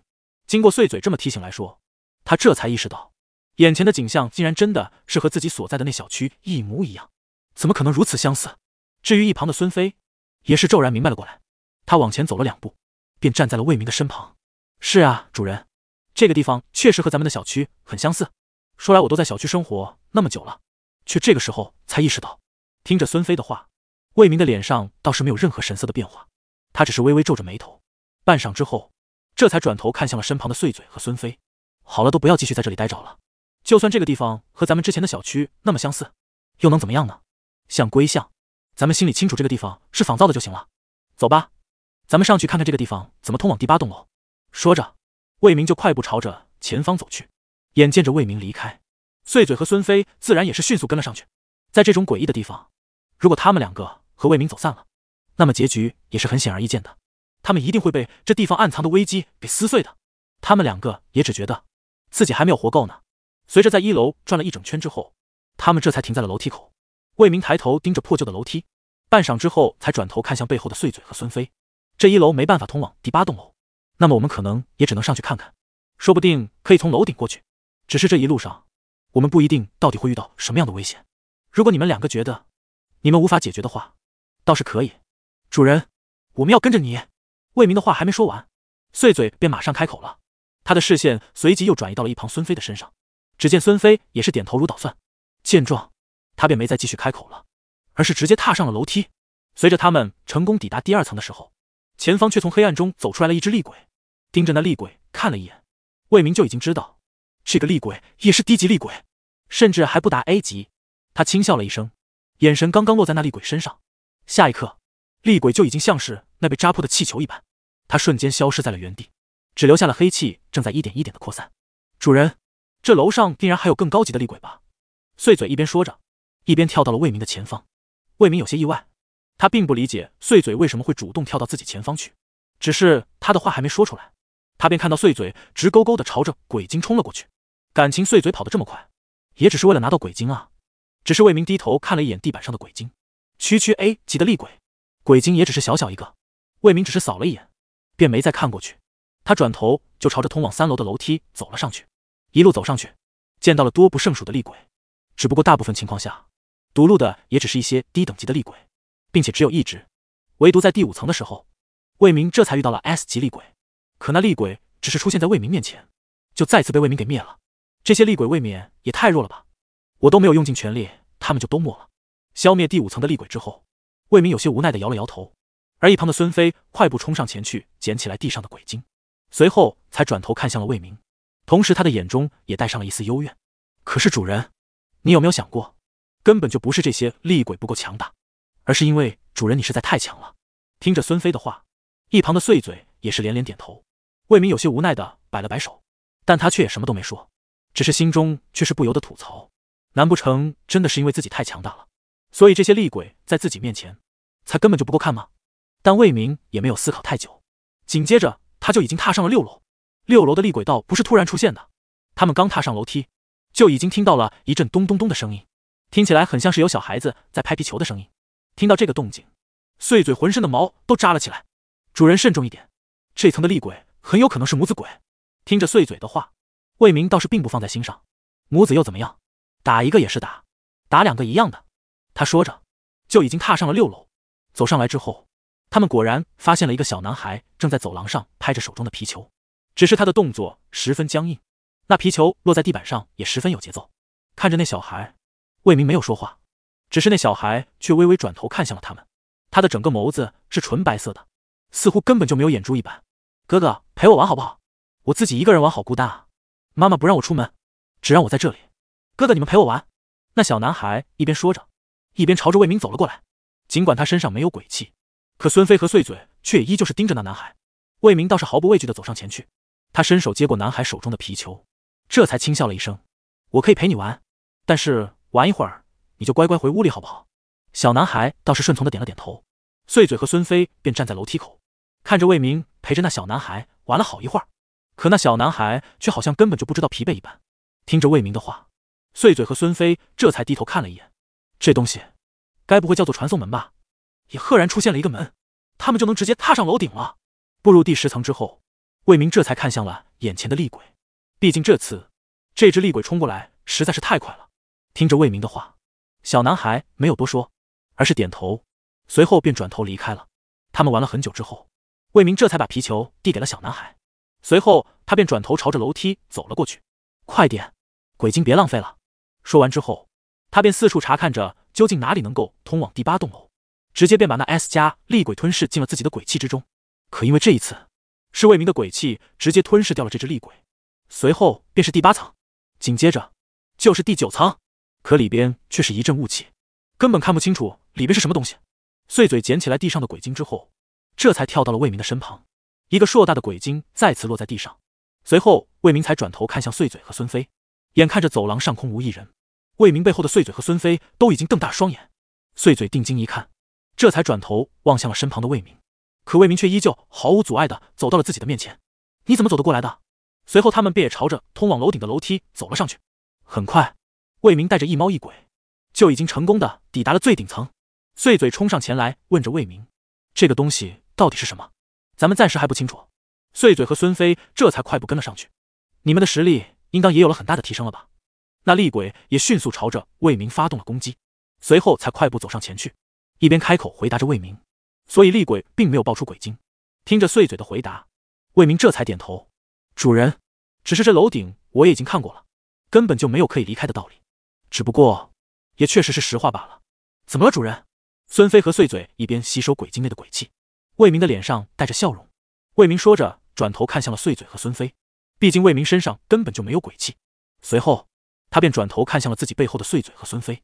不管这门的背后是通往什么地方的，魏明几乎又是不费吹灰之力，便已经把这只厉鬼给消灭了。我们去闯一闯，有我再不会让你们有任何伤害的。别说魏明用最快的速度把他给消灭了，可下一秒，魏明手中的鬼气化为匕首，直接便刺入了那厉鬼的脑袋。下次我注意，会留下来鬼精给你们的。只是片刻之后。厉鬼未曾得到任何答案，便直接消散在了原地。好了，哥哥陪你玩了这么久了，你快点回去吧。而魏明这才开口道：“倒是碎嘴和孙飞赶忙冲上前去捡了起来。八五二三九三八一一五，方才爆发的那阵阵鬼气，如今也已经缓缓消失了。所以，也就是说，可能我们只能从这里离开。我们的实力如今也只是达到了顶峰，却还没有突破。”魏明有些无奈的摇了摇头。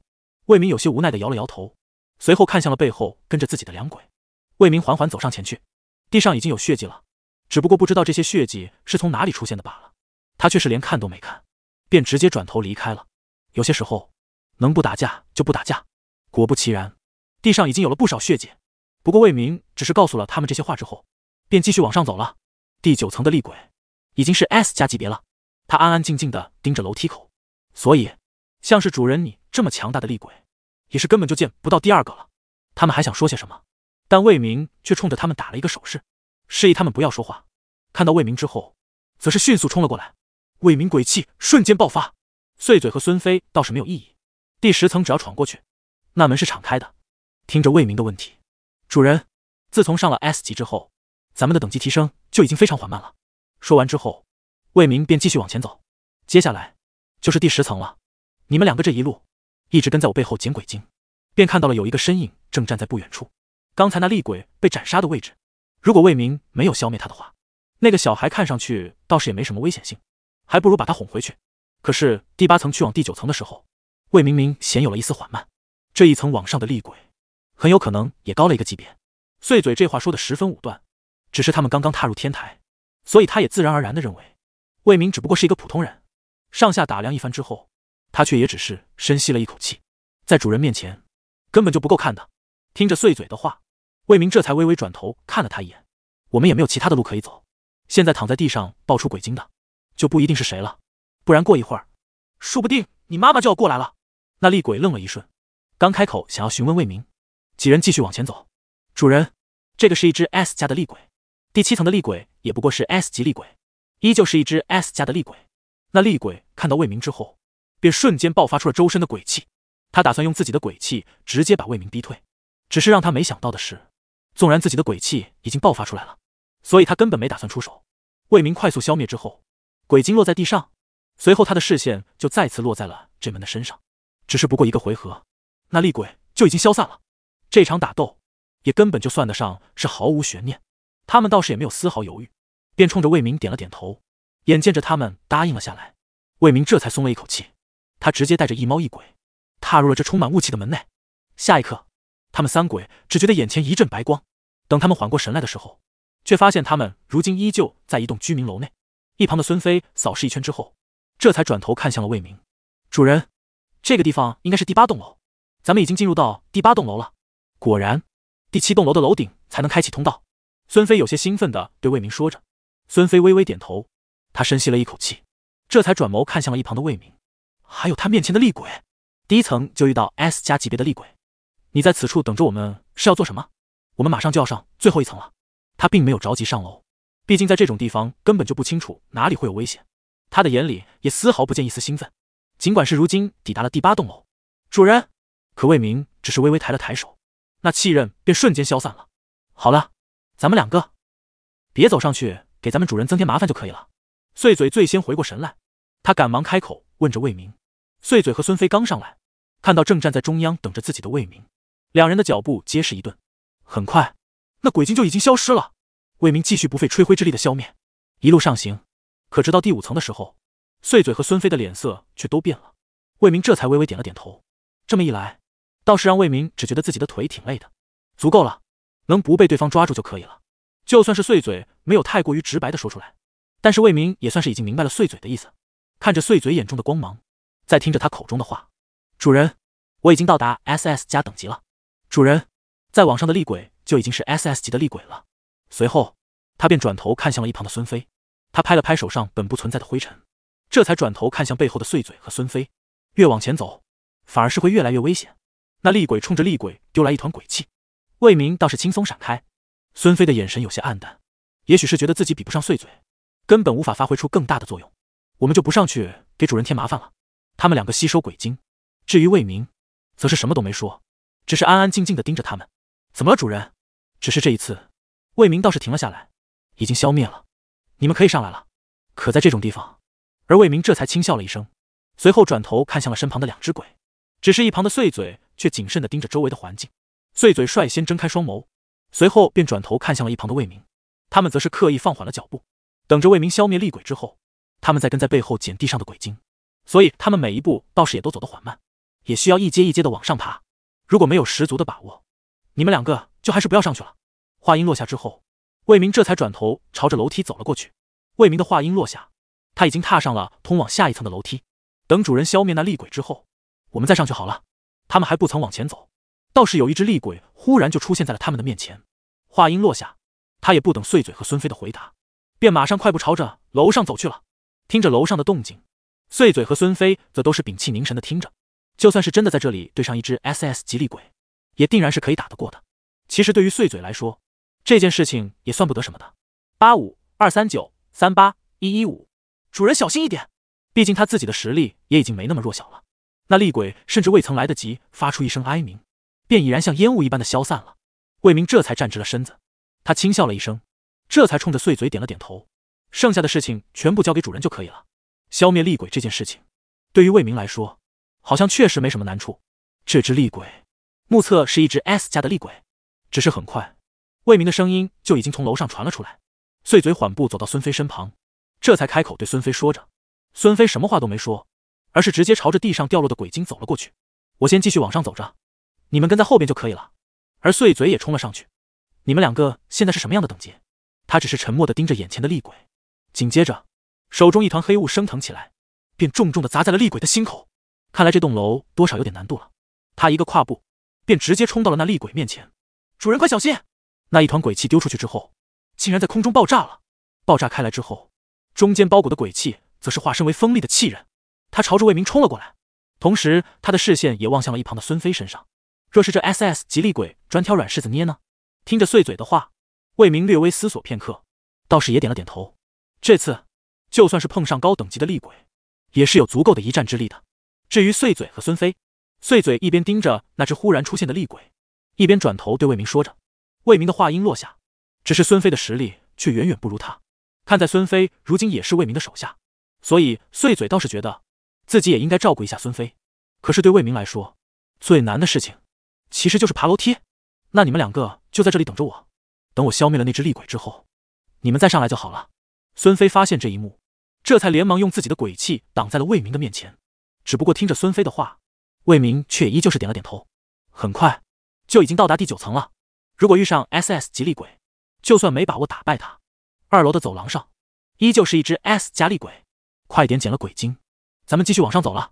魏明的脸上倒是丝毫情绪都没有。对于魏明的实力，他们自然是不担心。只是让他们没料到的是，魏明笑着，手中的动作也十分迅速。只是，最起码我也不会随随便便落入对方手中的。我现在也已经有 SS 了。而孙飞也很快就看向了魏明。可一旦那只厉鬼冲下来，那么他们两个就要和那只厉鬼爆发一场战争了。碎嘴盯着魏明，他十分严肃的对魏明说着：“既然你们两个现在等级也都有提升，体力也恢复的差不多了，咱们就直接去顶楼吧。通往下一栋楼的通道。”也一定是有一只厉鬼看守的。魏明话音落下，便转头朝着楼上走去。看着魏明已经朝着楼上走去，碎嘴和孙飞对视一眼，他们也是迅速踏上了楼梯。今天这番打斗下来，魏明算是没得到什么东西，毕竟他也看不上那些鬼精。只是跟在他背后的碎嘴和孙飞，那可算是赚翻了。两鬼毫不犹豫的跟在了魏明的背后，继续朝着楼上走去。他们尽管也害怕比自己等级还要高的厉鬼。这是第九栋楼的入口，不错。魏明这才停下了脚步。微微转头看向了自己背后的那厉鬼，他们生怕厉鬼冲上前来对他们动手，难不成这里边根本就是陷阱？魏明转头看向了一旁的大门，深吸一口气之后，这才准备朝着那门走去。可这厉鬼竟然拦着他们，不让他们进门。他缓缓的摇了摇头，这才转眸看向了身旁的魏明：“我都没动手，你们应该不至于上来就把我给灭了吧？这样也足够表达我的诚意了吧？”两鬼对视一眼之后，这才纷纷转头看向了魏明。一时间，魏明只觉得。好像很有道理的样子。厉鬼对碎嘴和孙飞说完之后，这才转头看向了一旁的魏明。可魏明的态度却也依旧是毅然决然。他转头看向了自己背后的碎嘴和孙飞，还有这位大哥。魏明缓缓开口问着眼前这厉鬼：“等你再提升等级之后呢？”已然是一只 SS 加的厉鬼。魏明缓步朝着那只厉鬼走去。这么一说，他们两鬼就不乐意了。你凭什么不让我们进去？只不过这里边你们两个如果进去的话，必定都是直接去送死了。而一旁的碎嘴和孙飞听完他的话之后，不过这些东西不论如何和自己的关系也没那么大，所以魏明也并未在意。他们自然也是知道，他们自己是打不过你的。我也清楚，在你面前我肯定不是你的对手。深吸一口气之后，这才冲着他们开口。毕竟魏明的实力也是摆在他们眼前的，只要有魏明在，便根本就不可能有厉鬼可以伤害到他们。他们一眼就看到了正在顶楼站着的厉鬼，那厉鬼并未压制自己浑身的鬼气。说不定之后的厉鬼更难对付，而碎嘴和孙飞的眼里也充满了诧异。什么事情？是这样的，你们两个不能进入这个门。他愣了片刻，这才消散了手中的鬼气，也顿时只觉得很有道理。咱们要不然再考虑一下，或者说找一个一定能够打败他们的方法呢？与此同时，他眼中的谨慎也消失了大半。从你踏入这栋楼开始，我就已经感受到了你的强大。碎嘴和孙飞纷纷对魏明说着，方才要不是这厉鬼忽然喊了一嗓子的话。怕是他们也都进去了，而碎嘴和孙飞虽然也是紧跟在魏明背后，包括你在楼下和那些厉鬼战斗的时候，我其实都是知道的。那厉鬼似乎也发觉了魏明对自己的警惕，听着这厉鬼的话，我还没有对你们做什么呢，这里边当然不是陷阱。这家伙说的话确实有道理。他二话不说，直接便把通往下一栋楼的门打开了。这位大哥，你看我都已经给你开门了。他冲着厉鬼点了点头，只是他仍旧用着充满了警惕的眼神盯着那厉鬼。八五二三九。三八一一五，那厉鬼的眼里似乎也带上了一丝无奈。主人，随着几人走上顶楼，魏明微微垂下了脑袋。再说了，我也不想死，所以还不如直接认输来得快呢。那厉鬼的脸上挂满了担忧。可是当魏明挡在他们身前的时候，他们便也忽然就觉得自己好像没那么慌张了。要不然你再重新考虑一下呢？但是没办法，打不过你也是死，放你上楼也是死，你就不用对我这么警惕了。我真的害怕我下一秒就被你给灭掉了。同时，他的眼中也依旧充满了对魏明的担忧。厉鬼的脸上充满了慌张。不是的，不是的。好在那厉鬼也是连忙冲着他们解释，可他们两个的目光却也是一直落在那厉鬼的身上。这位大哥，你放心，我不是阻拦你进入第九栋楼之后。毕竟从一开始我就知道我是打不过你的。如果就这么贸然闯进去的话，怕是会有一些意外发生啊。你们想啊，这第八栋楼都已经是 SS 加级别的厉鬼了，遇到的岂不是更加高等级的？他好像也根本就不会对他们动手吧？一时间，他们倒是有些困惑了。那厉鬼眼见着都快要哭出来了。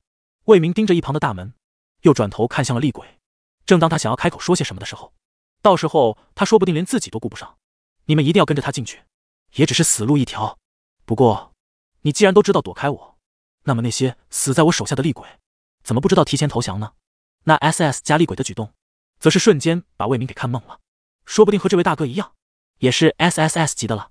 上下打量了面前的这只厉鬼之后，眼中也逐渐闪过了一丝意外。他却只觉得自己心中的那股莫名的召唤已经更加强烈了。但他还什么都没说，那厉鬼便在下一刻便马上举起了双手。稍等，稍等！孙飞和碎嘴当即便想到了这么一个可能性。只是再一看这厉鬼脸上的恐惧，这倒是有些奇怪了。尽管不知道那边到底是什么。要不然你还是再想一想，之后也不是说一定没机会了。魏明转过身子，这才继续盯着眼前的厉鬼说着。听着这厉鬼的话，魏明一时间有些诧异。就在他们朝着那门走去的时候，厉鬼却再次扑了上来。等一下，等一下，这第九栋楼里的厉鬼定然不是容易解决的。厉鬼也连连点头。当然，我当然是要认输的。只要你把主人骗进去了，你就能对付我们两个了。看了片刻之后，这才冲着厉鬼点了点头。你这是做什么？我们刚打照面。你就开始投降了？我只是说让他们两个不要进去。说着，他还转头看向了碎嘴和孙飞，所以他们也宁愿死在你的手中。你们在这里守着我，等我解决了这门内的麻烦之后，会回来找你们的。魏明对碎嘴和孙飞说完之后，他则是毫不犹豫的便直接一跃进入到了传送门之中。魏明瞬间就消失在了三鬼的面前。主人，这位哥们未免实在是太冲动了。既然如此，我们只能等着主人回来了。三鬼倒是各有各的想法，只不过。等在门口的时候，他们三鬼却没有爆发战斗，他们都安安静静的站在原地，甚至连一个眼神都没有看向身旁的对方。而与此同时，另一边，五大天王和敢死队这边，他们已经和那群伪装成员工的厉鬼们展开了战斗。邓叶舟，除了咱们面前的这群厉鬼之外，还有没有别的厉鬼存在？麒麟一边穿梭在厉鬼群中，一边开口问着邓叶舟。邓叶舟的额角已经有了汗珠，周围厉鬼的数量实在是太多了。这让他一时间根本就无法更准确的探测周围究竟有没有厉鬼在躲藏。邓叶舟，快回答队长的话！一旁宋启明一边支撑着护盾，一边开口对邓叶舟说着。邓叶舟这才深吸了一口气，随后他站在了宋启明的身旁：“你护盾撑好了，别让那群厉鬼冲上来。”邓叶舟说完之后，便也没再管身旁宋启明的回答，他已经开始使用灵力进行对整个楼层全方位的探测了。约莫着四五分钟过去之后，邓叶舟这才忽然睁开了双眼。队长，旁边的小屋里还有厉鬼的存在，只是他们好像暂时并没有要冲出来的可能性。尽管不知道为什么，但是咱们还是先把眼前的厉鬼解决完，再考虑那几个房间里的厉鬼吧。邓叶舟这番话说出来之后，几位天王倒是没有任何的诧异，他们纷纷冲着邓叶舟点头，随后便一个一个的冲进了厉鬼群中。只是那敢死队的人就没那么好运了，他们先前本来就是一批普通人，现在在这群厉鬼的刺激下，这才有了灵力。可除了那敢死队的队长。其余几个人都只能称得上 B 级罢了，就连敢死队队长也只能勉强算是 A 级。这么一来，悬殊便十分巨大了。五大天王在这群厉鬼群中间，那简直就是四个字：游刃有余。可敢死队们明显就没那么好运了。他们虽然也穿梭在厉鬼群中，但他们的动作根本就做不到五大天王那般流畅，更无法做到从这群厉鬼之中钻过去，却根本就不受到任何一点的伤害。对于五大天王来说，这些厉鬼并不强大，但麻烦就是麻烦在数量上了。只不过这些厉鬼倒是也算得上是聪明，他们已经发现了敢死队的人更弱一些，一个个的都不再主动攻击五大天王，而是直冲冲的朝着敢死队冲了上去。敢死队的队员转眼间就伤了好几个，甚至还有死亡的。敢死队队长红着眸子望向了五大天王：“你们能不能帮一帮我们？这群厉鬼一直朝着我们来，很明显就是觉得我们太弱了，还请几位天王能够对我们伸出援手。”听着敢死队的声音，麒麟这才转头看了过去。看到了敢死队已经有伤亡情况发生之后，麒麟这才沉了沉眸子。宋启明，给他们加个护盾，剩下的人加快速度把大厅的这些厉鬼消灭。随着麒麟一声令下，周围所有人的动作自然是更加迅速了。他们几乎每一次攻击都能连着斩杀三五个厉鬼。在五大天王猛烈的攻势下，大厅的厉鬼这才逐渐被消灭殆尽了。队长，现在大厅的厉鬼没有了，那么那些房间里的厉鬼，咱们怎么做？邓叶舟深吸了一口气，这才转头看向了一旁的麒麟。麒麟转头朝着一旁的几个房间看了过去，随后示意古拓跟上自己的步伐，两人配合十分默契。麒麟踹开门之后，古拓便也直接发动攻击。很快，他们就用这样的方式消灭了大部分躲在房间中的厉鬼。眼见着厉鬼越来越少了，麒麟也不由得松了一口气。最后一个房间里的厉鬼也被消灭之后，麒麟这才转头看向了邓叶舟。现在再看看这层楼还有没有残留的厉鬼。邓叶舟缓缓的闭上了双眸，半晌之后，他这才终于缓缓睁开了双眼。没有了，这层楼的所有厉鬼都已经被消灭了。听着邓叶舟的话，在场众人这才纷纷松了一口气。好在厉鬼已经没有了，若是依旧还有的话，也不知道接下来他们到底还会面临什么呢？只是身旁的威胁既然已经全部消灭了，下一刻，麒麟的目光便还是落在了那敢死队的身上。这些厉鬼的清理其实也算不上什么，这些厉鬼的等级都实在是挺低的。所以根本就无法对他们产生什么太大的威胁。只不过，这群敢死队却也算得上是遇到了最大的危险，甚至如今也伤亡惨重。没有受伤的人只剩下了敢死队队长，余下的人便只剩了三个身上有伤的。盯着他们半晌，麒麟这才开口：“先打扫打扫这个地方，看一看有没有什么咱们需要的东西。厉鬼若是有爆出鬼精的话，也带着。打扫完之后，我们就先在这里休息片刻。”等所有人的体力都恢复好之后，再进行下一步。麒麟的话音落下之后，几人这才快步分散开来，而敢死队的几人也打算站起身来。只不过他们还没有起身，麒麟就已经转头看了过去。你们这是想要做什么？听着麒麟的话，敢死队队长这才抬头看向了麒麟。我们也跟着一起去清理一番战场，毕竟我们也参与了这个战斗，不是吗？麒麟轻轻点头，敢死队的几人这才连忙站了起来。只是下一秒，麒麟就再次开口了。用不着，你们继续老老实实的待在这里就行了。这些事情，倒也还不用你们这么一群受了伤的人去做。话音落下，麒麟这才转头离开，而敢死队的人愣了一下，这才无奈的摇了摇头。他们都不曾想到，麒麟竟然会让他们留在这里。毕竟他们到目前为止，好像也确实没有做过什么事情来。这么看来，敢死队的人忽然就觉得，这传说中的五大天王，貌似也挺好说话的。敢死队的队员靠在墙边休息着。而五大天王也是用最快的速度把刚才战斗的痕迹全部抹去了。只是在抹除战斗痕迹的同时，他们也已经发现了一些可以给御鬼师提升修为，还可以治疗自身伤势的灵珠。只是这灵珠的数量却并不多。扫视了一眼之后，麒麟这才转头朝着敢死队的几人走了过去。你们是敢死队的人，可是我却记得，一开始我们来到这附近的时候，并没有听说过有敢死队。再加上这浓雾里也根本就分不清楚方向。你们在不知道这里边都有什么东西的情况下，就来到了浓雾之中。麒麟看向敢死队，他的眼神十分平淡，只不过他却也没有怀疑这些敢死队队员的身份。毕竟麒麟可是五大天王之首，若是有人想要对他说谎、欺骗他的话，麒麟可并不觉得自己看不出来。而如今这些敢死队的队员，很明显的就不是什么十恶不赦的人，他们每个人的眼里都充满了正气。只是一眼，麒麟就知道他们确实是敢死队的的人。只不过麒麟却不知道。在他们五个人被浓雾吞噬之后，外边到底发生了什么变故？听着麒麟的话，敢死队队长也意识到了，他是想要知道外边都发生了什么事情。深吸了一口气之后，敢死队队长这才看向了麒麟：“我们是在浓雾出现之后才收到命令的。你们灵异局研究部的人已经研究过这些浓雾了，他们表示这些浓雾倒是根本就没有什么危害性，只不过因为不知道人进来之后，这些浓雾又会是怎么样的情况，所以他们才安排了我们来尝试一番。”不然的话，我们这些敢死队也不是送死队啊，干嘛非要明知山有虎，还偏向虎山行？听着对方的话，麒麟倒是也微微点了点头。他不得不承认，对方的话好像说的也确实是很有道理的。那么，若是真的是研究部的人已经研究过，并且标明这浓雾对人体是没有伤害的话，这一切问题也就都怪不到这浓雾身上了。对了，我看你们大部分也都已经受伤了，那边有灵珠，是可以恢复伤势，并且可以提升修为的。如果你们需要的话，可以自己收集一下，我们倒是也用不上，所以不需要。话音落下，敢死队队长这才缓缓站起身来。我知道了，多谢你们。麒麟没多说，只是冲着他摆了摆手，随后便朝着一旁的薛宇走去了。他们自然是有薛宇可以帮着他们治疗的，毕竟不论从什么方面来说，薛宇身为五大天王之一，是当然不可能随随便便就对陌生人伸出援手的。麒麟坐在薛宇身旁之后，这才微微转头看向了一旁的敢死队队员，他盯着那几人看了半晌之后。这才转头看向了身旁的几人，你们说，这个敢死队他们所说的话，咱们能相信吗？邓叶舟听到麒麟的话，倒是微微转头看了过来。他没想到麒麟竟然已经开始怀疑敢死队的这些人了。他转眸盯着敢死队的动作，看了半晌之后，这才转头看向了麒麟。可是队长，不管这些敢死队的人究竟是想要做什么，至少他们看样子也确实是帮助了我们。甚至进入到这里之后，他们的人也折了这么好几个了。如今他们也就只剩下了这么几个人。如果说是对咱们有什么别的想法，他们倒是也不用这么拼吧。听着邓叶舟的话，麒麟这才点了点头。这敢死队的身上也并没有带任何能够证明自己身份的东西。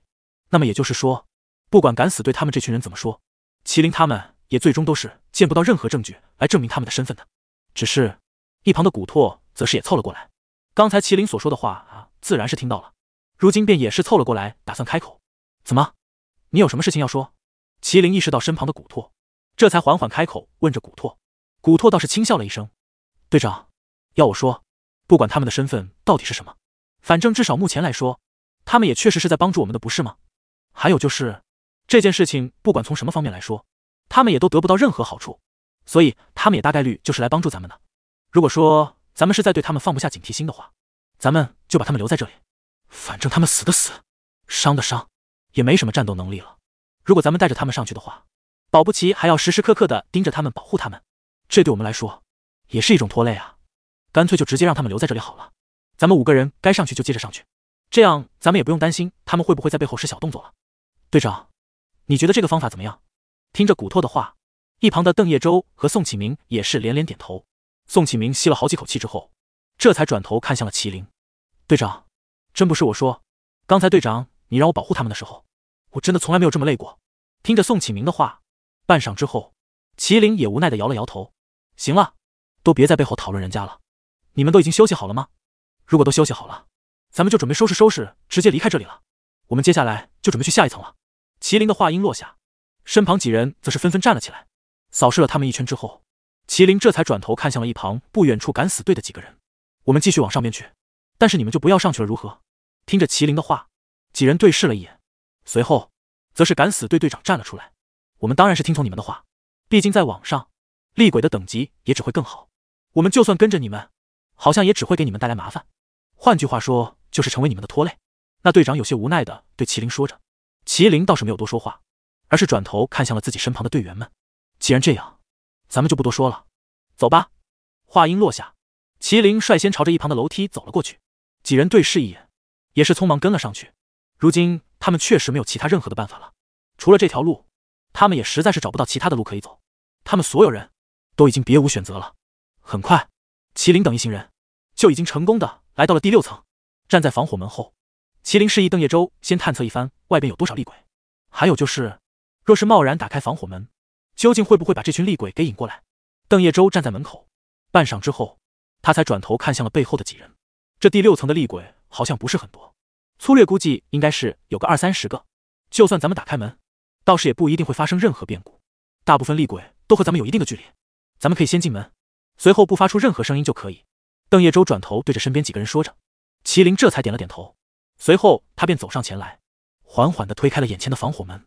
很快。几人眼前的门就被一点一点的推开了，防火门打开之后，几人这才朝着前方看了过去。只见这层楼内果然没有多少厉鬼，也就只有二三十个。只是下一刻，麒麟却皱起了眉头，他意识到这些厉鬼的等级好像不低。随后，他便转头望向了邓叶舟，而邓叶舟倒是也看懂了麒麟想要说的话，他伸出手指，在墙面上缓缓的画了一个 A，随后又写上了加和两个标识。周围几人都纷纷蹙紧了眉头，他们都已经意识到了。这一层的厉鬼虽然看上去数量不多，可他们却已经比起来前几层的厉鬼，不知道强大了多少。这层楼最低等级的厉鬼都在 A，而最高则是 A 加。换言之，便是虽然厉鬼的数量少，可危险系数却是大幅度的提升。几人对视了几眼之后，这才纷纷下定了决心。反正这么久以来，他们也消灭了这么多厉鬼了，多一个少一个，好像也都不是什么大问题。而更重要的就是，五大天王每一个都是 S 级的御鬼师，堂堂 S 级御鬼师。怎么可能会对一批 A 级厉鬼感到恐慌呢？几人对视了一眼之后，便也纷纷从队友的眼中看出来了队友的想法。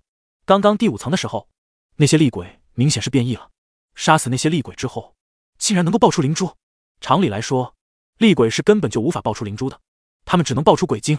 可现在看来，说不定咱们能借助这些厉鬼变异的这个机会，直接把他们全部消灭，说不定也能看到我们想要看到的东西。麒麟深吸一口气。这才转头对着自己身旁的几人说着，几人也是连连点了点头。随后，他们便也马上分散开来，几人不约而同的朝着和自己距离最近的厉鬼冲了上去。他们都刻意放缓了步伐，这也就导致那些厉鬼根本就没有发现他们。而邓叶舟则是一边走，一边探测着这层楼的那些房间里到底有没有厉鬼。探查一番之后，邓叶舟这才终于确定，这第六层的厉鬼只存在于大厅之中，房间里根本就没有任何鬼气波动的气息。邓叶舟这才冲着麒麟点了点头。下一秒，几人便同时朝着自己身旁的厉鬼发动了攻击。只是，所有人都采取了最为安静的手法。这厉鬼已经死在了几人的手中，余下的那些厉鬼却根本就没有发现任何一丝一毫的不对劲。他们仍旧是做着各自的事情，脸上甚至也没有一丝一毫的变化。眼看着这群厉鬼压根就没有发现，几人也算是松了一口气。只是，就在他们一个一个解决厉鬼的时候，也终究还是出现了意外。一个孩子模样的厉鬼忽然不知道从哪里冒了出来，就连邓叶舟都没有看到那孩子究竟是从哪里出现的。那孩子冒出来之后，就已经走到了麒麟的身旁。麒麟吓了一跳，但他也没有贸然对这个孩子出手。姐姐，你长得好漂亮啊！可是你好像和我们不一样。孩子的声音显得十分的空灵。而就在这孩子的话音落下的时候，身旁的那些厉鬼则是纷纷朝着麒麟的方向看了过来。在这个瞬间，麒麟只觉得自己浑身的血液都快要凝固了。这么多数量的 A 级厉鬼，哪怕他们都是 S 级御鬼师，可若是想要消灭他们，也还是需要一番时间的。而这个瞬间，其余几人也没再看向自己面前的厉鬼了，而是纷纷朝着麒麟的方向看了过去。与此同时，宋启明也已经开始缓步朝着麒麟挪了过去。若是这群厉鬼真的忽然发动攻击的话，那么宋启明觉得自己起码也能及时把自己的护盾开启。可宋启明还没有挪过去。下一秒，那群厉鬼就已经纷纷朝着麒麟冲了上来。眼见着厉鬼全部暴走，几人也瞬间朝着麒麟的方向冲了过来。他们所有人迅速朝着身旁的厉鬼发动了攻击，而麒麟也很快就反应了过来。五个人配合十分默契。宋启明的护罩从始至终都是笼罩着五个人的，而古拓则是在厉鬼群中闯来闯去。只是那些厉鬼根本就进不了古拓的身。至于麒麟，他倒是没有在厉鬼群里跑动，而是站在了那小孩的面前。他低头盯着那小男孩。而那小孩也同样盯着他，下一秒，小孩就迅速朝着麒麟发动了攻势。只不过麒麟早就有所防备，那团黑气落在麒麟面前之后，则是迅速便消散了。紧接着，一旁古拓就也冲了过来，他不等麒麟开口，就直接把手中的刀插入了小孩的心口，小孩瞬间化作黑色烟雾消散了。而其余几人的战斗也都接近了尾声。终于，这二三十个 A 级厉鬼被解决之后，大家也都是纷纷松了一口气。只是。这口气还没有松下来，一旁的邓叶舟便忽然意识到了一丝不对劲，正有一股强烈的鬼气波动，正在朝着他们快速冲来，并且根据这波动的强烈程度来估算，这次出现的厉鬼很有可能是 S 级的厉鬼。几人瞬间面面相觑，而很快，他们的目光便也都落在了邓叶舟的身上。不是说好的这层楼只有这一批 A 级厉鬼吗？从哪里又冒出来的更强大的厉鬼？区区第六层楼竟然就有 S 级厉鬼？那么他们若是想要继续走，还走得通吗？五大天王几乎都是在瞬间，便瞬间意识到了一旁传来的危机，每一个人都迅速提高了警惕。可尽管如此，也为时已晚了。糟了，那只厉鬼已经展开鬼域了，咱们暂且都不要乱动，不然有很大的可能会乱掉。说不定在这厉鬼的引领下，咱们还可能会对同伴发动攻击。所以大家一定都不要相距太远了。邓叶舟瞬间就意识到了这鬼域的不同寻常，这鬼域看上去和外边的迷雾竟是差不了多少。他们目光所至的能见度。也是非常有限的，所以一旦分散开来，他们很有可能就根本无法再次回到队友的身旁了。听着邓叶舟的话，几人也是瞬间警惕了起来。只是他们全神贯注的盯着眼前的鬼域看了半晌，却也未曾看出来任何一丝一毫的危险。邓叶舟，如今我们在他们的鬼域之中，你能感应得到那只厉鬼究竟在什么地方吗？麒麟环视了一圈之后，这才转头开口问着身旁的邓叶舟。邓叶舟没有开口，他只是沉默的盯着眼前的黑雾。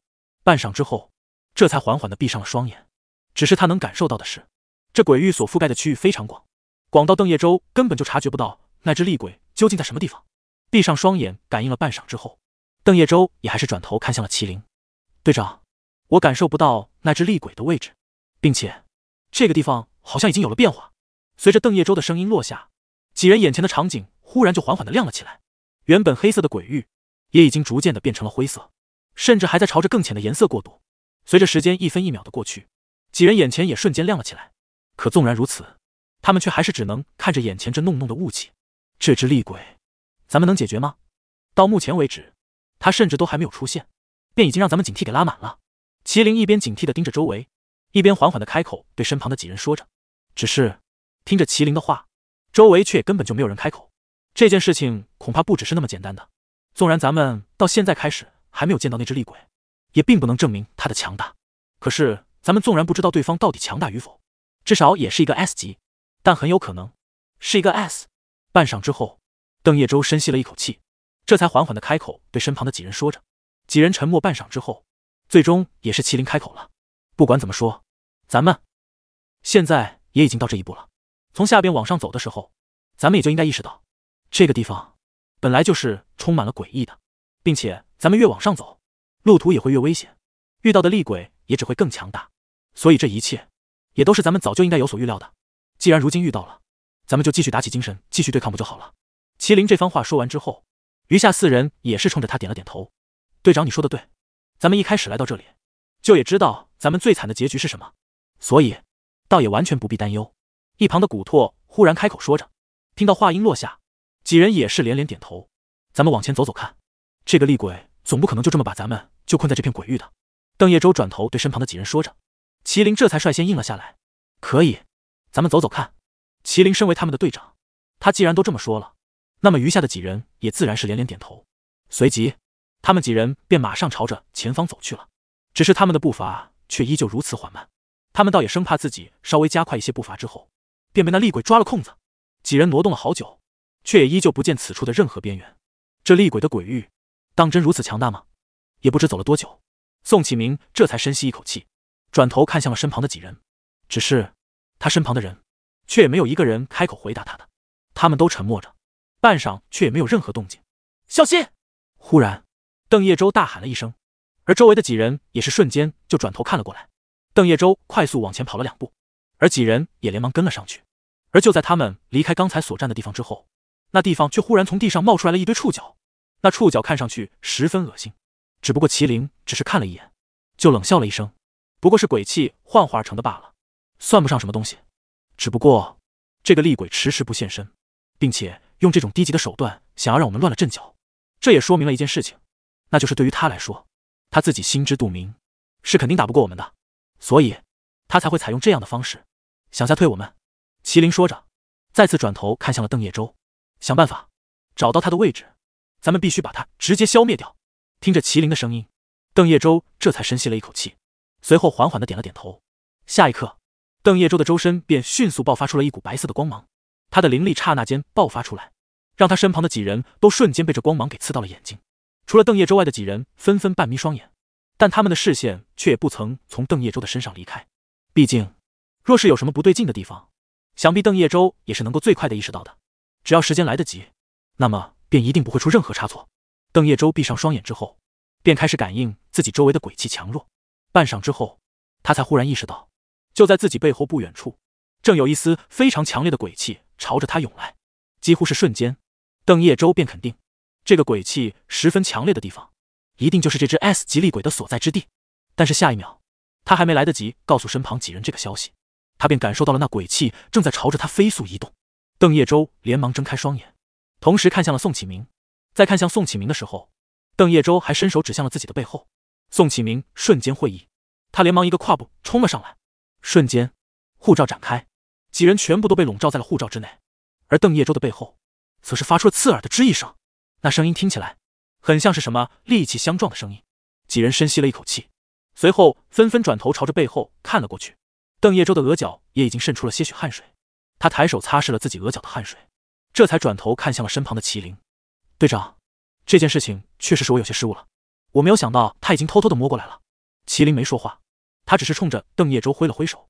下一刻，他便朝着那一抹黑色的身影冲了上去。一旁的古拓也连忙冲了上去，两人作为队伍的主力。一前一后的夹击着那黑色的身影，至于余下的三人，则是跟在两人背后，是不是的冲上前给那厉鬼一击。随着试探下来之后，他们也已经清楚的意识到，这只厉鬼根本就不是什么特别强的存在。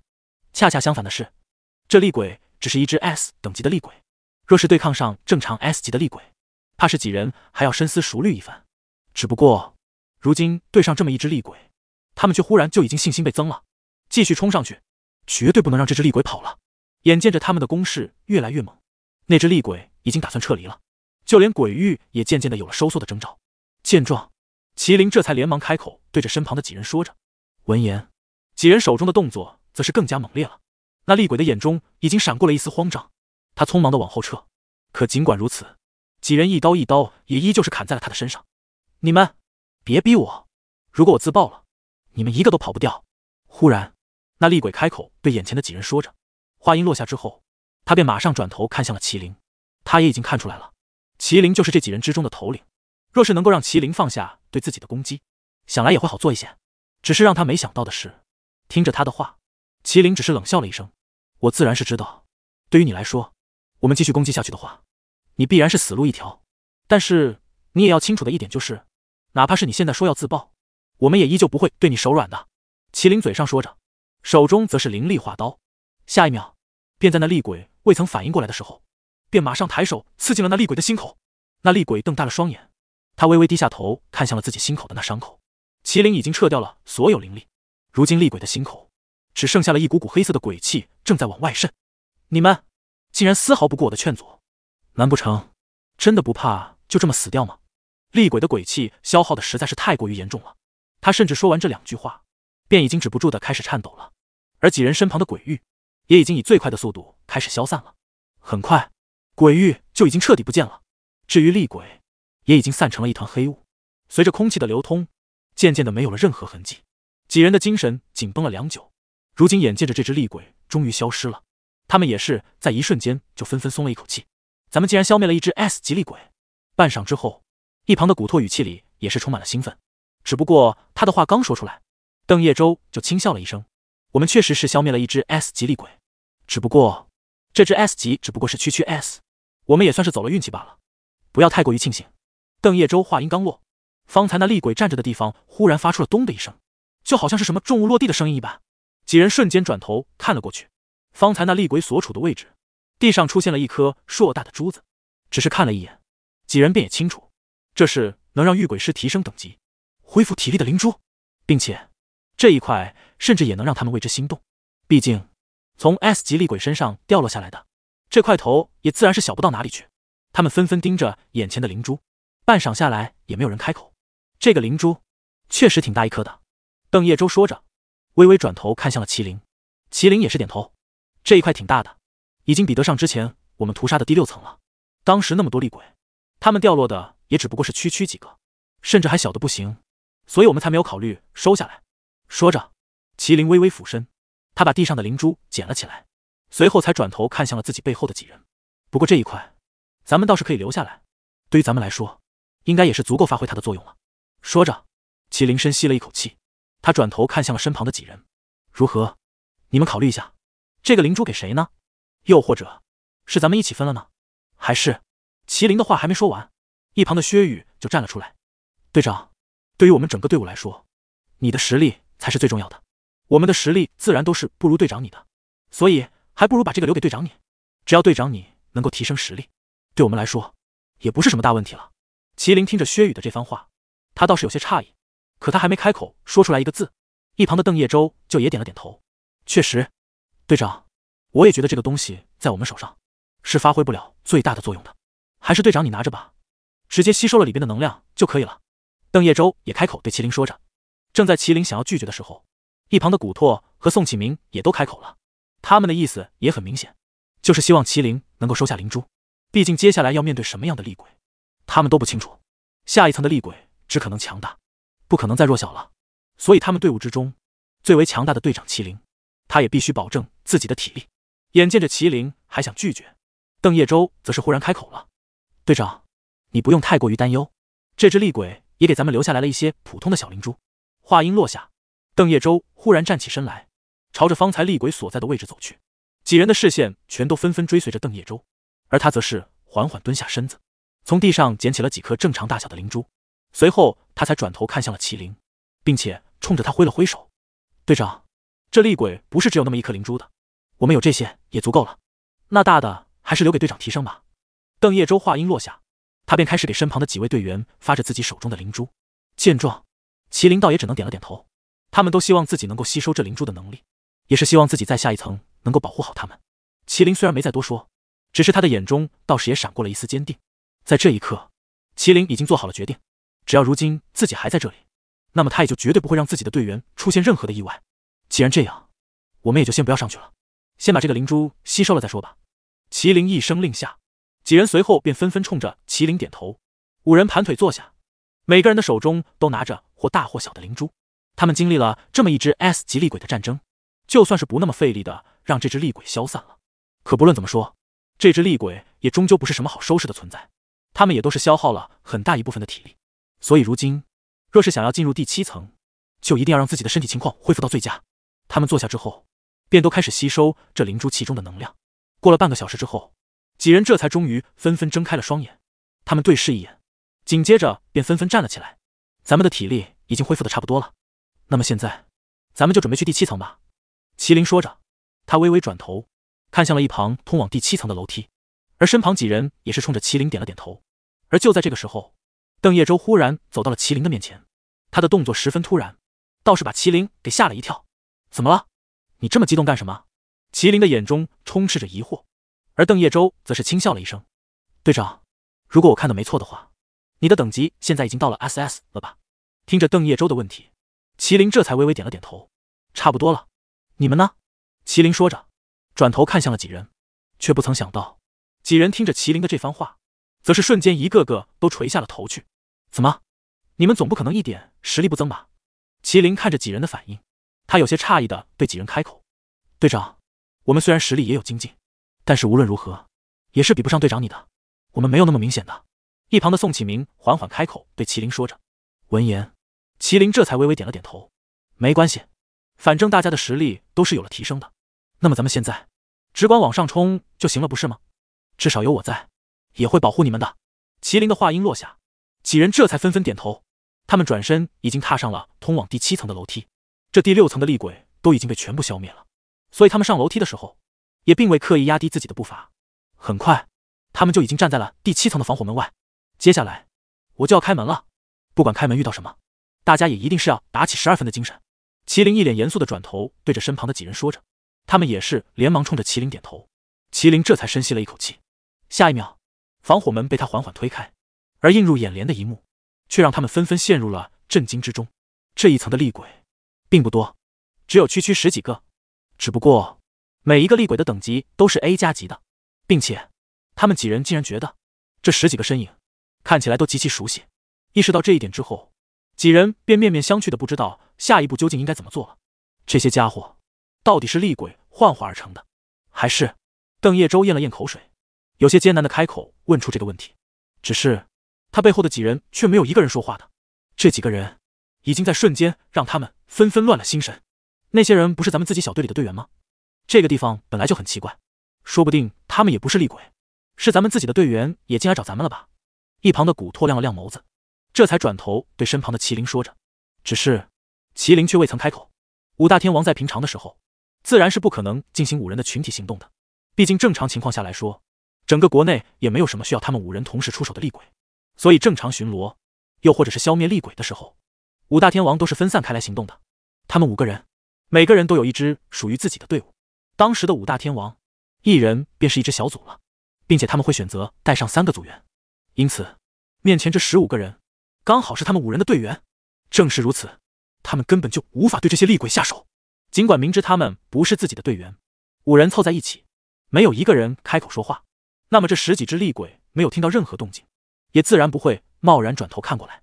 麒麟一脸严肃的盯着眼前的厉鬼们看了半晌，这才终于深吸了一口气：“咱们小心一点，这些家伙根本就是厉鬼。”麒麟尽管已经表达的如此明显了，可是身旁几人除了邓叶舟之外，全都满目期待的盯着那厉鬼们。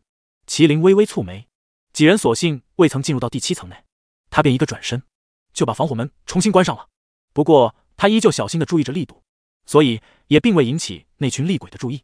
防火门被关上之后，几人眼中的炙热也暂且恢复了正常。队长，你这是做什么？难不成你不愿意把他们救出来吗？古拓微微转头看向了身旁的麒麟，眼中更是充满了不解。麒麟有些无奈的摇了摇头。古拓本来就是他们几个人之中最为在乎情谊的了，所以如今遇到了那几个简直和自己队员一模一样的厉鬼，古拓便瞬间就乱了心神。他也认定那几人正是自己的队员。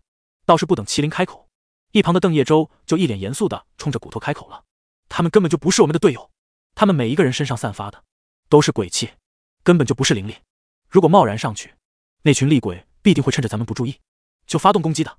他们的实力已经达到了 A 加，所以是已经有了足够的智慧，再加上这个地方的厉鬼，本来就一个个都显得特别奇怪，所以你真的以为他们若是看到了咱们，会无动于衷吗？邓叶舟话音落下，下一刻他却也低下了头。尽管他能这么劝说古拓，可他自己看到那一群厉鬼的时候，心头也是忍不住的颤抖。他们心中知道，这定然是幻境，可他们也止不住的想要去靠近。半晌之后，麒麟这才深吸了一口气，转头看向了身旁的几人：“咱们必定要安稳的度过这一层。从一开始踏入这栋楼，你们就应该清楚一个道理：整栋楼的所有场景，都是和咱们灵异局是一模一样的。所以，尽管我们如今看到的这些，也都是和咱们队员一模一样的人。”可是，你们更要清楚的一点就是，这群厉鬼终究是厉鬼，他们不可能是我们的队员。麒麟的神情十分严肃，几人对视一眼，这才有些无奈的冲着麒麟点了点头。他们又何尝不清楚麒麟所说的这些事情了？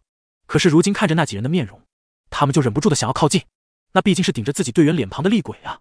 就算心中知道那根本就不是自己的队员，他们又能如何应对这件事情？又能如何对他们发动攻击呢？几人沉默半晌，都没再开口。麒麟缓缓的扫视过他们，半晌之后，这才终于开口了：“我知道你们心里会慌，也会对此有些不能理解，甚至有些不能接受，并且过一会儿，咱们可能还要对他们发动攻击。但是你们要清楚的一点就是，咱们不能就这么被这些厉鬼给蛊惑了。我们五大天王若是都折在这里，那咱们以后该怎么做？每一个人都要打起精神，也一定要死记，那群厉鬼终究是厉鬼，压根就不是咱们的队友。你们明白吗？”听着麒麟的话。几人这才终于冲着麒麟点了点头，我们明白了，请队长放心吧。一旁的邓叶舟缓缓开口对麒麟说着，麒麟这才点了点头。他倒是并不觉得邓叶舟会怎么样，他最担心的其实还是自己身旁的古拓。古拓，你一定要谨记，这几个只是厉鬼，并不是你的队友。听着麒麟的话，古拓深吸了一口气，这才重重的点了点头。放心吧，队长，我不会对他们做什么的。我知道他们是厉鬼。麒麟转头看着身旁古拓的眼神。沉默半晌之后，这才终于点了点头。至少目前从古拓的眼中，他倒是也能看出来，古拓已经坚定了下来。他的眼中也没有方才的那种期待了。只不过几人对视了一眼，他们的眼中除了坚定之外，其实另一种情绪就依旧是慌乱。他们并不清楚，等会儿他们面对上那群厉鬼的时候，自己究竟会面对什么。再者便是，若是那群厉鬼一言不发的冲着他们发动攻击，他们是应该躲开，还是应该打回去？一时间。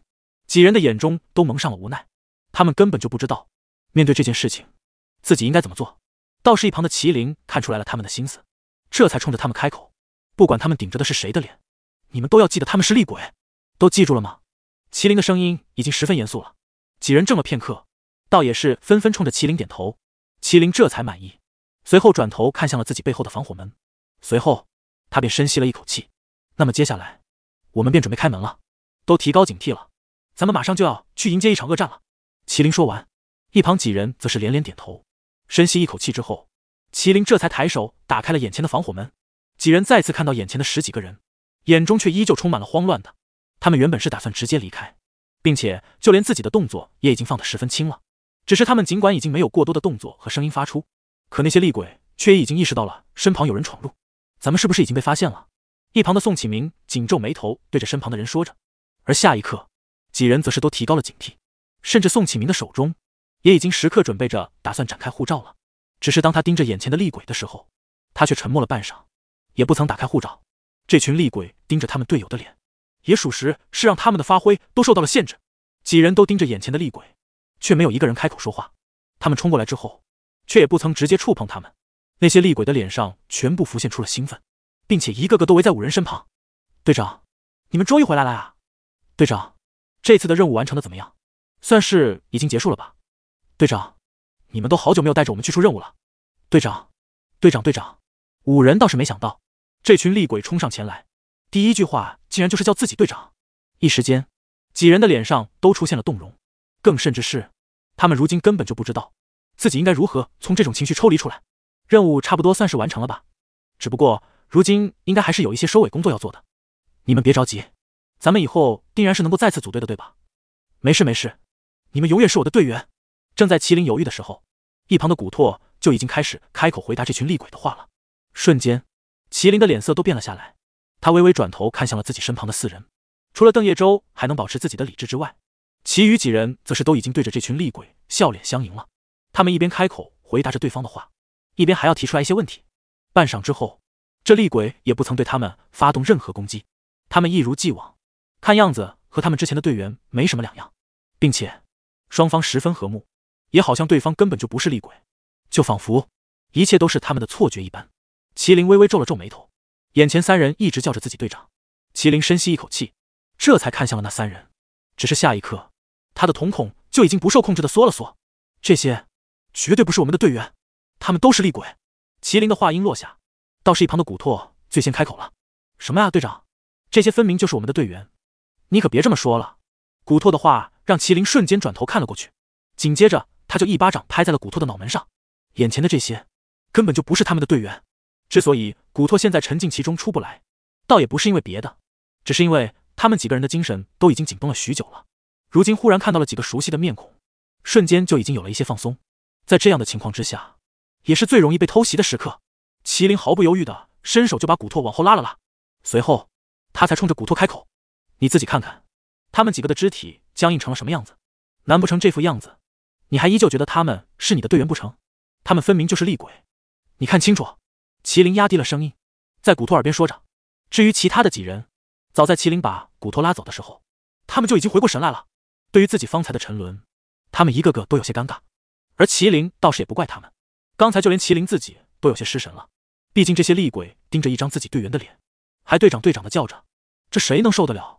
只是麒麟之所以能够快速回过神来，也只是因为方才他看到了一个本不应该出现的脸庞。麒麟自己的三个队员，已经有一个早就死了。在一开始去往魏明的小区之前，那个队员就已经不存在了，所以如今他更是不应该存在于这里，所以麒麟才能最快的回过神来。随即他便是一身冷汗。若是他们几人都已经陷入了这种情绪之中，想来无论如何也定然是无法从这群厉鬼的手中逃脱了。古拓被麒麟拉开之后，又听了麒麟的话，他这才定睛朝着前方的他们看了过去。也直到这个时候，他这才看清楚，原来眼前的这几人真的看上去十分僵硬。一开始的时候，他们盯着那面庞，也只觉得十分熟悉。可如今看来，不只是他们四肢的动作，甚至脸上的笑容，都像是刻意挤出来的一般。古拓连忙往后退了几步，而与此同时，宋启明几人也已经站在了麒麟的身旁。他们都已经彻底清醒过来了。五人盯着眼前的厉鬼们，尽管此时已经意识到这厉鬼根本就不是他们的队友，可在这种情况之下，他们也无法让自己真的对他们发动攻击，所以几人只是沉默着，却久久都没有任何的动作。只不过，那群厉鬼发觉自己无论做什么、说什么，眼前的五大天王都没有任何动作的时候，他们也已经清楚自己暴露了。紧随之，他们便是冷笑了起来。那笑声让五人瞬间就觉得自己汗毛都竖了起来，那种声音就好像是嗓子深处冒出来的一般。几人尽管想要说些什么，尽管想要做些什么，却被这刺耳的声音冲击的没有任何办法。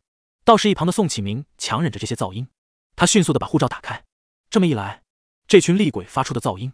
倒是也终于被宋启明的护照给挡在了外边。半晌之后，这群厉鬼这才停了下来。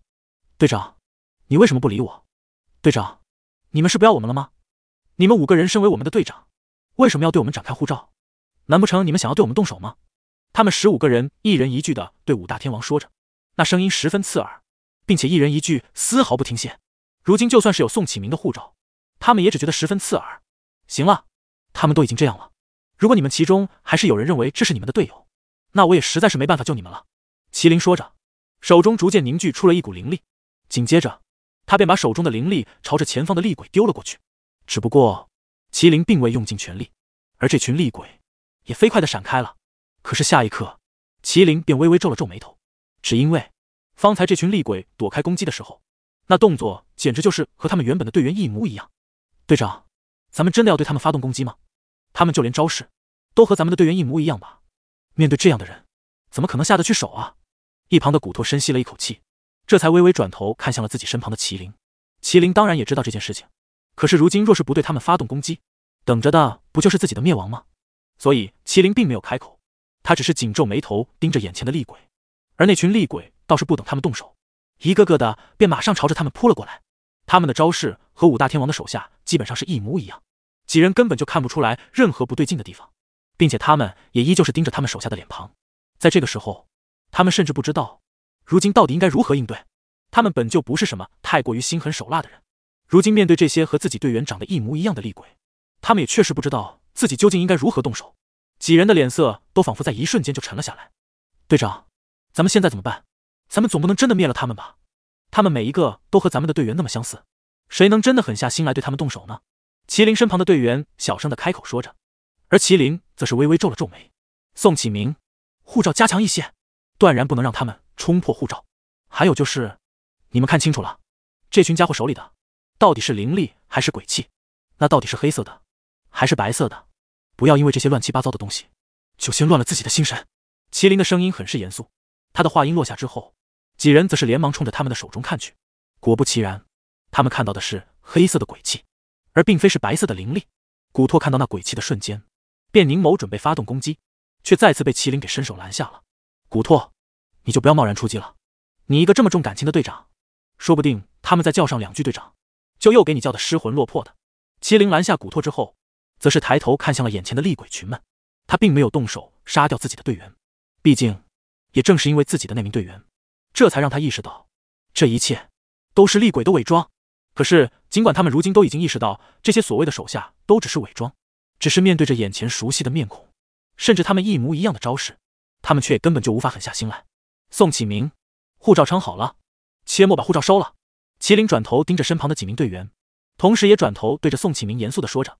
宋启明这才微微点了点头。如今，他们几人的脸上都挂上了些许的不忍，对上这种和自己队友一模一样的面容。他们也真的无法下手，就连麒麟也是缓了好久的情绪，这才终于深吸了一口气。他们只是一群 A 加级的厉鬼，咱们只要不太过于动感情，便一定能够消灭他们的。你们都给我听好了，他们只是一群伪装成为我们队员的厉鬼，并不是我们真正的队员，并且根本就不是人类，所以对他们动手的时候，也根本就不用顾忌太多，明白了吗？麒麟的话音落下，身旁却没有任何一个人回答他的话，麒麟不免有些不耐的转头看向了身旁的几人。我在和你们说话，你们都听到没有？邓叶舟微微点了点头。放心吧，队长，我知道的。他们身上的鬼气，我早就感应到了，我自然是不会对他们留情的。听着邓叶舟的回答，麒麟这才微微点了点头。下一秒，他便转头看向了一旁的古拓。宋启明的护照一直撑着，就已经标明了他的态度。薛宇虽然没说话，可他的脸上也挂着一丝决然。麒麟自然看得出来，对于他们来说，不管对方顶着的是什么样的面孔。他们几人也不会对这群厉鬼手下留情的，只不过如今麒麟最担心的便是古拓了。古拓如此重感情的一个人，再加上古拓便是这五大天王之中第二强的，若是他到时候不出手，只让麒麟出手的话，那么麒麟倒也真不能确定自己究竟能不能以最快的速度把这群厉鬼给解决掉。古拓，刚才我说的话你听到了吗？麒麟深吸一口气，继续开口对古拓说着。古拓微微皱了皱眉头，这才看向了麒麟队长。我知道你的意思，只是他们这群人也实在是太相似了。话音落下，古拓便抬腿朝着前方走去。下一刻，他就要走出宋启明的护照了。古拓，你做什么？麒麟的眉头都瞬间皱紧了。只是古拓却宛如不曾听到他的声音一般，依旧朝着前方走去。古拓从护照之中走出去之后，那些厉鬼虽然看到了，却彼此之间都不曾有任何动作。他们只是对视着看了一眼，随后才有三人朝着古拓走了过去。而那三人。正是盯着古拓手下的三只厉鬼，他们朝着古拓走来之后，每一个人的脸上都仿佛露出了笑容。队长，你终于舍得过来看一看我们了吗？队长，你不知道你不在的这段日子，我们究竟有多难熬。队长，你要来陪着我们了吗？听着三人生硬的声音，古拓微微皱了皱眉头。可尽管如此，他却依旧不曾离开，仍旧盯着眼前的三人。古拓，你看清楚了，他们根本就不是你的队员。麒麟紧皱眉头，只是外边那么多只厉鬼。正在虎视眈眈，他也根本就不方便直接冲出去。倒是古拓微微转头看向了背后的麒麟队长，他们也许不是咱们的队员，但是他们至少目前为止也并未对咱们有过伤害，不是吗？古拓的话音落下，便有一只厉鬼朝着古拓发动了攻击。他的攻击非常隐蔽，只是从背后隐隐冒出了一柄气刃，便朝着古拓飞了过来。眼见着那气刃马上就要朝着古拓的脖子扎进去，可古拓却依旧不曾察觉到任何异常的时候，麒麟顿时也着急了。他皱了皱眉头，便马上冲了上去。麒麟的灵力也化作气刃，直接和那鬼气相撞，鬼气瞬间消失。而麒麟也已经伸手把古拓拉了回来。重新进入护照的时候，古拓的眼里已经带上了一丝不可思议。他自然是听到了方才自己背后传来的两者相撞的气息。消灭了那么多厉鬼，也在天王的位置上坐了这么久了，古拓自然是清楚，方才那声音到底是什么声音？在这个瞬间，古拓的脸色都瞬间沉了下来。麒麟这才微微转头看向了身旁的古拓，不是说他们不会伤害你吗？若是按照你的话来说，他们根本就不会伤害你的话，那刚才的那攻击又是谁发出来的？这么明显的鬼气和灵力相撞的声音，你总不会听不出来吧？难不成都已经到了如今这个时候了，你还打算欺骗自己不成？麒麟厉声对古拓说着，而这一次，古拓却只是微微垂下了脑袋。他当然清楚，方才如果不是麒麟的话，自己很有可能已经在不注意间就已经被那几只厉鬼给杀死了。身为一个天王，他竟然连这点警惕心都没有。在这个瞬间，古拓只觉得自己十分愧疚，并且也特别懊恼。看着古拓低着头，半晌都没有开口说出来一句话。其实麒麟道也大概知道了他心中是在想些什么了。麒麟没有说话，只是走上前去，轻轻的在他的肩膀上拍了拍。好了，古拓，你现在清醒过来就行了。失败或者被迷惑双眼一次两次，这都是小问题。但是你要知道的是，绝对不能每一次都在。麒麟的话音落下，古拓这才重重的点了点头。他深吸了一口气，这才看向身旁的麒麟队长。我不得不承认，这件事情确实是我的错，是我太重感情了，所以才会导致如今的结果。不过队长你放心就好了，这种事情我绝对不会让它再发生第二次的了。看着古拓眼中的坚定，麒麟这才微微点了点头。好啊，既然你明白过来了，倒也是好事。话音落下，麒麟转头看向了围在身旁的众多厉鬼，半晌之后，这才冲着古拓开口：“那么，等你缓好自己的心情之后，我们就对他们发动攻击吧。宋启明的护照也不一定能够一直撑下去，这对他的影响也不小。”说着，麒麟望向了古拓，古拓重重的点头，随后他便转头望向了那群厉鬼：“那么，这次就是他们等死吧。”随着古拓的话音落下。他马上就朝着眼前的厉鬼们发动了攻击。古拓冲上去的时候，那群厉鬼压根就没有回过神来，他们还在想着方才古拓对他们的善意，更是根本就没料到古拓竟然会忽然对他们发动攻击。在这个瞬间，这三名厉鬼都已经瞬间慌乱了起来，而剩下的厉鬼也纷纷朝着古拓的方向围了上去。好了，都别激动，既然古拓都已经打头阵冲上去了，咱们自然也是不能示弱，不是？趁着现在，所有人都一起上！这群厉鬼今天是不可能从这里走出去的！麒麟大喊了一声，下一刻，宋启明的护照就收了起来。而那群厉鬼发现之后，便没再继续朝着骨头冲去了，而是一个个的又转过头来，朝着他们四人冲了上来。看着这群厉鬼的动作，邓叶舟倒是轻笑了一声：这群厉鬼倒是也有些本事，竟然能够分得清楚自己的目标究竟是谁，倒不是漫无目的的，看到谁距离自己最近，便对谁下手。这些厉鬼背后。定然是有人控制的，而那人说不准，也还有更大的目标。邓叶舟的语气倒是十分严肃，可他的脸上却依旧挂着笑意。就算是如今知道这件事定然不普通，可对于他们来说，好像也确实无法做得更好。或者换句话说，就是尽管如此，他们也做不到更多了。他们只能选择兵来将挡，水来土掩。除了这个之外，便没有了其他任何的办法。麒麟又何尝不清楚这个道理呢？他只是无奈的摇了摇头。随后便朝着眼前的厉鬼发动了攻击，这些厉鬼每三个便朝着一个天王围上去，倒是也让他们省去了挑选目标，而是迅速的对眼前的厉鬼发动攻势。麒麟依然化身 SS 级御鬼师，对付起来这群 A 加厉鬼也算得上是非常轻松，所以他是最先解决掉眼前这群厉鬼的。解决完自己的三只厉鬼之后，他并没有贸然行动，而是转头看了一眼身旁自己的另外四位队员。他们每一个人都正在对抗着自己眼前的厉鬼，古拓倒是显得得心应手，只是一旁的薛雨面对眼前的三只厉鬼，就已经有些力不从心了。尽管薛雨也是一名 S 级御鬼师，可他毕竟是主攻治疗的，比起来三只厉鬼的同时攻击，自然还是稍显逊色。见状，麒麟便马上冲了过去。队长，薛雨看到身旁的麒麟，则是略微有些兴奋的冲着麒麟说着。麒麟微微冲着他点了点头，可他什么话都没说。便直接对着薛宇面前的厉鬼打了过去。麒麟周身环绕着灵力，那些厉鬼的攻击倒是根本就无法对麒麟造成任何伤害。而就在麒麟帮着薛宇消灭眼前这群厉鬼的时候，一旁的古拓也已经彻底的斩杀了自己面前的三只厉鬼。只是，尽管明知道他们三个是厉鬼，可看着面前空荡荡的一团团黑雾飘散开来，古拓的眼里也还是无法避免的染上了一层悲伤。也许他已经想到，等之后，说不定自己的三名队员。也是终究会死在自己眼前的，而到了那个时候，他又会是什么样的反应？古拓还未曾缓过神来，一旁的麒麟就已经注意到了古拓这边的情况。古拓，你的那厉鬼消灭之后，去帮着邓叶舟。我们必须要快一些，把这群厉鬼给全部消灭掉。听着麒麟的声音，古拓这才终于重新回过神来。他微微转头看向了邓叶舟的方向。对于邓叶舟来说，同时对付两只厉鬼的话，他倒是也有方法，甚至有足够的余力。可是同时面对三只厉鬼，对于他来说，倒也算得上是一种挑战了。盯着邓叶舟的方向看了片刻之后，古拓倒也不再犹豫，他直接冲上前去帮助邓叶舟。很快，麒麟和古拓同时解决完薛宇。和邓叶舟面前的厉鬼，随后他们四个人便一起转头朝着宋启明走了过去。宋启明有护照保护，所以无论如何，他也不会被厉鬼所伤害。这也是他们最后才选择帮助宋启明的原因。而宋启明自己心中也清楚，自然也不会怪罪他们。很快，这十五只厉鬼都已经全部被消灭了，几人也是纷纷松了一口气。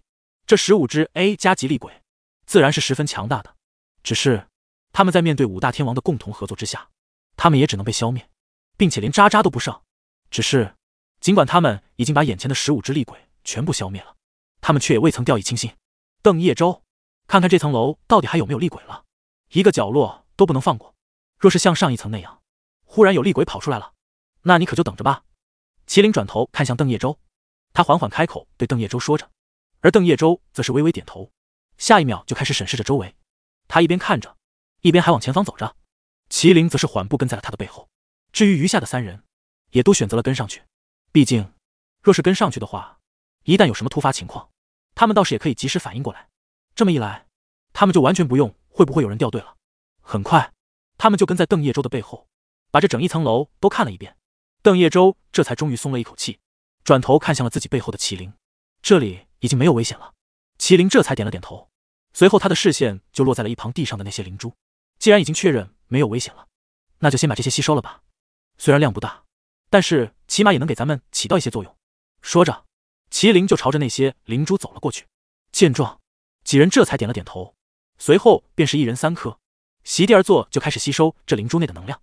良久之后，他们这才纷纷吸收完毕。队长，我们现在是继续上去吗？还是咱们可以继续在这里恢复体力？一旁的邓叶舟转头问着麒麟：“继续往上走。”话音落下，他便率先朝着楼梯走去。四人见状。也是连忙跟了上去，只是让他们所有人都不曾想到的是，他们几人才刚刚踏上第八层的，下一秒，身旁便再也没有了任何身影。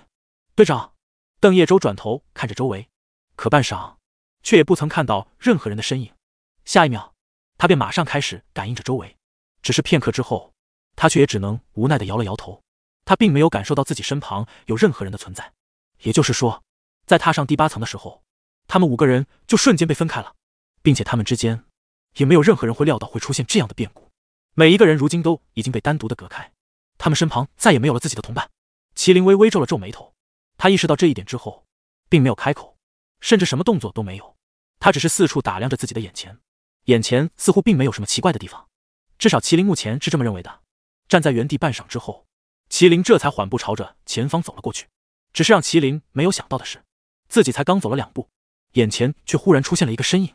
那身影是背对着自己的，并且麒麟还在对方的身上感受到了御鬼师的灵力波动。感受到灵力的瞬间，麒麟就已经又往前走了两步。你是谁？为什么会在这里？难不成你也是从浓雾之中误入进来的吗？麒麟一边说着，一边靠近那人。只不过由于并不清楚对方的身份，所以麒麟也并没有太过于靠近对方。他只走了没几步之后，便停下了步伐。这个距离足够让麒麟看清楚对方的面容了。可看着对方的背影，麒麟的脑海中忽然闪过了一个念头：眼前这个人怎么会和自己长得这么相似？在这个瞬间，麒麟忽然就觉得眼前这家伙和自己非常相似，甚至他说不出来任何一个对方不是自己的原因。他盯着那身影看了半晌之后，对方就缓缓的转过身来了：“你好啊，麒麟。”麒麟浑身一颤，他愣愣的盯着眼前这人，他竟然和自己长得一模一样，甚至周身发散出来的气息也和自己是一模一样的。麒麟张了张嘴，半晌却也不知道该开口说些什么。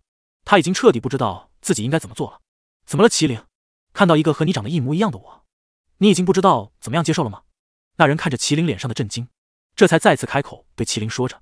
麒麟往后退了两步，但尽管如此，他的眼神却也是依旧紧紧的盯着对方的。你为什么和我长得一模一样，并且就连身上灵力的波动都和我一样？你到底是什么身份？麒麟尽管已经十分克制了，可他的语气之中也依旧是充满了慌张。他并没有表现出来的那般平静。而另一边，邓叶舟也已经发现了站在自己面前那和自己十分相似的背影。只是邓叶舟和麒麟不相同的便是，他以最快的速度就感受到了对方的存在，并且在意识到自己眼前站着一个人的时候，邓叶舟的眼神就已经快速的落在了对方的身上。他已经意识到，对方好像根本就不是普普通通的御鬼师，对方身上那灵力等级。和自己简直是一模一样，并且就连周身的灵力波动都和自己的习惯是一样的。邓叶舟盯着对方看了半晌，却都没有开口。那人仿佛意识到邓叶舟一直不和自己开口说话，这才终于缓缓的转过身来看向了邓叶舟。从一开始的时候，邓叶舟就有想过，如今站在自己面前的这家伙，该不会是自己的复制体吧？毕竟有了刚才第七层的经历，那些和他们的队员长得一模一样的人，也属实是让他心有余悸。如今出现了一个和自己如此相似的人，他便是一瞬间就有了这个念想，但这个想法也只是一闪而过。邓叶舟从未想过厉鬼会伪装自己，再者便是，哪怕厉鬼真的是伪装出了他的模样，可是他们御鬼师和厉鬼最大的一个区别就在于，他们是灵力，可厉鬼是鬼气，这一点是根本就不可能改变的。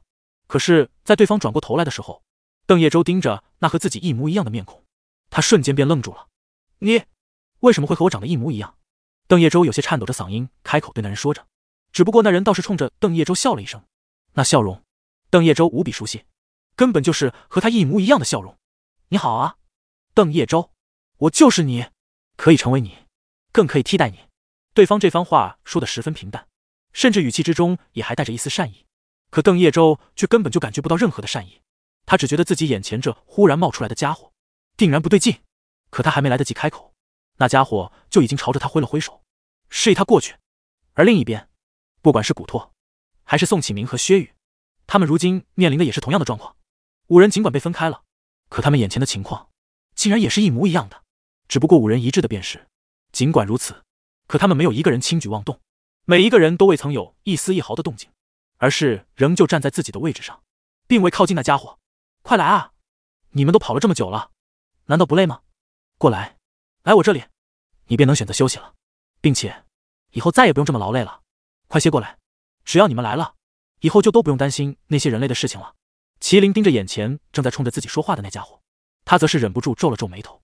你让我们过去，原因是什么？是希望我们能够留在这里，还是说替代你们待在这里？麒麟的话音落下，眼前的自己倒是忽然就笑了起来。你很聪明，不错，我确实是这个打算。你们也在外边已经辛苦了这么久了，倒是还不如安安稳稳的待在这里呢。以后你们就不用担心外边的那些事情了。我们是会代替你们的身份，不管是造福人类，又或者是拯救人类，我们自然都是可以做到的。这样，你们应该都可以放心了吧？听着此人的话，麒麟则是瞬间明白了。看来不仅仅是自己遇到了这种事情，自己的其他队友必定也遇到了这种事情。只是他们五人都听完眼前这家伙所说的话之后。他们却半晌都没有任何动作，自己和自己打招呼，并且还想让自己留在这里。这种诡异的场面，他们根本就不知道该怎么做，更没有贸然出手。与此同时，另一边，此时的魏明已经成功踏入传送门了，而下一秒，他的身影就彻底消失在了碎嘴和孙飞的眼前。两鬼尽管站在一旁，他们的眼神却也直勾勾的盯着眼前的厉鬼。他们如今更怕的是，这厉鬼趁着魏明如今不在这里，便直接对他们发动攻击。但是事实证明，好像也确实是他们想多了。那厉鬼根本就没有想要与他们动手的样子，反而一直在冲着两鬼开口，大有一副话痨的模样。唉，你们也是不知道啊，我在这里已经好久好久了，甚至久到我都不知道时间的流逝了。一直以来，我能做的事情就是站在楼顶，看着下边那些厉鬼们游荡。但其实他们也都是在这里待着，根本就无法从这地方出去。这个小区好像压根就没有门一样，我们只能被囚禁在这里。甚至我们自己都不知道为什么会在这里，但是每次有人闯入的话，我们还是要进行消灭人类的。不管这群人究竟会做什么样的事情，只要是他们踏入了我们厉鬼的领地之中，他们所要面临的，便也只是我们的攻击。这么久以来，你们还是我头一次看到的会动的，之前我甚至是连死物都没有见到。你们也是不知道啊，看到你们勇猛的冲上来的时候，我是有多开心。你们刚才在另一栋楼的时候，我就已经注意到了你们，并且也一直在等着你们过来。好在你们终于是过来了，也不枉费我等了这么久。那话，劳力鬼自顾自的坐在了地上，甚至看都没有看向碎嘴和孙飞，更别提对他们两个有什么防备心之类的东西了。他就好像是在和好久未见的老友闲聊一般，一直在说着自己的状况。听着话痨厉鬼念叨了半晌之后，碎嘴的猫眉微微一皱，随后他便看向了自己身旁的孙飞。孙飞意识到了碎嘴的动作，这才微微转头看向了碎嘴。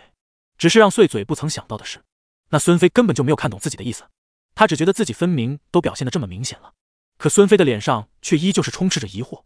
见状，碎嘴也有些无奈了，他只能冲着孙飞招了招手，示意孙飞过来说话。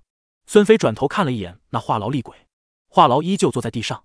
嘴里依旧是喋喋不休，甚至他根本就不曾转过头来看向碎嘴和孙飞在做什么。见状，孙飞这才小心翼翼的朝着碎嘴挪了过去。做什么啊？那只厉鬼说不定咱们两个都打不过呢。咱们如果动作太大，甚至太过分的话，保不齐他会不会对着咱们动手啊？孙飞已经尽量把声音压得很低了。不过碎嘴看着孙飞这么怂的模样，则是有些无奈的冲着孙飞翻了一个白眼。你怕什么呢？这家伙根本就没有看咱们一眼，这说明什么？说明他根本就不在意咱们在做什么。那么，咱们倒是不如趁着他不注意，直接冲进那个传送门，怎么样？碎嘴的声音压得很低，并且他一边说着，也一边时刻注意着一旁的那只话痨厉鬼。好在，话痨果真是话痨，一直都在自顾自的念叨，甚至根本就不曾注意到碎嘴和孙飞在做什么。碎嘴说完之后，发觉那话痨没有任何的动作，他这才继续转头看向了身旁的孙飞。只是，孙飞确实有些犹豫：咱们真的要去吗？若是咱们还没有成功进去，就已经被这厉鬼给拦下来呢？看着孙飞这般犹豫，碎嘴直接就是一个恨铁不成钢的一巴掌拍在了孙飞的脑袋上。两人的动静有些大，倒是引起了那话痨的注意。他微微转过头来，刚巧也看到了孙飞正抱着脑袋待在一旁。你们两个之间啊，这情谊倒是挺好的。说实在的，我都多久没有见到过这么和谐的关系了？在我们这里，大部分厉鬼都是单独守着一片区域的。你们一路走来，应该也发现了，更低级的厉鬼。才会有群体的情况出现，可是那又如何呢？那些厉鬼太过于低级了，他们甚至也根本就感受不到这孤独是什么样的感受。所以啊，我只能说，你们两个还是好好珍惜对方吧，不然小心以后再也见不到对方了。我先前也有一个好兄弟，先前我们两个更是一直待在一起，可后来我不知道为什么被抓来守护在这里，但是他却不在这里，我也没办法呀，我根本就出不去这个地方，估计他也找不到我的位置吧。那话痨说着说着。也已经开始伤感了起来。不过碎嘴和孙飞这个时候可是根本就没有听他在说什么。碎嘴冲着孙飞使了个眼色，孙飞这才连忙冲着他点了点头。下一刻，他们便迅速起身，他们两个直冲冲的朝着那传送门冲了上去。只不过，他们的动作也确实是动静太大了，自然是引起了一旁那只话痨厉鬼的注意的。不过，尽管他已经发觉了碎嘴和孙飞朝着那传送门冲过去，可是他却并未起身阻拦，他只是闭上了自己的话痨嘴。沉默的盯着两鬼看着，碎嘴发觉那话痨不打算阻拦自己，他的心头也是瞬间就闪过了一丝喜意。他们两个飞速靠近了传送门，眼见着传送门距离自己越来越近，不论是碎嘴还是孙飞，他们两个的脸上都挂上了一抹笑容。他们甚至已经想到，过一会儿穿过这个传送门之后，他们就能成功见到魏明了。可是他们不曾料到的便是，他们刚一触碰到那传送门，下一刻，他们两个就瞬间被弹开了，那力度十分猛烈。倒是直接就把碎嘴和孙飞给撞懵了，他们两个呆愣的坐在地上，同时双眸也还盯着眼前的传送门。他们似乎不能理解刚才发生了什么事情，为什么会被弹开？难不成是因为那话痨厉鬼不打算阻拦的原因？是因为他已经想好了该怎么拦下来他们吗？碎嘴想着，就已经微微转头看向了一旁的话痨厉鬼，而孙飞的目光也已经缓缓的转了过去，意识到他们两个看向自己，话痨厉鬼这才轻笑了一声。他知道，现在他们两个被传送门弹开之后，心中一定是充满了疑惑，并且也有很大的概率是怀疑这是自己造成的。不过那话痨厉鬼也不等碎嘴和孙飞开口询问，便是已经自顾自的冲着他们两个开口了：“你们两个呀，真的就是太冲动了。这个传送门也不是谁都能进去的，如此冲动，你们也应该想一想，若是这门被你们给撞坏了，那到时候刚才进去的那个人究竟还能不能出来了？”话痨厉鬼说着。他便走到了碎嘴的身旁，毕竟碎嘴是一只狸花猫，哪怕现在化身厉鬼，可它也依旧是一只猫。大部分人对毛茸茸的小动物是没有抵抗力的，看来这句话放在厉鬼的身上也是同样适用的。那厉鬼朝着碎嘴走来之后，便打算弯下身子把碎嘴从地上给抱起来。可是让这话痨厉鬼没想到的是，自己才刚刚蹲下来，那碎嘴就马上往后跳开了一步，并且他的眸子还紧紧的盯着眼前的话痨厉鬼，眼中也充斥着对话痨厉鬼的警惕。见状，话痨厉鬼也只能无奈的冲着碎嘴摇了摇头：“小猫咪，你对我不用这么警惕，我压根就不打算对你们动手啊。只不过碎嘴却根本就不相信这话痨的话。也许你确实是不打算对我们动手，但是刚才我们会被那传送门给弹开，也定然是有你的功劳吧？”碎嘴浑身的毛都快要炸起来了，他盯着眼前的话痨说着。听着碎嘴的这番质问，话痨则是表示自己非常的无辜。不是，这个真的不是因为我，我可以很直白的告诉你们，这个传送门只有刚才的那个人才能进去的。你们不是也叫那个人主人吗？这不是也表明了，你们也是知道他有多厉害的。所以啊，我又比不上他，这门都进不去，难不成你们两个还觉得你们能进去不成？咱们都进不去的，大家都不是天选之鬼。这个传送门啊，看看就好。再说了。里边还不知道到底是什么情况呢，一个两个的，也都别这么激动。要我说，就安安稳稳的守在这里等着就可以了。反正他总归会从这个传送门里出来的，如果没出来的话，也很有可能是死在里边了。听着这话痨厉鬼的喋喋不休，碎嘴显然是不相信他所说的话。碎嘴微微转过身子，他再次看向了那传送门，紧接着便是直接跳了过去。而这一次，他毫无意外的再次被传送门给弹开了。不过这一次。碎嘴倒是用余光盯着不远处的那话痨厉鬼，他也很清楚的看到，话痨厉鬼并没有冲着自己动手，可是自己却依旧被眼前的这个传送门给弹开了。都到了这个时候了，碎嘴也知道自己好像不能再继续怀疑人家话痨厉鬼了，毕竟他也只是话痨了一些，但好像从头至尾所说的每一句话都不是假的。深吸了一口气之后，碎嘴这才继续朝着传送门走去。不是，你还要去啊？这还不够明显吗？咱们都是进不去的。你干嘛非要明知山有虎，偏向虎山行？难不成就因为你是一只猫，所以你这么随意？但是这也不行啊，毕竟尝试次数太多的话，就连我也不知道这个传送门到底会发生什么样的变化。